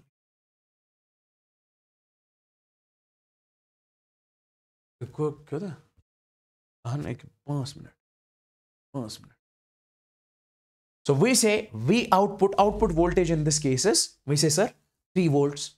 Output voltage in this case is 3 volts. If you are giving input as 3, output is 3.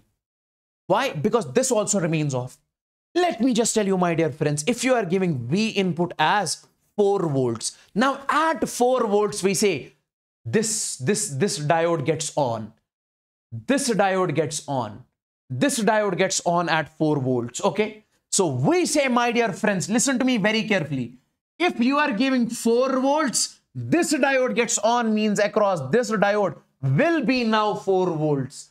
And if across this is 4 volts, so this is parallel to this one. Across this will be also 4 volts. So means output in this case will be also how much? We say, sir, 4 volts. So the graph will go straight till 4 volts. Till 4 volts. Okay. Now, now, if I say in this case, if I say, sir, V input, I am giving 5 volts. If I say I am giving the input voltage as 5 volts, this will still remain off. But in this case, sir, this maintains the 4 volt potential difference only because this is the 4 volt diode, Zener diode. So it will maintain 4 volt potential difference only. So now across the diode will be 4 volt. Guys, guys, guys, across this diode will be 4 volt only. Okay. But we are giving input as 5. So across this will be 1 volt. So 4 plus 1 is we say sir 5. Rest of the potential difference will be given to this resistance over here. If my dear friends, this resistance was not present over here, then across this br branch would have been 4 volts only. So we say, my dear friends, if V input is 5 volts, across this, this point and this point is also 4 plus 1 is 5. So means output is also 5. So it will go straight again till 5 volts. Now, my dear friends, if I just tell you, if I just tell you V input, I am giving 6 volts. What about the output?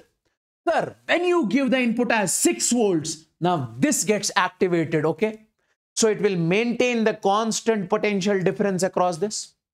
Guys, now if across this is 6, how much will be across this? Across this will be also 6. Let me show you. Let me show you how. Let me show you how. See, across the diode, across the diode, it will maintain the 4 volt only. But where will the rest of the two go? Rest of the two will go across, across this this 100 ohm 100 ohm resistance. So we say 4 plus 2 is 6 if input is 6 this is on. Across this is 6 across this is 6 across this will be also 6 so output will be also 6 we say sir v output in this case is also 6 volts. So this will again go till 6 volts. So so this will again go till 6 volts my dear people so this will be exactly we say sir 6 volts now if i say i will give v input as 7 volts uh, if i say i'll give v input as 7 volts so we say my dear friends Sir, if you give input as 7 volts, but this diode will maintain 6 volts potential difference only because this is a Zener diode of 6 volts. So if across this is 6, across this is 6, across this is 6, output is 6. So we say then it remains constant as 6 volts. So which option is the correct option? This was one of the best questions of this today's session. You got it? You got the feel of this one? I just need to know in the live chat. I just need, I hope you got the complete feel of Zener diode. Zener diode, a lot of people feel this is the difficult topic to understand, but I hope today you got its feel. What are the uses? How to solve the questions based on this? Tell me, tell me, tell me in the chats, then I'll give you the break. In the chats, in the chats, if Zener diode is crystalline clear.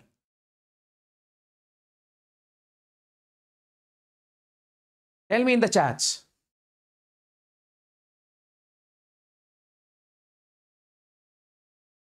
Okay.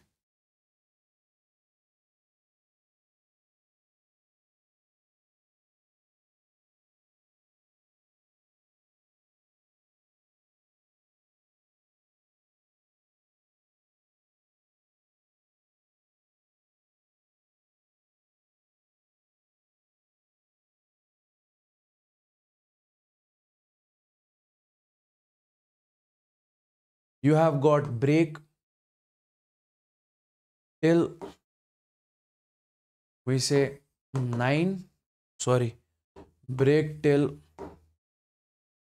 10 10 p.m okay? Dinner.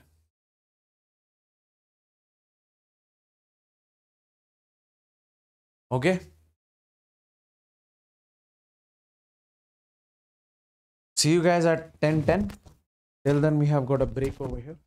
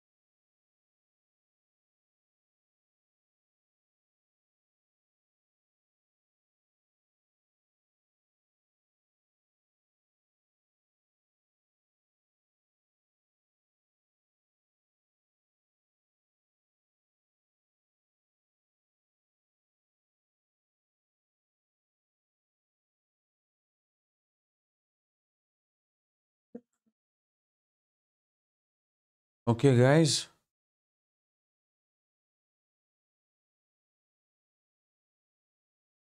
Let me know in the chats if I'm audible and visible properly.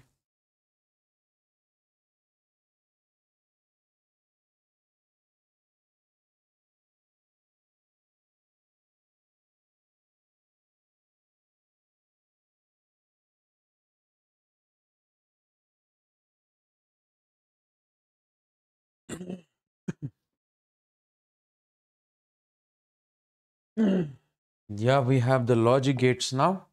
But before that, we have a small topic that is photodiode and light emitting diode. This will take us 10 more minutes and then we'll start the logic gates. okay, let everybody join and we're, we, we, we'll start. Okay.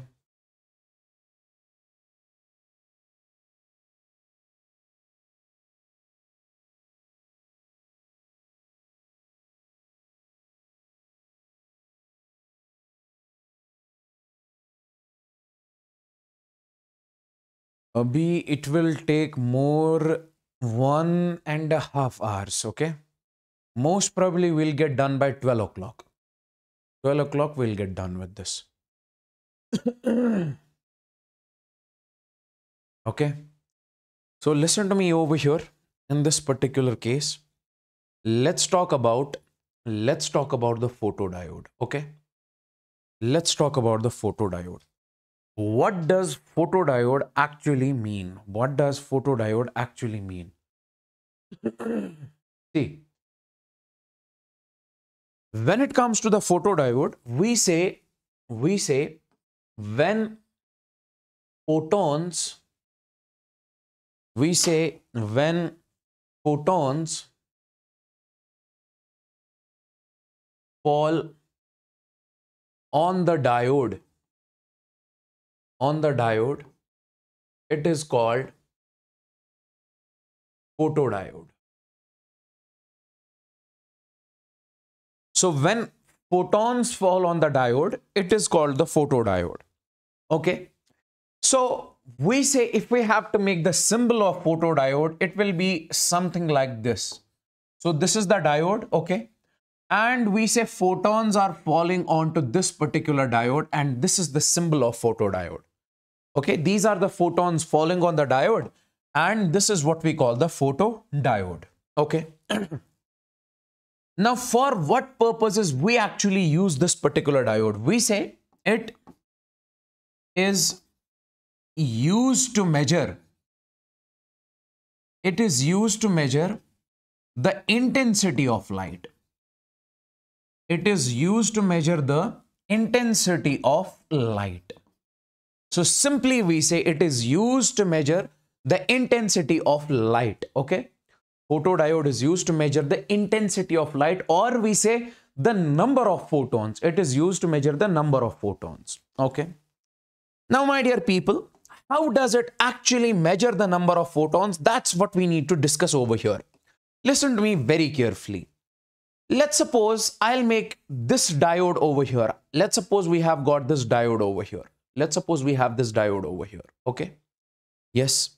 Now, we know, sir, when it comes to the diode, let's make the band diagram of the diode. We say, sir, this is the, let's suppose I'll make the conduction band over here. I'll make the conduction band over here. Let me make the conduction band over here. Okay. And this is what we call the valence band over here. This is what we call the valence band over here. This is what we call the valence band over here. Okay.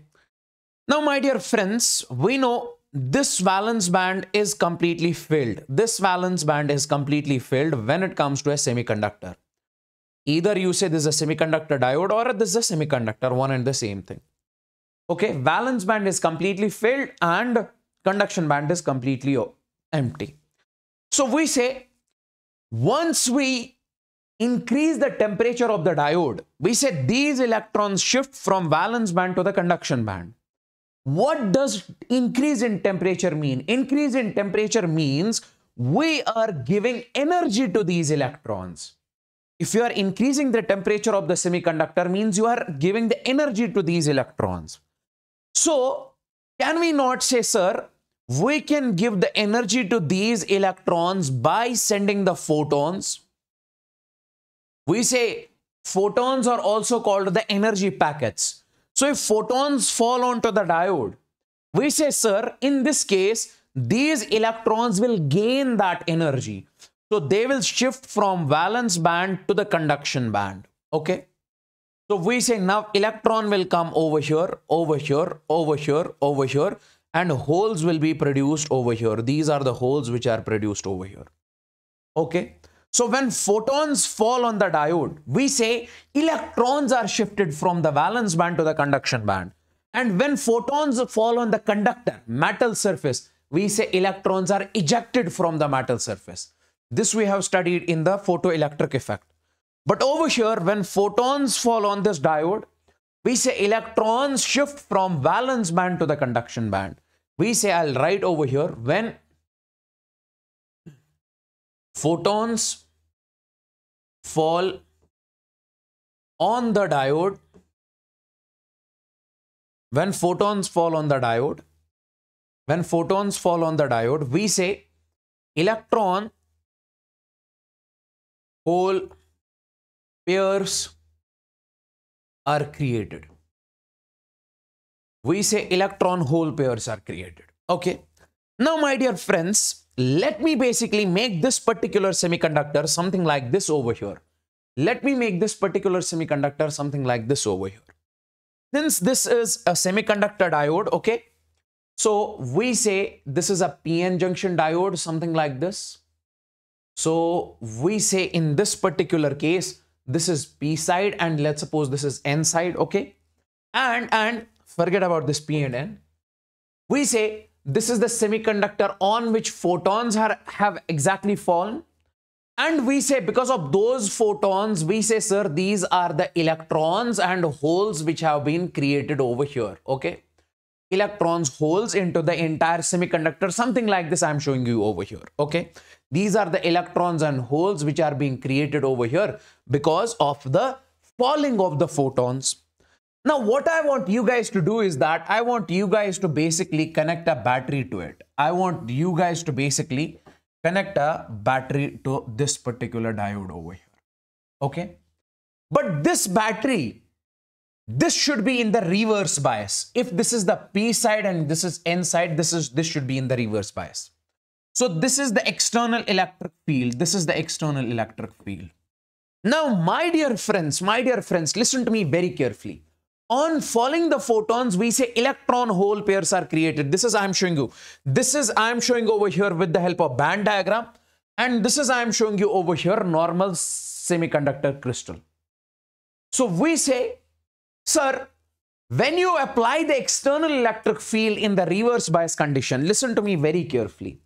We say, sir, because of this external electric field, we say, sir, or because of the battery, because of the battery or external electric field, we say these electrons and holes, they will move. They will move. Electrons move something like this. Holes move something like that.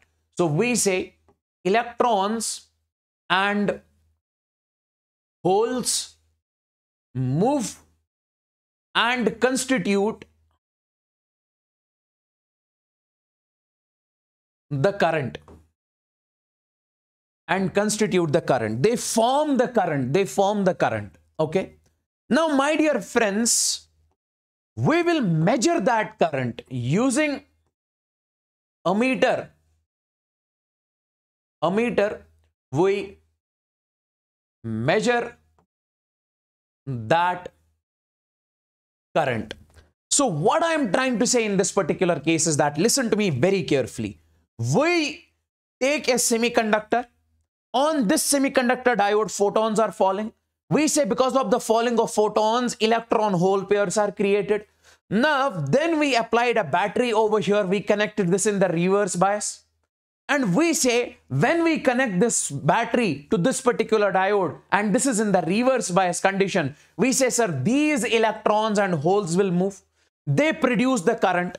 Now, if I ask you, now if I ask you one single thing, if, if I say, sir, number of photons falling, number of photons falling are more, if number of photons falling are more, are more, can we say, sir, more number of electron hole pairs are created? We say electron hole pairs are more. We say more electron hole pairs are created. Yes, sir.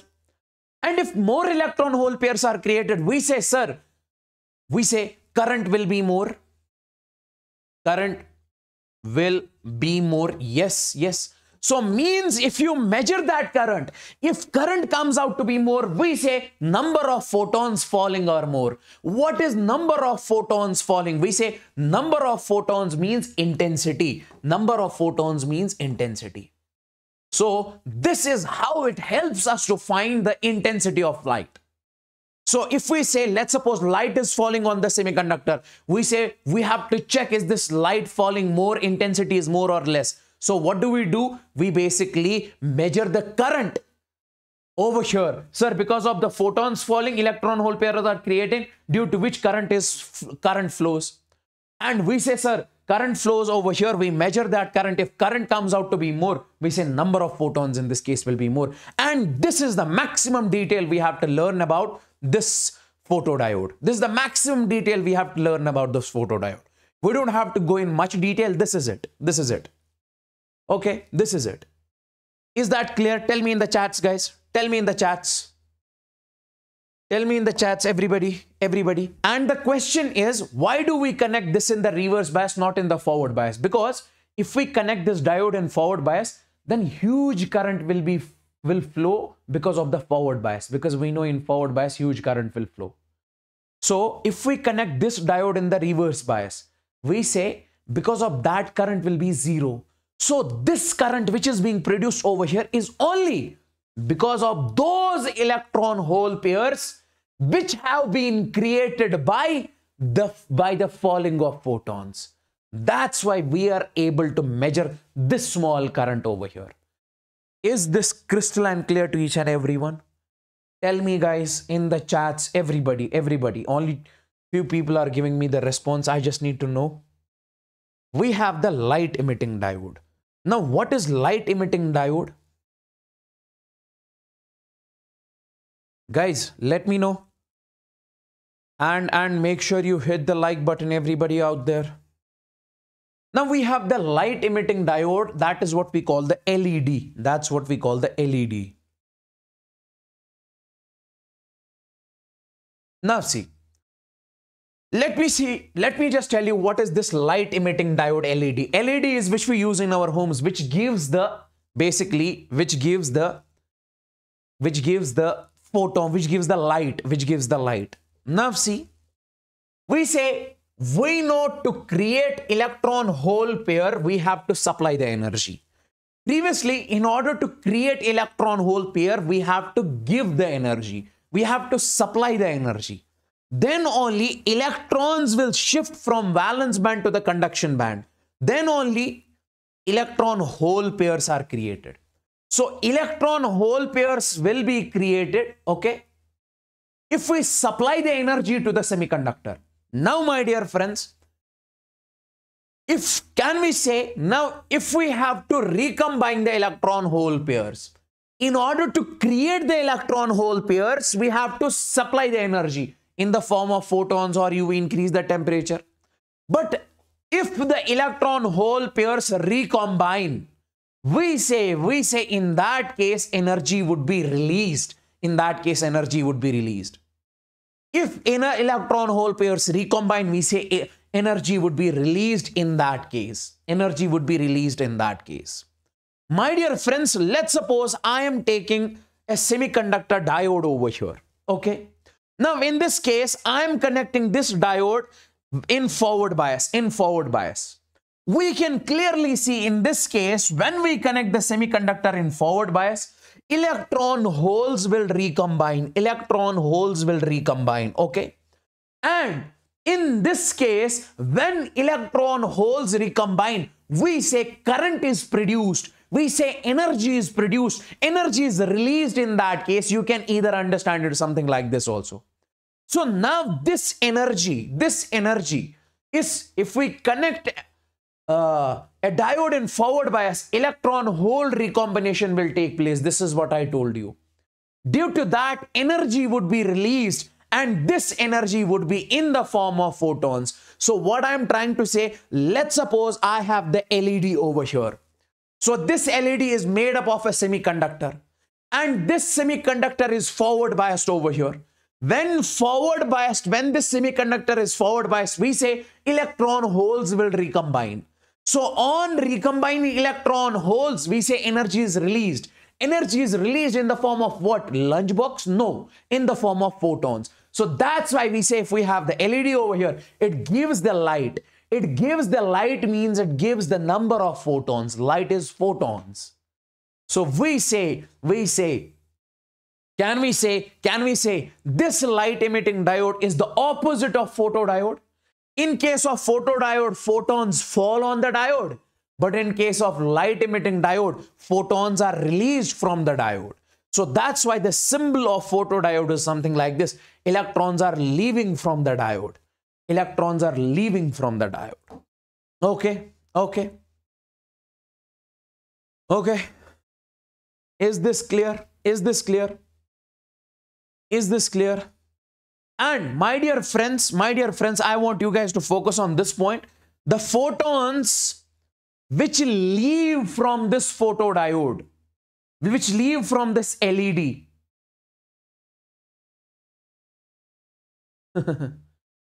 photons which leave from this photons which are given by this particular diode which are released by this diode is is in the order of we say 1 to 2 electron volts okay they are having the energy of 1 to 2 electron volts okay now my dear friends my dear friends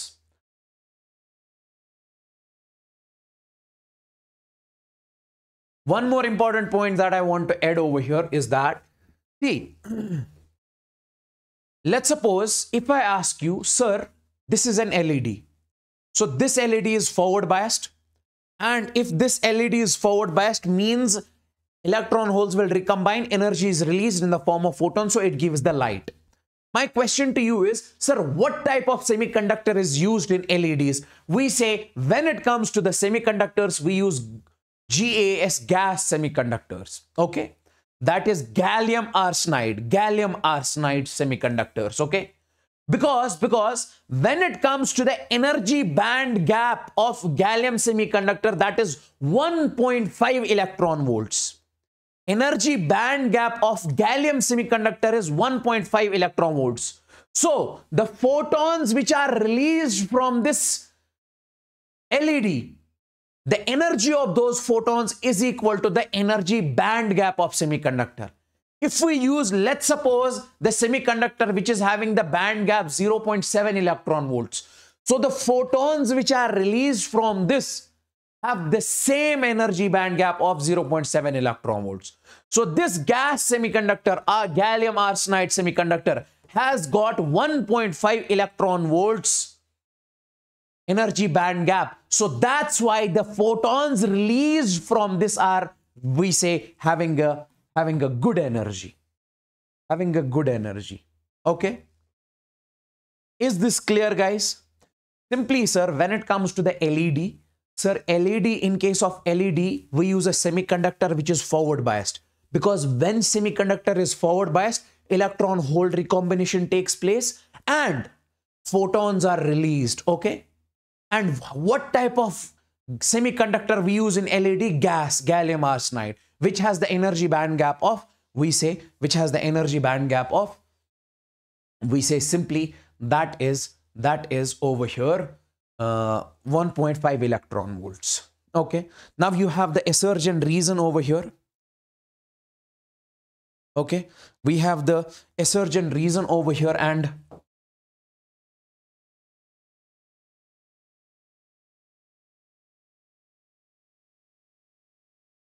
Now this one, okay, let's first follow some these Assertion reasons over here. This was the question which was actually asked in, we say, AIIMS 2017. tell me, tell me. This was the question which was asked in uh, AIIMS 2017.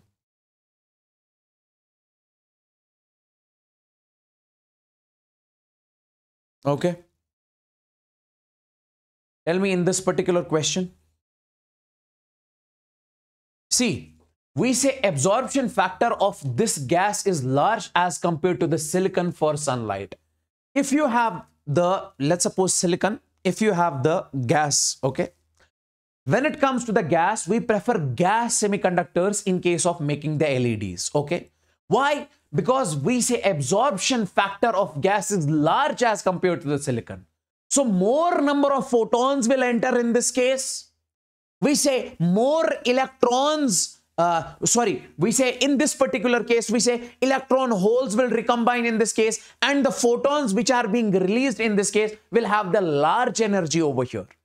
Okay because reason it is saying in this particular case that is delta Eg is more for we say GaAs as when it comes to the uh, silicon it has I guess 1 electron volt or 0.7 electron volt it has the energy band gap so the photons which come out of that so the photons which come out of that has got less energy band gap as compared to this one okay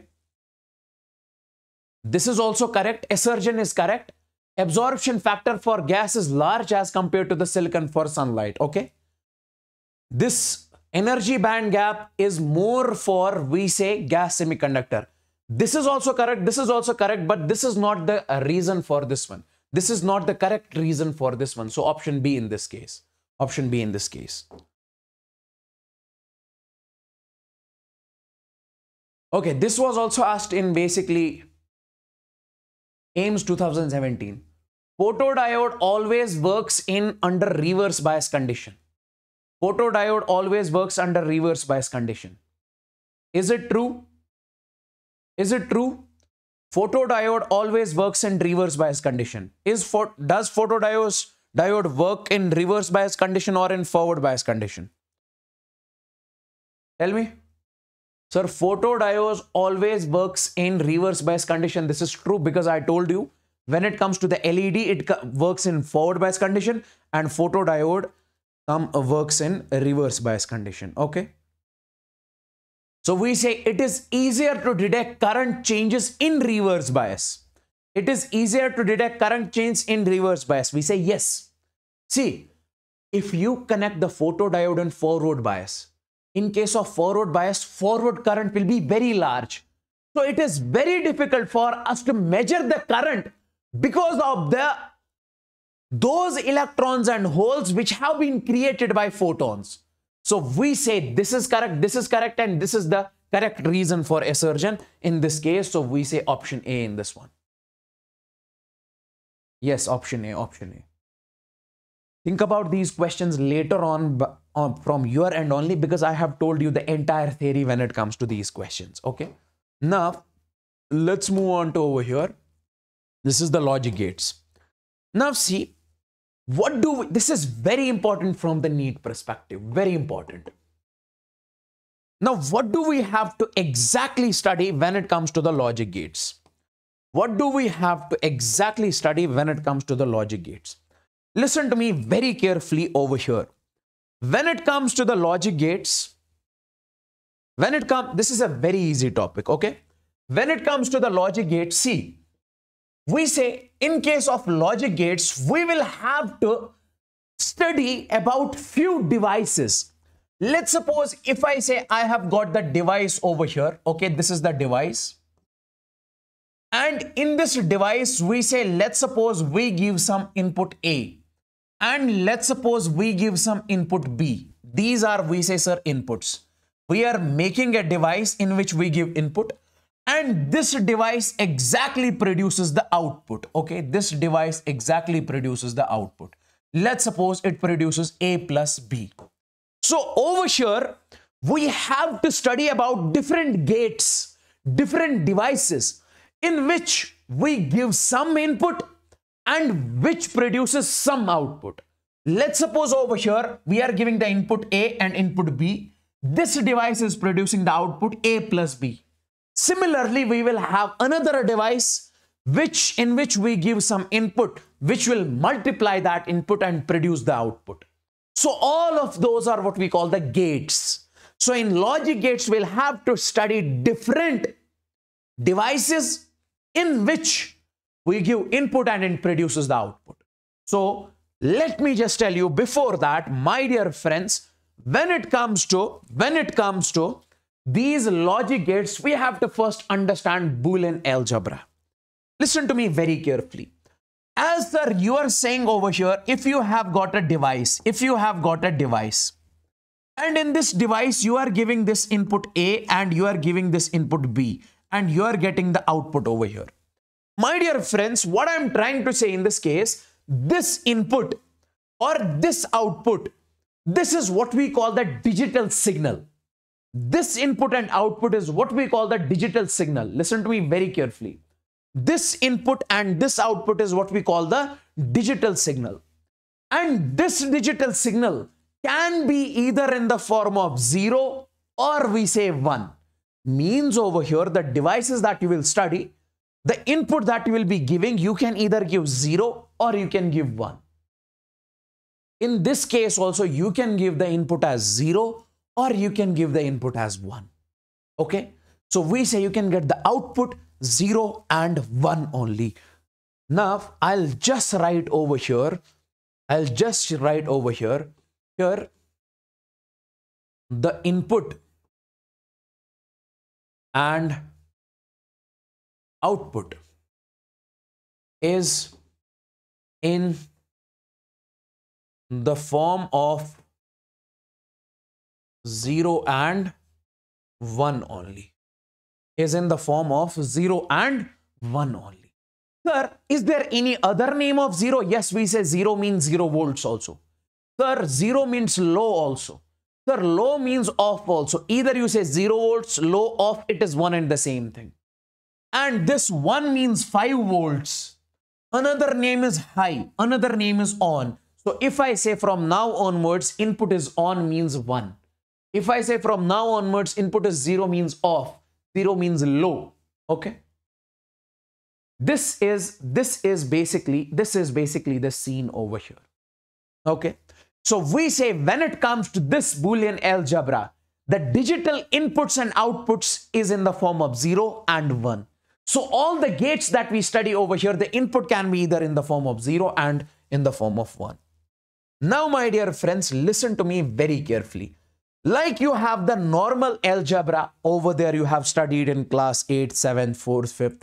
Similarly, you have the Boolean algebra over here. Like, like in this, see over there in normal algebra, you have studied addition, multiplication. Similarly, in this Boolean algebra, in this Boolean algebra, you have to study the addition, you have to study the multiplication, okay? Now, my dear friends, in this case, I told you, you can have only two numbers. The first one is 0 and the second one is 1. Okay.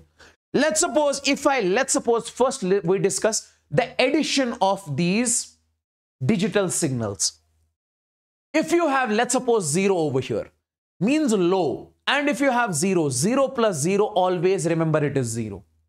And let's suppose if you have this 0, if you have this 1, what is this 0 and 1? This is the digital signal. If you have this 0, if you have this 1, we say 0 plus 1 is we say 1. Low plus high is always high. And if you have this high, 1 plus 1 is always 1. Remember it, okay? You have to remember it. Now, we say, sir, let's suppose this A plus 0. Sir, as you said, the Boolean, the digital signal can be either in the form of 0 or 1. Why are you saying, sir, what is this A over here?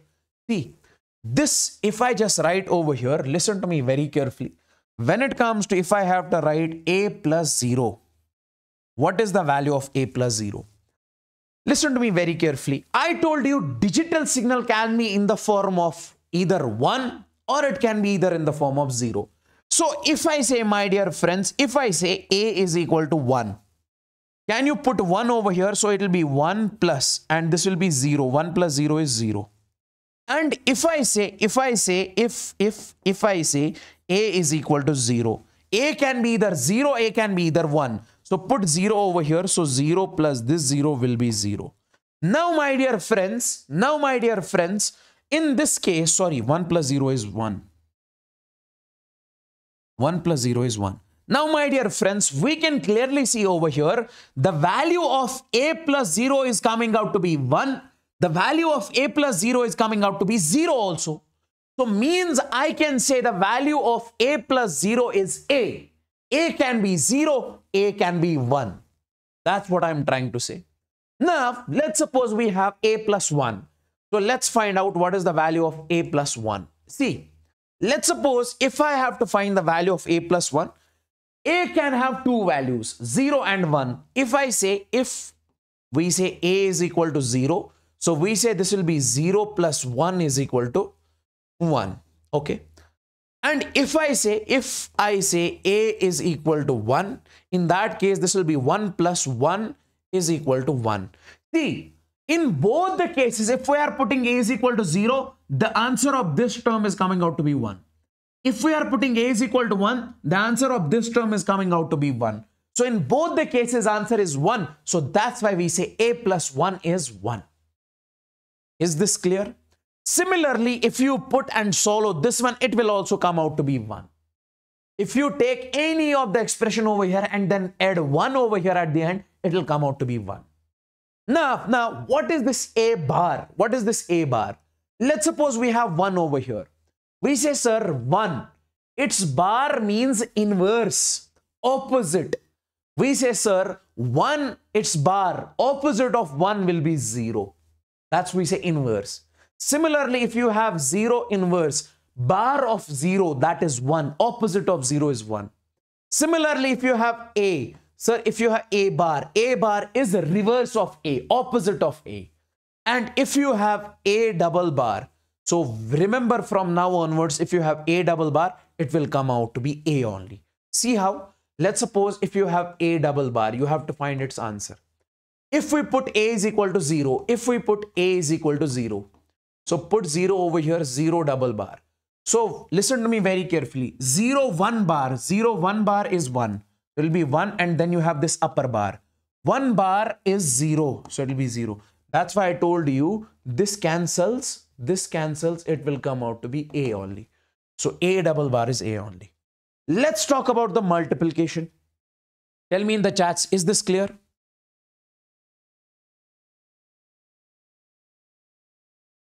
Is this clear, guys? Everybody in the chats?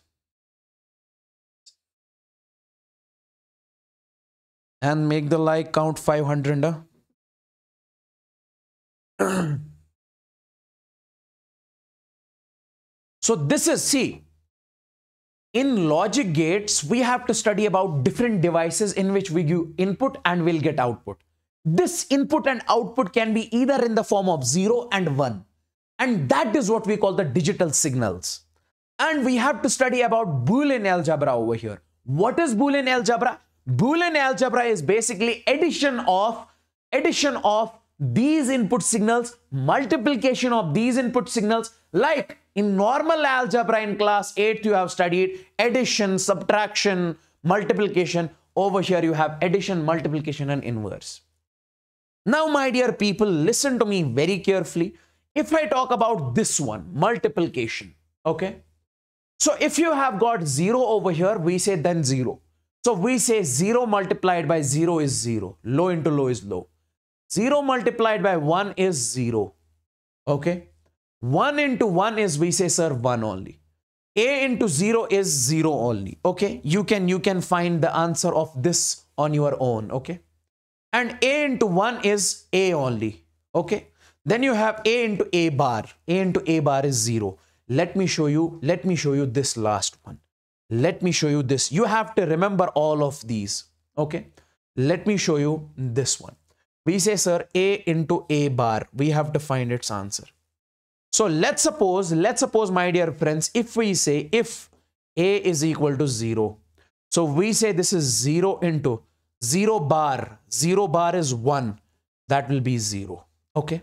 Now, if we say if A is equal to 1, if you put A is equal to 1, so put over here 1 into 1 bar, that is 0. So 1 into 0, it will come out to be 0. In both the cases, it will come out to be 0. That's why it is 0. Okay. Is this clear? You have to remember all these. You have to remember all these and you have to remember all these. Now you have the De Morgan's law. Tell me in the chats if this is clear. Tell me in the chats, everybody, if this is clear. clear. Is this clear, guys?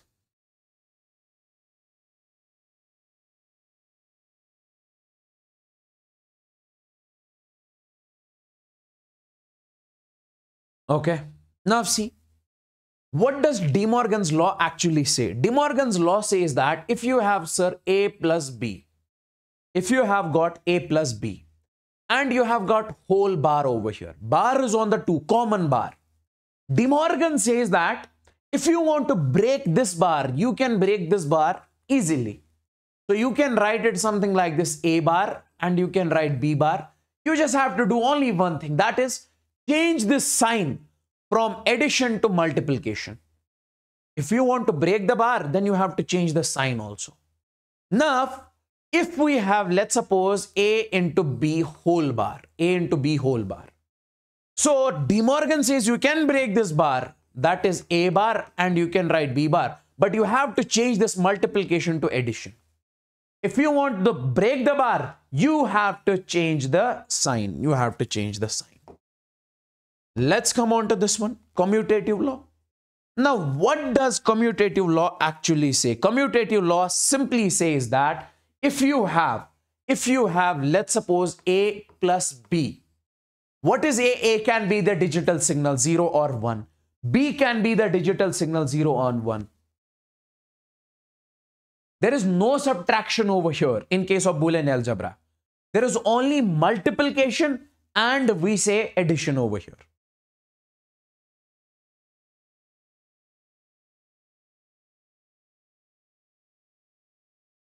HSP sir in the chats. Thank you, sir. Thank you, sir.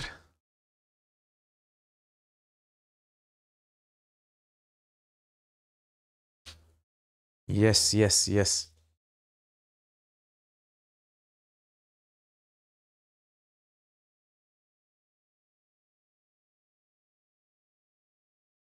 Now see, we say if we have a plus b, you can write this a plus b as b plus a also. a plus b is equal to b plus a. a plus b is equal to b plus a. Okay. And then you have associative law. What does associative law say? It says that if you have a plus, then you have b plus c. Over here, if you have a, then plus b plus c. Bracket is over here for b and c. B and C is in the bracket over here. B and C is in the bracket over here.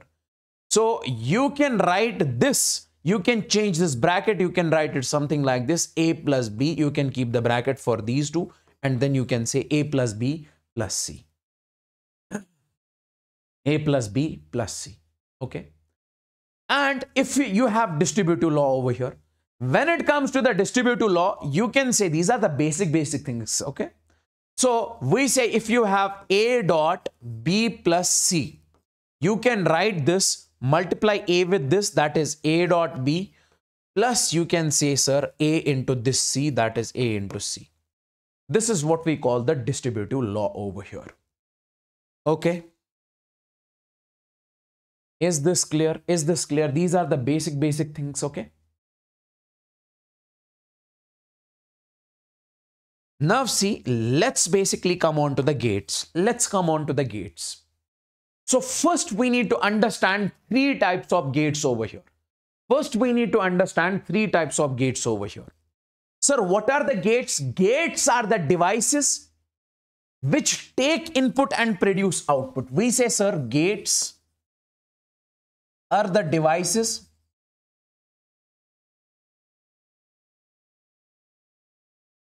which take input and produce output.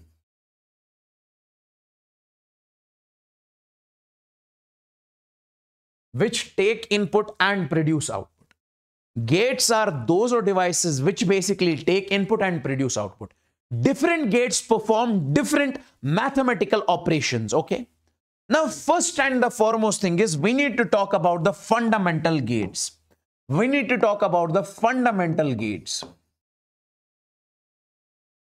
fundamental gates. Let's talk about the fundamental gates. So what are the fundamental gates? We have three gates. The first one is we say, sir, not. Then we have second is we say, sir, or, not gate. We say, sir, or gate. And the third one is we say, sir, we say, sir, and gate. So we have three fundamental gates. The first one is not, the second one is or, and the third one is and. Let's first understand what is the working of this NOT gate. NOT gate. What is the working of this NOT gate? Let's first understand the working of NOT gate. Okay. Listen to me very carefully. The working of, as I told you, when it comes to the gate, it is a device which takes input, produce output. So when it comes to this NOT gate, we say, sir, we say, sir, in case of NOT gate, its work, its work is to do inverse. Its work is to do inverse or its work is to do inverse operation. What does that mean? Sir, the symbol, if we talk about its symbol, the symbol of this NOT gate, the symbol of this NOT gate, when it comes to the symbol, when it comes to the symbol, when it comes to the symbol, we say, sir, its symbol is simply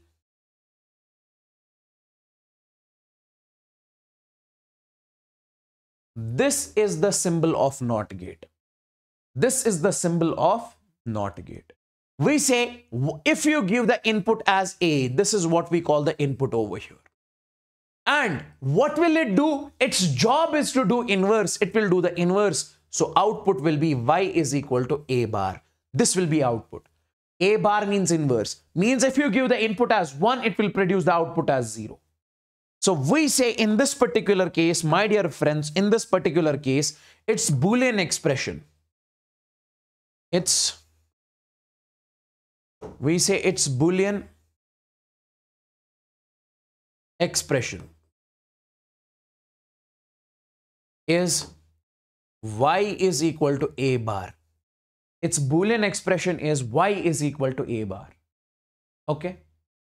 Means its job is to do inverse. Let's make the truth table. Truth table. Sir, what is the truth table? Truth table means a relationship between input and output.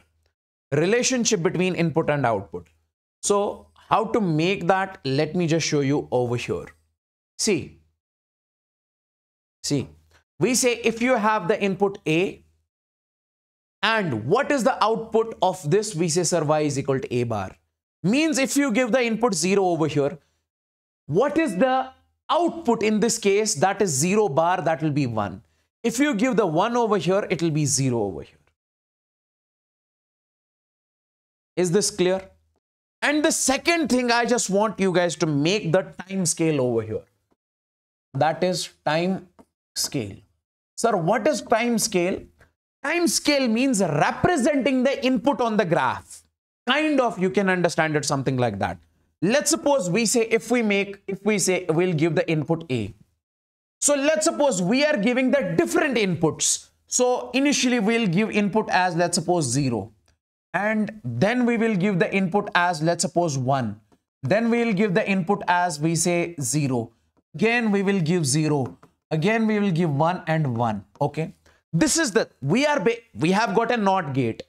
In case of not gate we are giving different inputs. 0 1 0 0 1 1 and we are representing those inputs on a graph.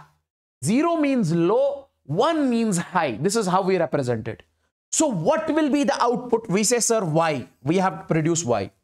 We know, sir, when it comes to the output, output means Y is equal to A bar. What is the zero bar? That will be, sir, 1. Output of this 0 is 1. And what is the output of 1, sir? That will be 0. Output of, we say, sir, this, it will be 1. This will be also 1 because in 0 bar is 1, 0 bar is 1 and then we say sir output of this is 0 and this is also 0 this is how do we exactly represent it on the time scale now my dear friends let's talk about the let's talk about the electrical equivalent. Electrical equivalent circuit of electrical equivalent circuit of we say not gate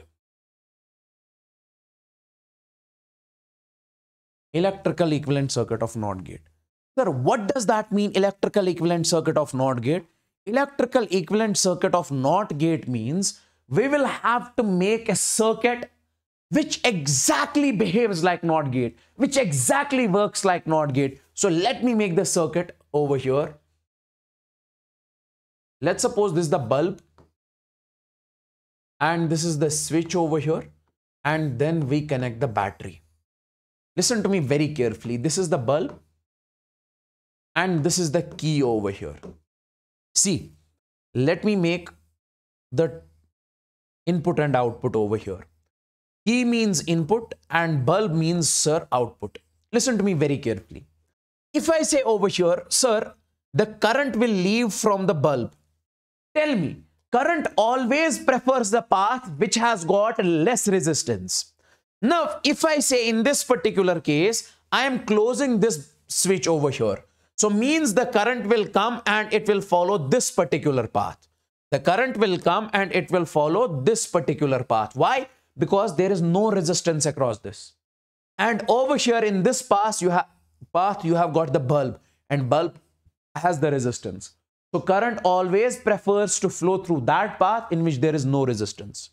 So we say, my dear people, listen to me very carefully. If I say, if I say, we will keep the key on, we will keep the key on, okay, means you are connecting this so we say in that case, current will choose this path. Current will not flow through the bulb. So bulb will not glow. Bulb remains off. So when key is on, on means 1. Bulb remains off, off means 0. And when you say, sir, it, it is off, okay, this circuit current cannot flow through this. So current has to flow through the bulb. When key is off, bulb will be on. Now, can you compare this truth table with the truth table of NOT gate exactly similar. So we say, we say this electrical circuit is exactly behaving like, this electrical circuit is exactly behaving like the NOT gate. Is this clear?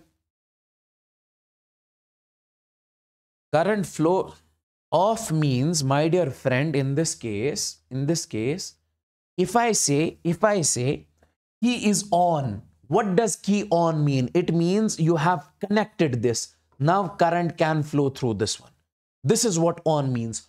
Off means this, this, this, this cannot flow. So current has to flow through the bulb. Current has to flow through the bulb. Okay? Tell me. Is this clear?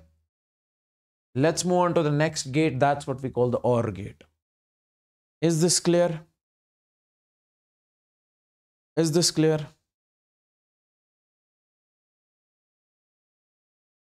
So we say when it comes to the OR gate, we say its work is to do addition. Its work is to do addition. And if I talk about the symbol, if I talk about the symbol,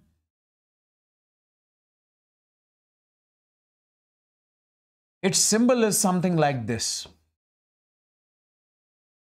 This is the symbol. If we give the input A, if we give the input B, so output will be Y is equal to A plus B because its job is to do the addition. Okay. Oh, and if we talk about its Boolean expression, Sir, its Boolean expression is simply y is equal to a plus b. Okay. So we say this is the work of this one. Let's make the truth table over here. Let's make the truth table over here. My dear people, listen to me very carefully. If how do we exactly make its truth table over here? Let's make the truth table over here.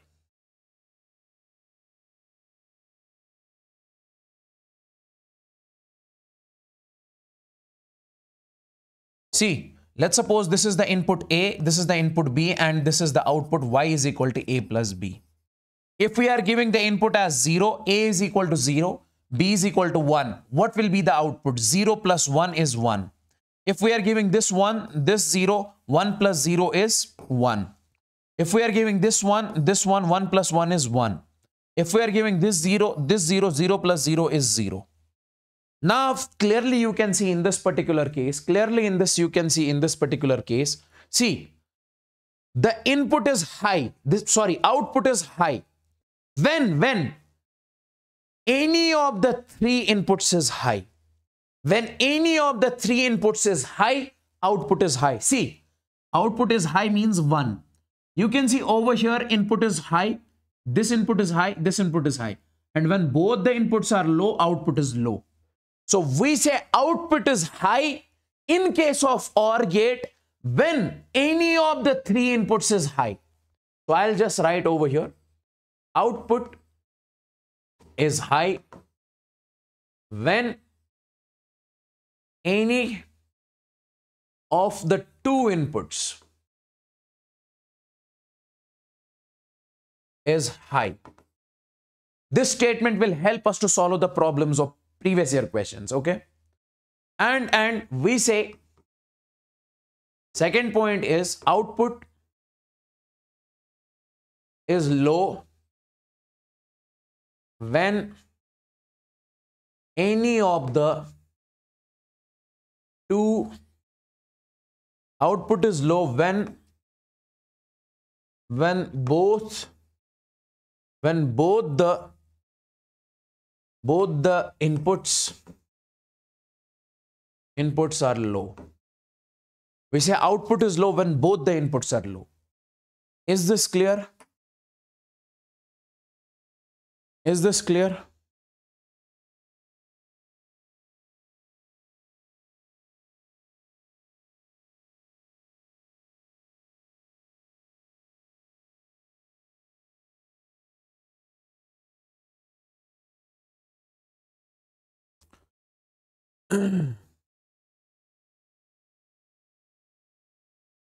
cool.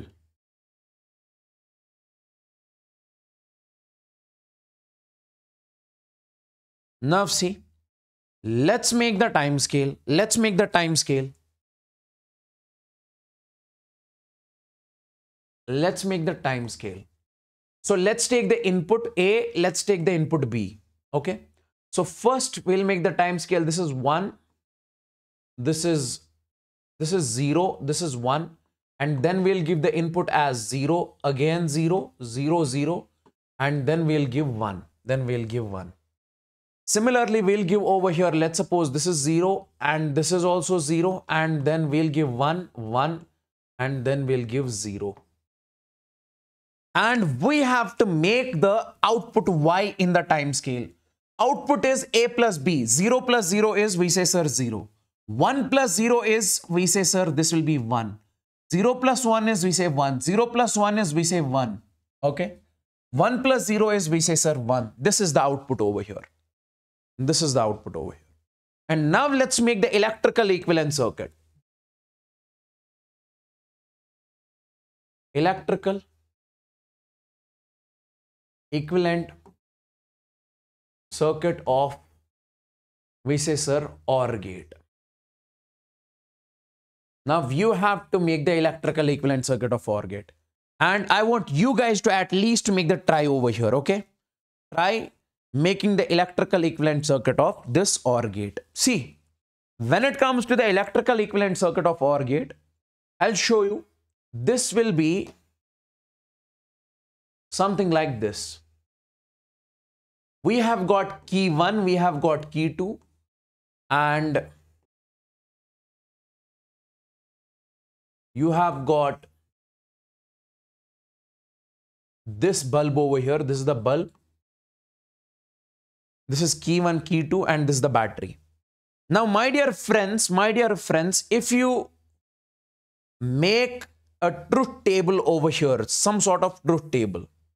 Sir, what is that? That is basically you have got key 1, key 2. These are the two inputs and bulb is basically output. you have to make an electrical circuit which exactly behaves like the NOT gate, sorry, OR gate. Now see, listen to me very carefully. Listen to me very carefully. If we say, let's suppose we'll keep the key 1 off. Key 1 is basically off, means it is open circuit over here. My dear friends, I told you, and this key 2 is basically on. I told you one thing. That is, that is, listen to me very carefully. I say, sir, the current always prefer to flow through that path in which there is less resistance. Sir, if this K1 is off, we say, sir, current has to flow through this path and it can flow through this bulb because current always flow through the loop. So current will prefer this path and flow through the bulb and bulb remains on in this case. So we can clearly see. So bulb remains on, it is 1. Now if I say if we keep this on and this off, in this case current will prefer this upper path and flow through the bulb and bulb remains on. And if I say both are on, current can flow through this path and this path and then flows through the bulb, bulb remains on. And if I say I'll keep this off and this also off, okay? This is open over here, this is open over here. If current flows, if both the lines are open, so current cannot cross, so bulb in that case remains off. You can compare this with this both are exactly same. So I can say this particular circuit exactly behaves like an OR gate. Is this clear? Is this clear? Let's move on to the next one. We have got AND gate. We have got AND gate. We have got AND gate. See, when it comes to the AND gate, we say its work is to do multiplication. Its work is to do multiplication. And if we talk about its symbol, so its symbol is something like this. Its symbol is something, this is Y, this is A and this is B. Output in this case will be Y is equal to A into B. And if we talk about its Boolean expression,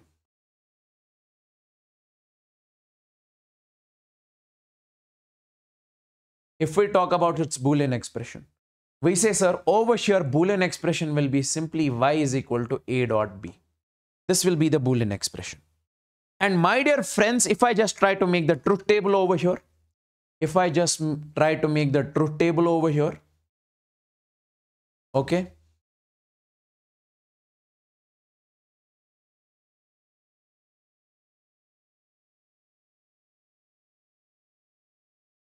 So we say, sir, this is A. We say, sir, this is B. We say Y is equal to A into B. Okay. So my dear friends, if I say, let's suppose this is 0 and this is 1. Input is 0, A is 0, B is 1. 0 into 1 is, we say, sir, 0. If we say this is zero, 1 and this is 0, 1 into 0 is 0. If we say this is 0 and this is 0, 0 into 0 is 0. If we say this is 1 and this is 1, 1 into 1 is 1. Now, clearly you can see over here, sir, output is low. If any of the two inputs is low, in this case, this is low, in this case, this is low, in this case, this is low. If any of the two inputs is low, we say output is low. I'll just write over here. Output is low if any of the two inputs if any of the two inputs is low. And I can say output is high. Output is high if any of the two inputs is high if any of the two inputs is high okay both the inputs are high, then only output is high. Now, if I just talk about the electrical equivalent circuit, electrical equivalent circuit of electrical equivalent circuit of AND gate.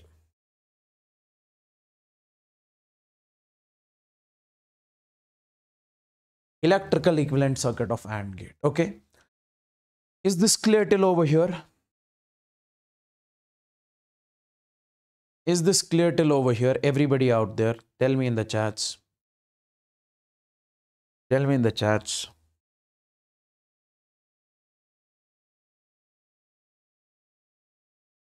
All the people out there tell me electrical equivalent circuit of and of and gate. So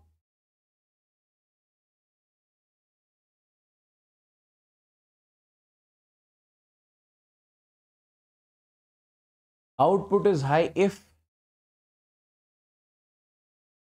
if if both the inputs are high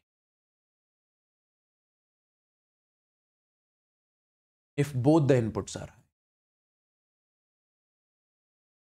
So electrical equivalent circuit of say AND gate. It will be something like this. This is K1, key 1, this is key 2. This switch 1, this is switch 2. And then you have got this battery. You have got this bulb over here. Now, if I just try to make over here its truth table.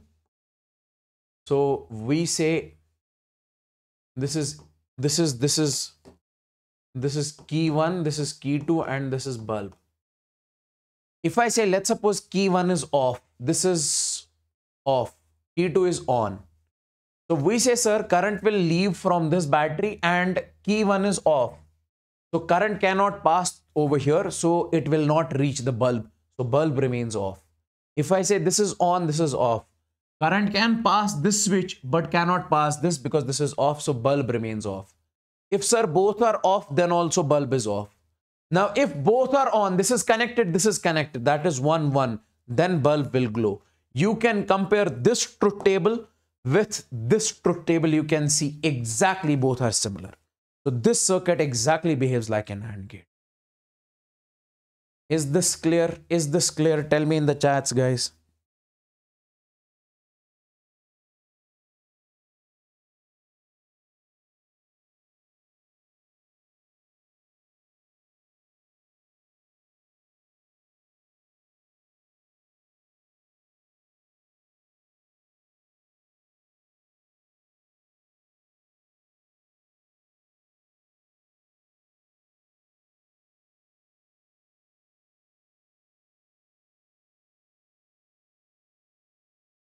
Time scale, you can make it. That's not a big deal, okay?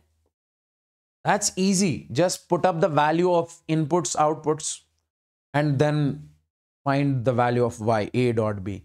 Simple, guys. Hmm. Let's talk about the NOR gate.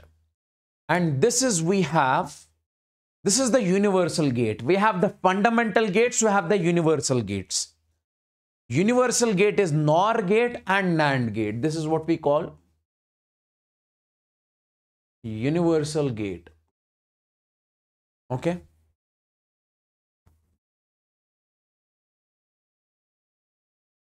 Time scale, I am telling you to make it on your own. That is very simple. Sir, what is this NOT gate? We say, listen to me very carefully. NOR gate. Listen to me very carefully. When it comes to basically NOR gate, we say, we say when OR gate is combined with, we say, sir, NOT gate. It forms, it forms, we say, NOR gate we say it forms NOR gate. When OR gate is combined with NOT gate, it forms NOR gate. So what is the, how do we exactly make it? See, when it comes to the OR gate, we know, sir, the OR gate looks something like this. This is the OR gate. And when it comes to, sir, NOT gate, this is how NOR gate actually looks like. So we say this is sir or, this is sir, we say sir not. So or plus not makes what? Makes what? NOR gate. Makes what? NOR gate. So we say sir or plus we say sir not is equal to sir NOR gate. Let's suppose if we are giving the input as A, if we are giving the input B. What is the work of OR gate to add? So output of this will be A plus B.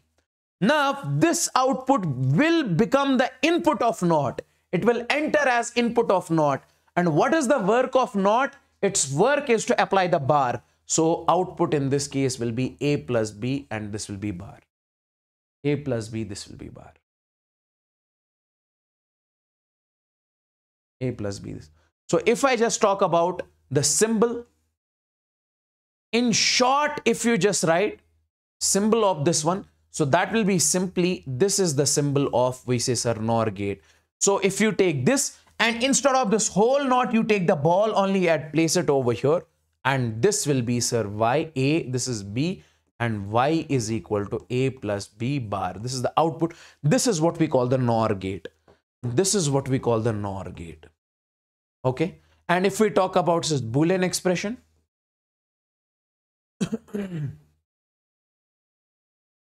sir boolean expression is y is equal to a plus b bar and let's make the truth table let's make the truth table over here. Let's make the truth table over here. Let's make the truth table over here. So the truth table will be something like this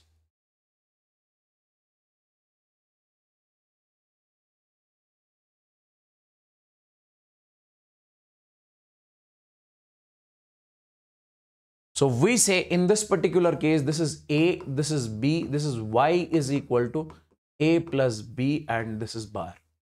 Y is equal to A plus B bar. My dear friends, my dear friends, if I say, sir, I'll give this as 1, this is 0. And this is 1 plus 0 bar. A plus B bar. 1 plus 0 is 1 and bar of 1 is, we say, sir, 0. And if I say I'll give this 0, this is 1, 0 plus 1 is 1 and bar of 1 is 0. If I say this is this is 0 and this is 0, this is 1, 1, 1 plus 1 is 1 and its bar is 0. And this is 0 and this is 0, 0 plus 0 is 0, 0 bar is 1. This is the truth table. Now in this particular case, I can say, sir, output is low when any of the two inputs is high over here this both are high over here this is high over here this is high. So we say output is low. When any of the two inputs when any of the two inputs is low output is low when any of the two inputs is low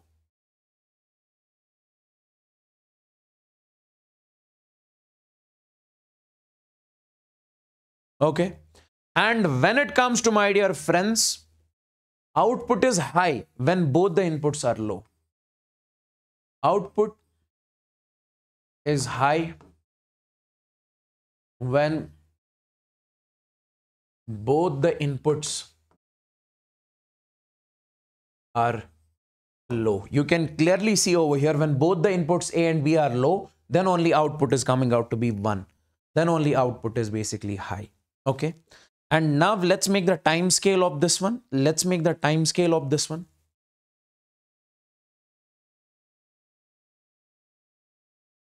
Let's make the time scale of this one.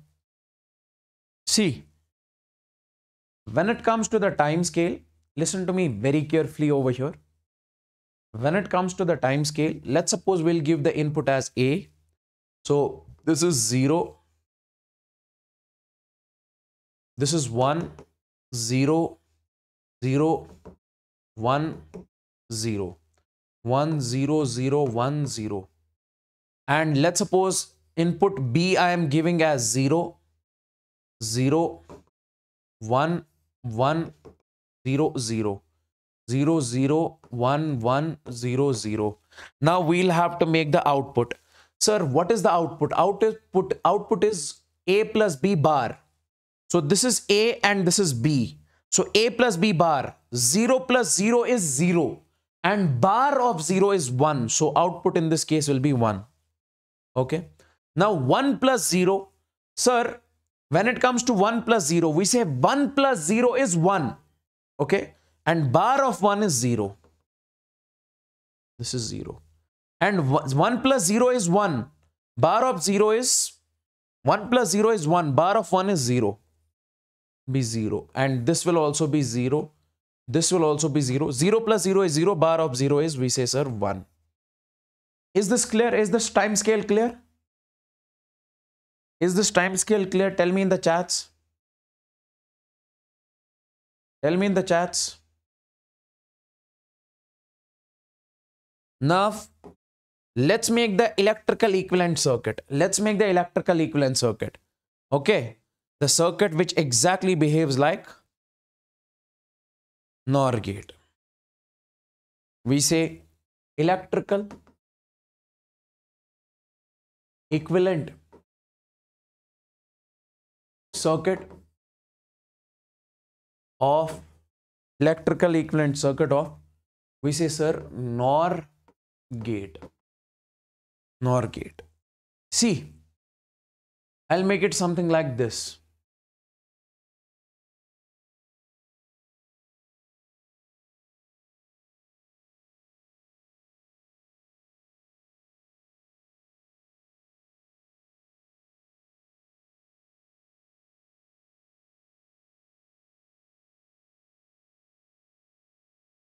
this is key 1 this is key 2 and this is bulb over here. Key 1 key 2 and this is bulb over here. See if we just make the truth table for this one so we'll make it something like this. This is k1 this is k2 and this is bulb. See Let's suppose if I say this is 0 and this is 1, K1 is off and K2 is on. Listen to me very carefully. So I'm saying K1 is on, K1 is off. This is off, means this is open. So, and this is on, this is on, this is connected. So in this case, in this case, I can clearly say the current can basically flow through this path and the current can also flow through this path. I told you current only prefers that path in which there is less resistance. We say, sir, this is the path where there is no resistance and this is the path where there is bulb means resistance. So current will, if this is off, so current cannot flow through this path. So current will leave, leave, leave. It can flow through this path in a closed loop. And if current flows through this path, current does not reach the bulb. So we say in this case, bulb remains off, zero. And if this is 1, this is 0. In this case, this is off. Current will take, choose this particular path in the loop. So this will be also 0. Now, if I say this is on, this is on, both are on. So means in that case, current can flow through this path, current can flow through this path. So current does not reach the bulb and it remains off. And if this is off, this is off, this is off, this is off, then only bulb remains on. Because in that case, we say if this is off, current cannot flow through this and current cannot flow through this because this is off, this is off. Current has to flow through this path. And you can compare this, this with this one. Both are exactly similar. Both are exactly similar. Is this clear? Is this clear? Okay, one more point I just want to tell you in this case. That is single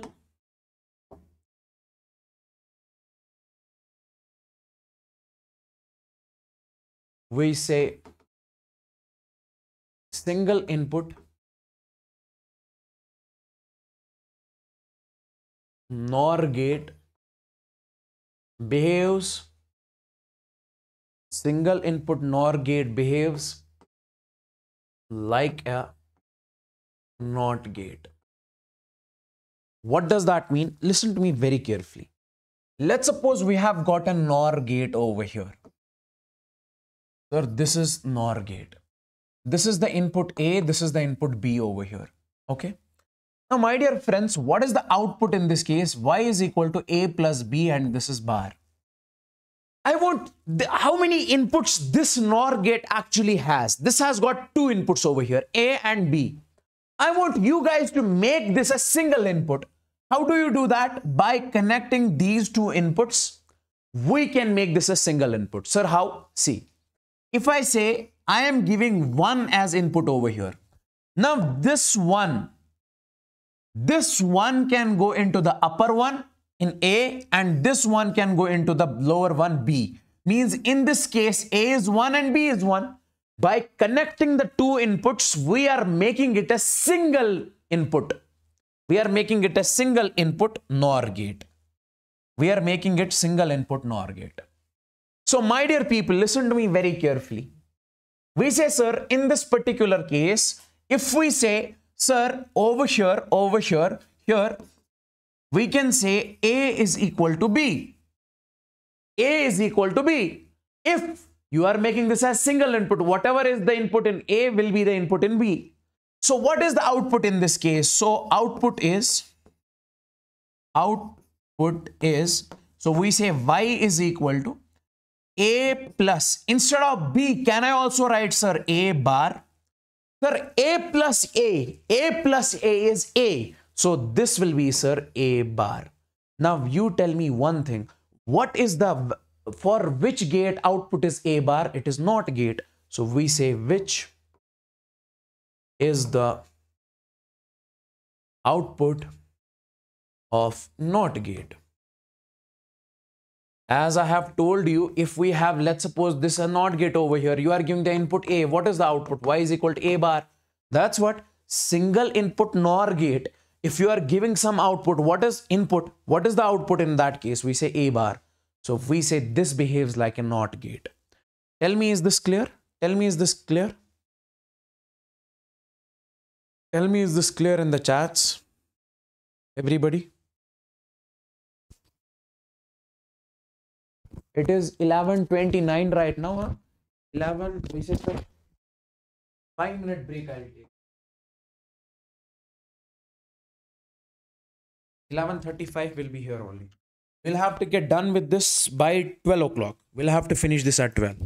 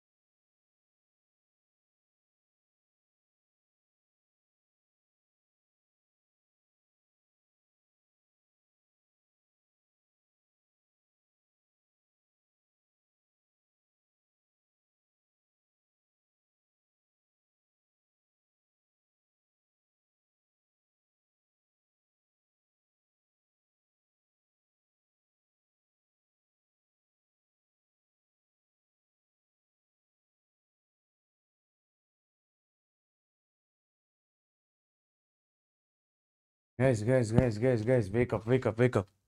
We need to end this particular session.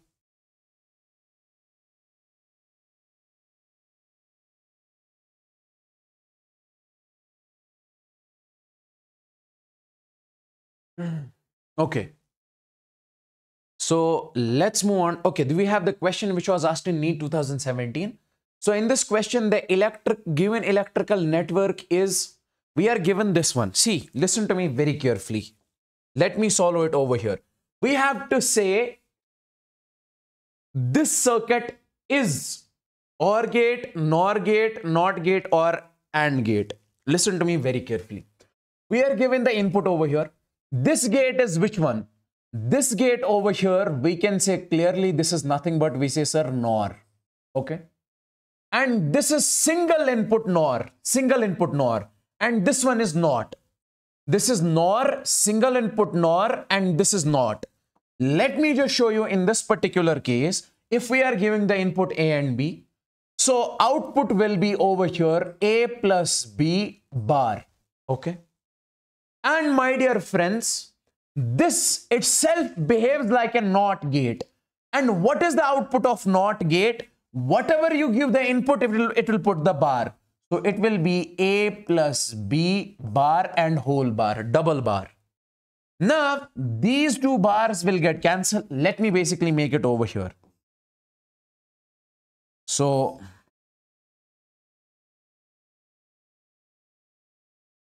so it will be something like this. It will be something like this.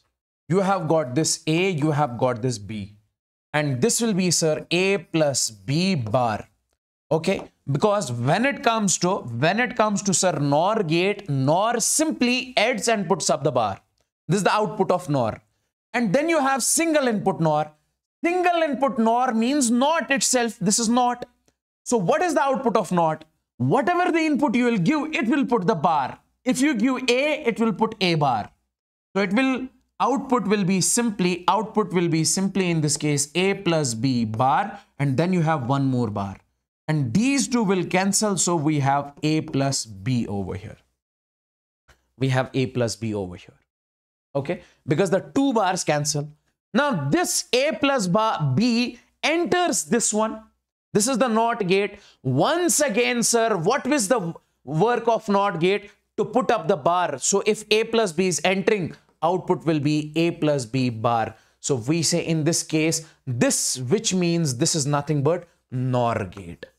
Because this is the output of NOR gate. Output of NOR gate is a plus b bar. a plus b bar. So this is, we say, sir, NOT gate. Sorry, sorry. This is, we say, sir, NOR gate. NOR is which one? NOR gate. Is this clear? Is this clear?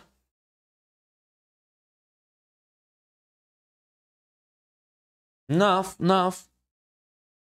Let's move on to the NAND gate. If we talk about the NAND gate, sir, NAND gate is basically the combination of, it is the combination of, we say, sir, AND gate, let me make this AND gate, plus we say, sir, NOT gate.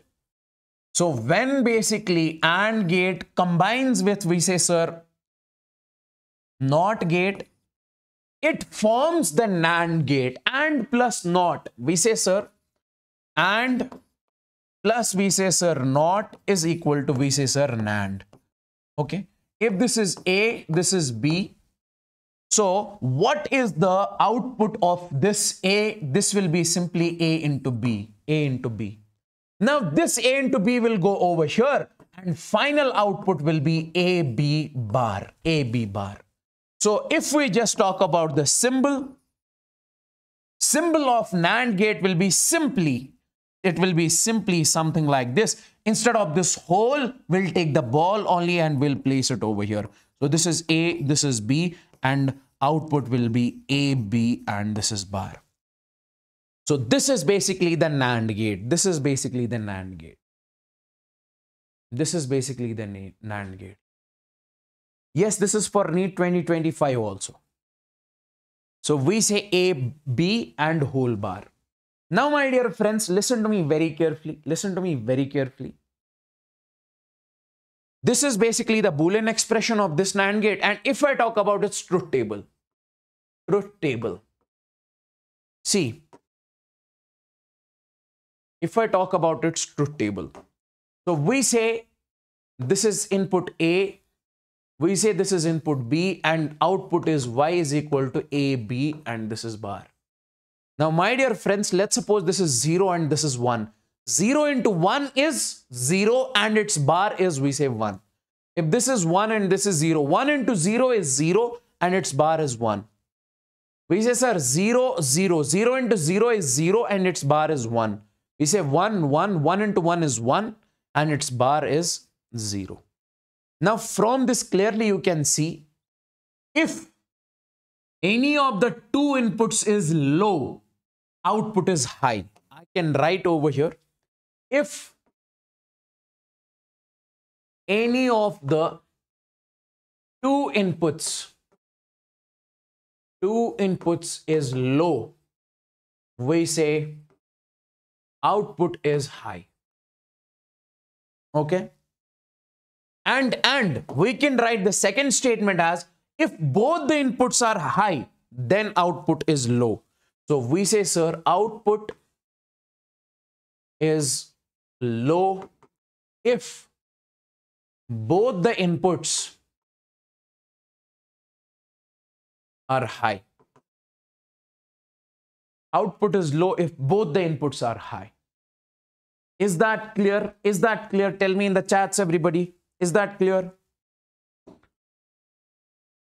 Now, my dear friends, let's talk about its electrical equivalent circuit.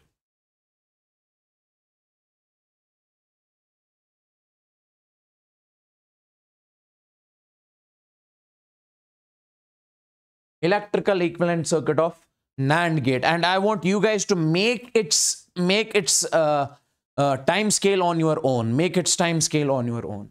When it comes to the electrical equivalent circuit it will be something like this.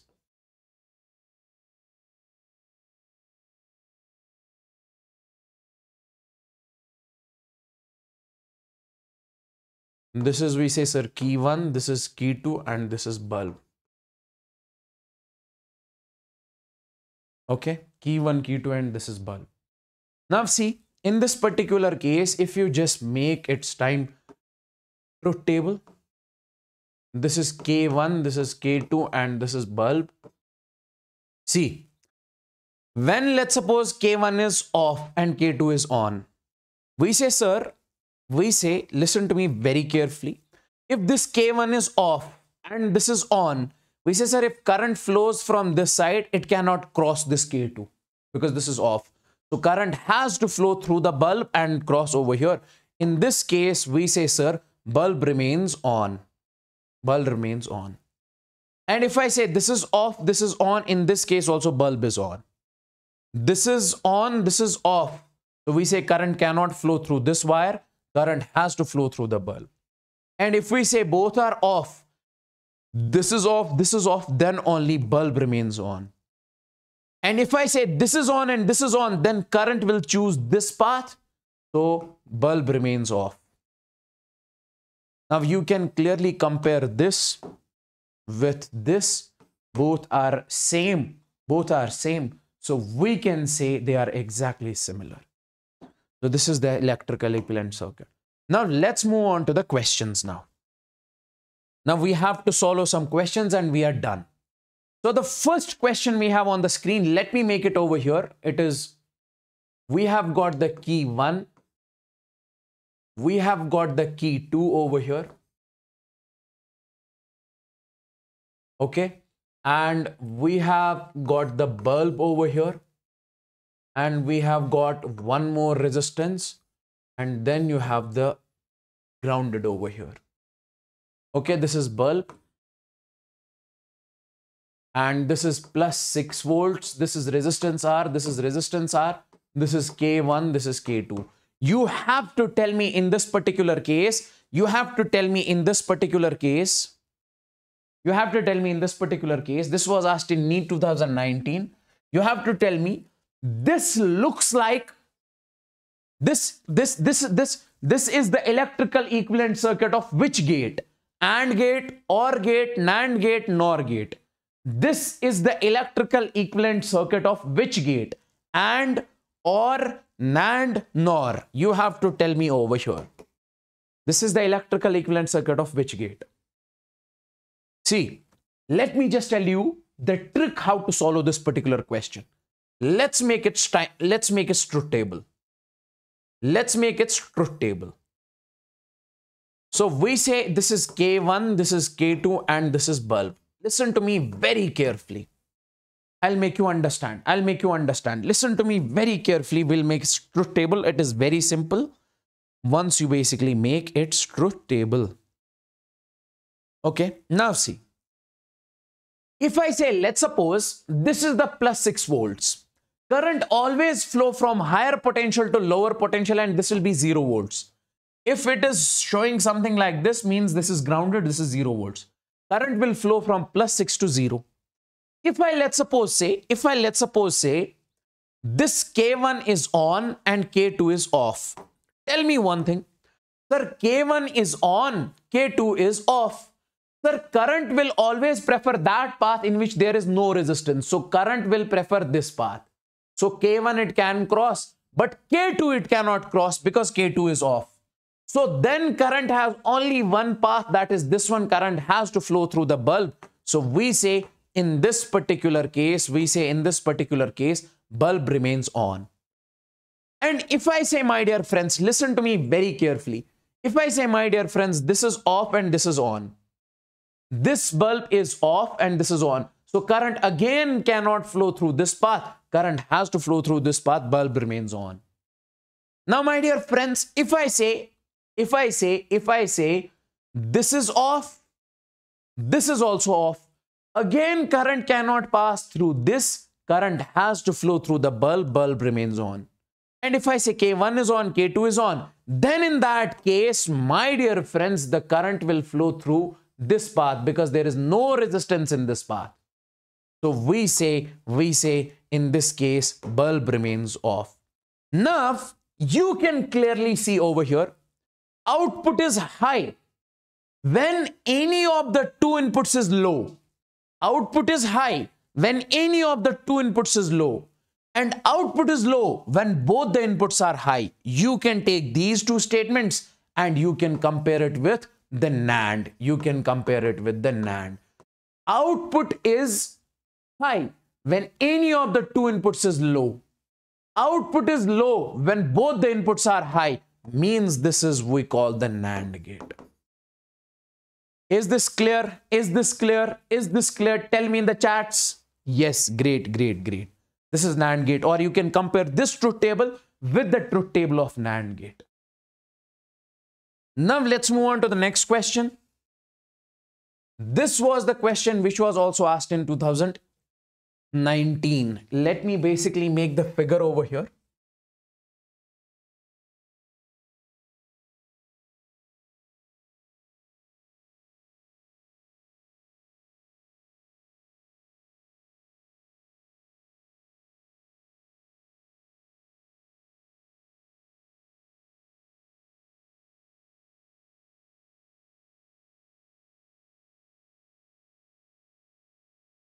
This is K1, this is K2, this is plus 6 volts, this is R and this is bulb. This is also R. In this case, you guys are supposed to tell me this is which gate. See, when it comes to this one, again, we'll make the truth table. Let's make the truth table. So we say this is K1, this is K2, and this is bulb.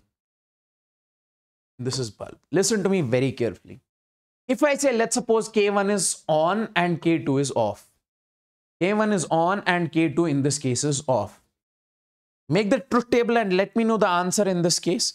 So we say if K1 is on and K2 is off, this is on and this is off. We say in this case, sir, if this K1 is on, K2 is off. So current will prefer. So we say current will prefer this path and will reach over here. So in that case, current always prefers that path in which there is no resistance. Current will not prefer the path through the bulb. So we say in this case, bulb remains off. Bulb remains off. No current flows through bulb. If I say this is off, this is on, means this is off now. Now current will choose this path, this path. So again, it will not reach the bulb. So bulb remains off. Now, if I say, sir, this is on, this is on. This one is on, this one is on. So current can flow through this one, current will flow through this one. Again, bulb remains off.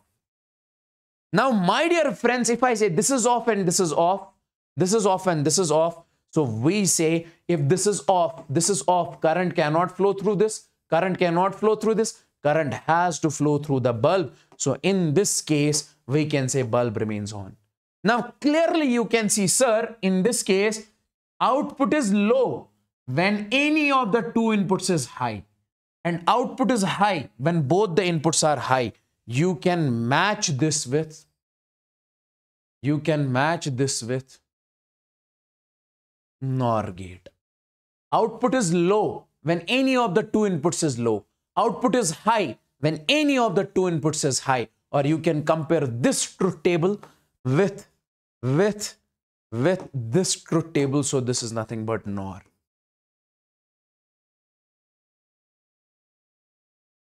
Great, great, great. This is the trick. This is the technique by which you can solve these questions. Let me solve this one. This was the question asked in NEET 2018.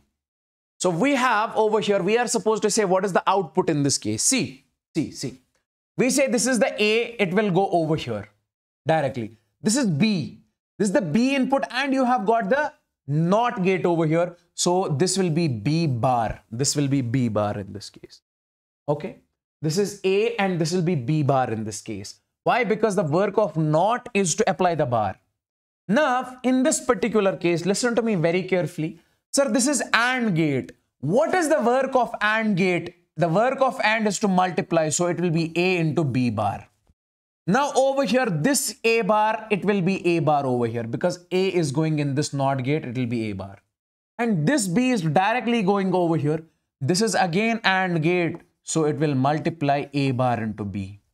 Now, this one is OR gate. Sir, the work of OR gate is to add. So it will add this input with this input. So output in this case will be AB bar plus A bar B. So which one is this? A B bar and A bar B. Option B. Option B. Option B. I hope you got it, my dear friends. I hope you got it. Tell me in the chats, everybody.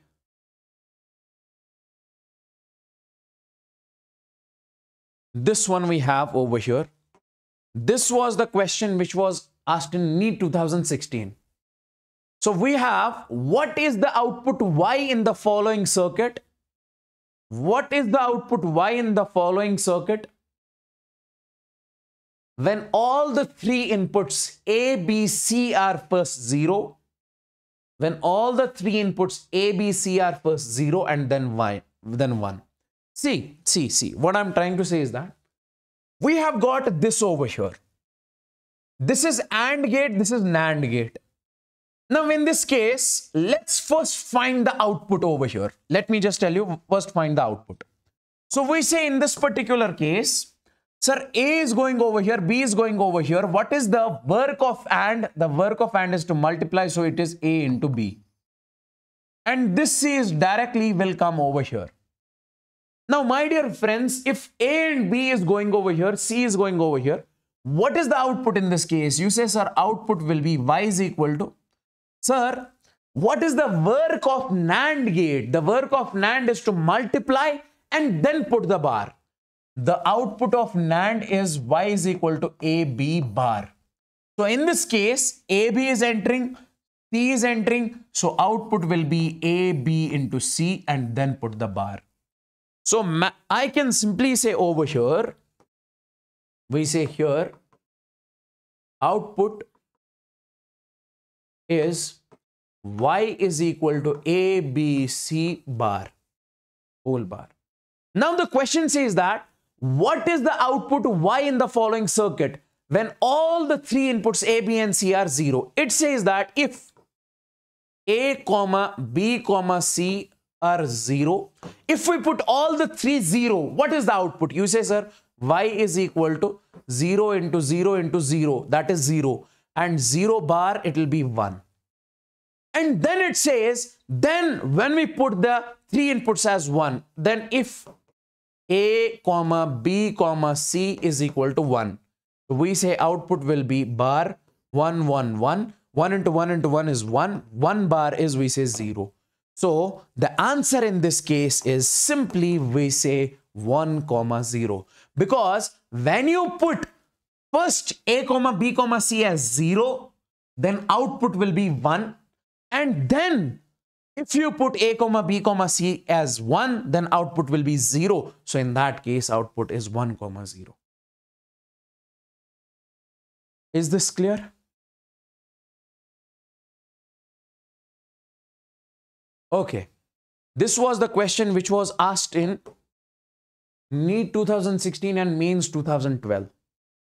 For the following circuit to get, get output as 1, the correct choice of input is. In this particular question, you have to get the value of output as 1. What should be the value of inputs? What should be the value of inputs? What should be the value of inputs? Tell me in the chats. Everybody. Tell me in the chats, guys.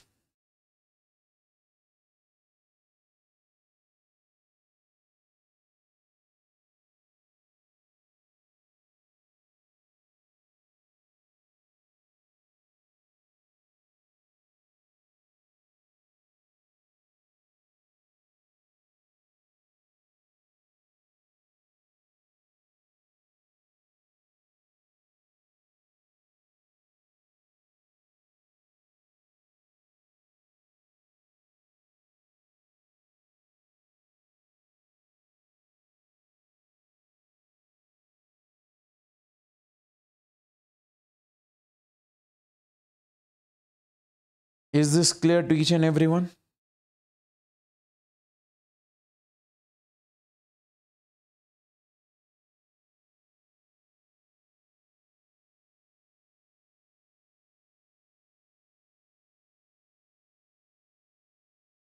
Okay, let me solve this particular question for you. So for the correct choice of, for, see, we have to get the output here, here, we have to get the output as 1 we have to get the output as 1 okay? So we have to so we have to choose the correct choice of inputs. Listen to me very carefully. Let's suppose let's take the first one. If we take this as 1 a is equal to 1 if we take B as 0 and C is equal to 0. Listen to me very carefully. Let's see what will be the value of Y. Sir, this is what we call the OR gate and this is what we call the AND gate. The work of OR gate is to add. So we say 1 plus 0 is, we say 1 and this is 0. The work of AND gate is to multiply. So this gate will multiply the two inputs. So that is 1 into 0, that will be 0. So output in this case is coming out to be 0. But we have to get the output as 1. So this is the wrong. This is the wrong choice. This is the wrong choice. So what we will do in this case instead is let's take the choice B. If we take this as 1, A is equal to 1, B is equal to 1, C is equal to 0. In this case, OR, OR will add 1 plus 1, it will come out to be 1. Then this 0, this 0 over here, okay. So we say, we say, sir, this AND will multiply 1 into 0, again it will come out to be 0. So this is also wrong. Because answer final output has to be 1 only. Now, let's suppose, let's go for the option number D. So if this is 0, this is 1 and this is 0. Now 1 plus 0 is 0. Sorry, 1 plus 0 is 1. Now, this AND will multiply the two inputs, that is 1 and 0. 1 into 0 is again 0. So this is also the wrong choice. Because we have to get the output as 1. Now let's take the option 3. Let's put A is equal to 1, B is equal to 0, C is equal to 1. A is equal to 1, B is equal to 0, C is equal to 1. So we say in this case, 1 plus 0 is 1, because OR will add the two inputs 1 and 0 and then you have this one over here okay? Now what is the work of AND gate is multiply. So it will multiply the two inputs. 1 into 1 is 1 so output in this case is 1 so option C is the correct option. Option C is the correct option Guys, can anyone inform Sir will solve how many questions normally? More than 70, 80 questions. Answer to your question, huh? Done and dusted.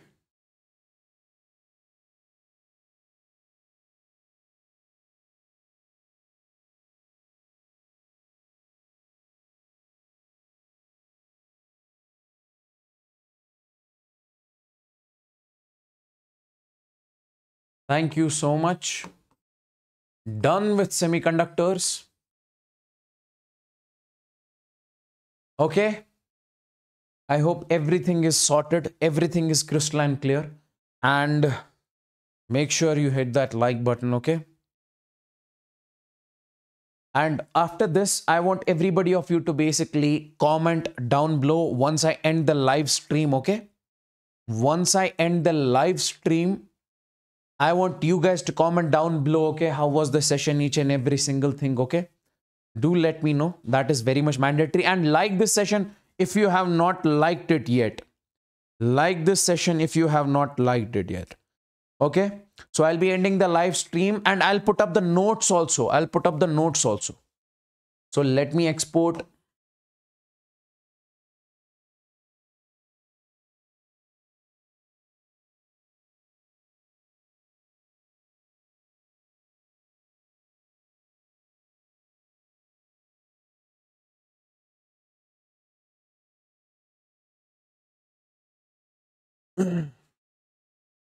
okay. So i am ending the live stream. Thank you so much guys. I want you guys to put up the comments down below. Do let me know okay? With the josh high. So take care and bye bye see you guys in the next session. Till then take care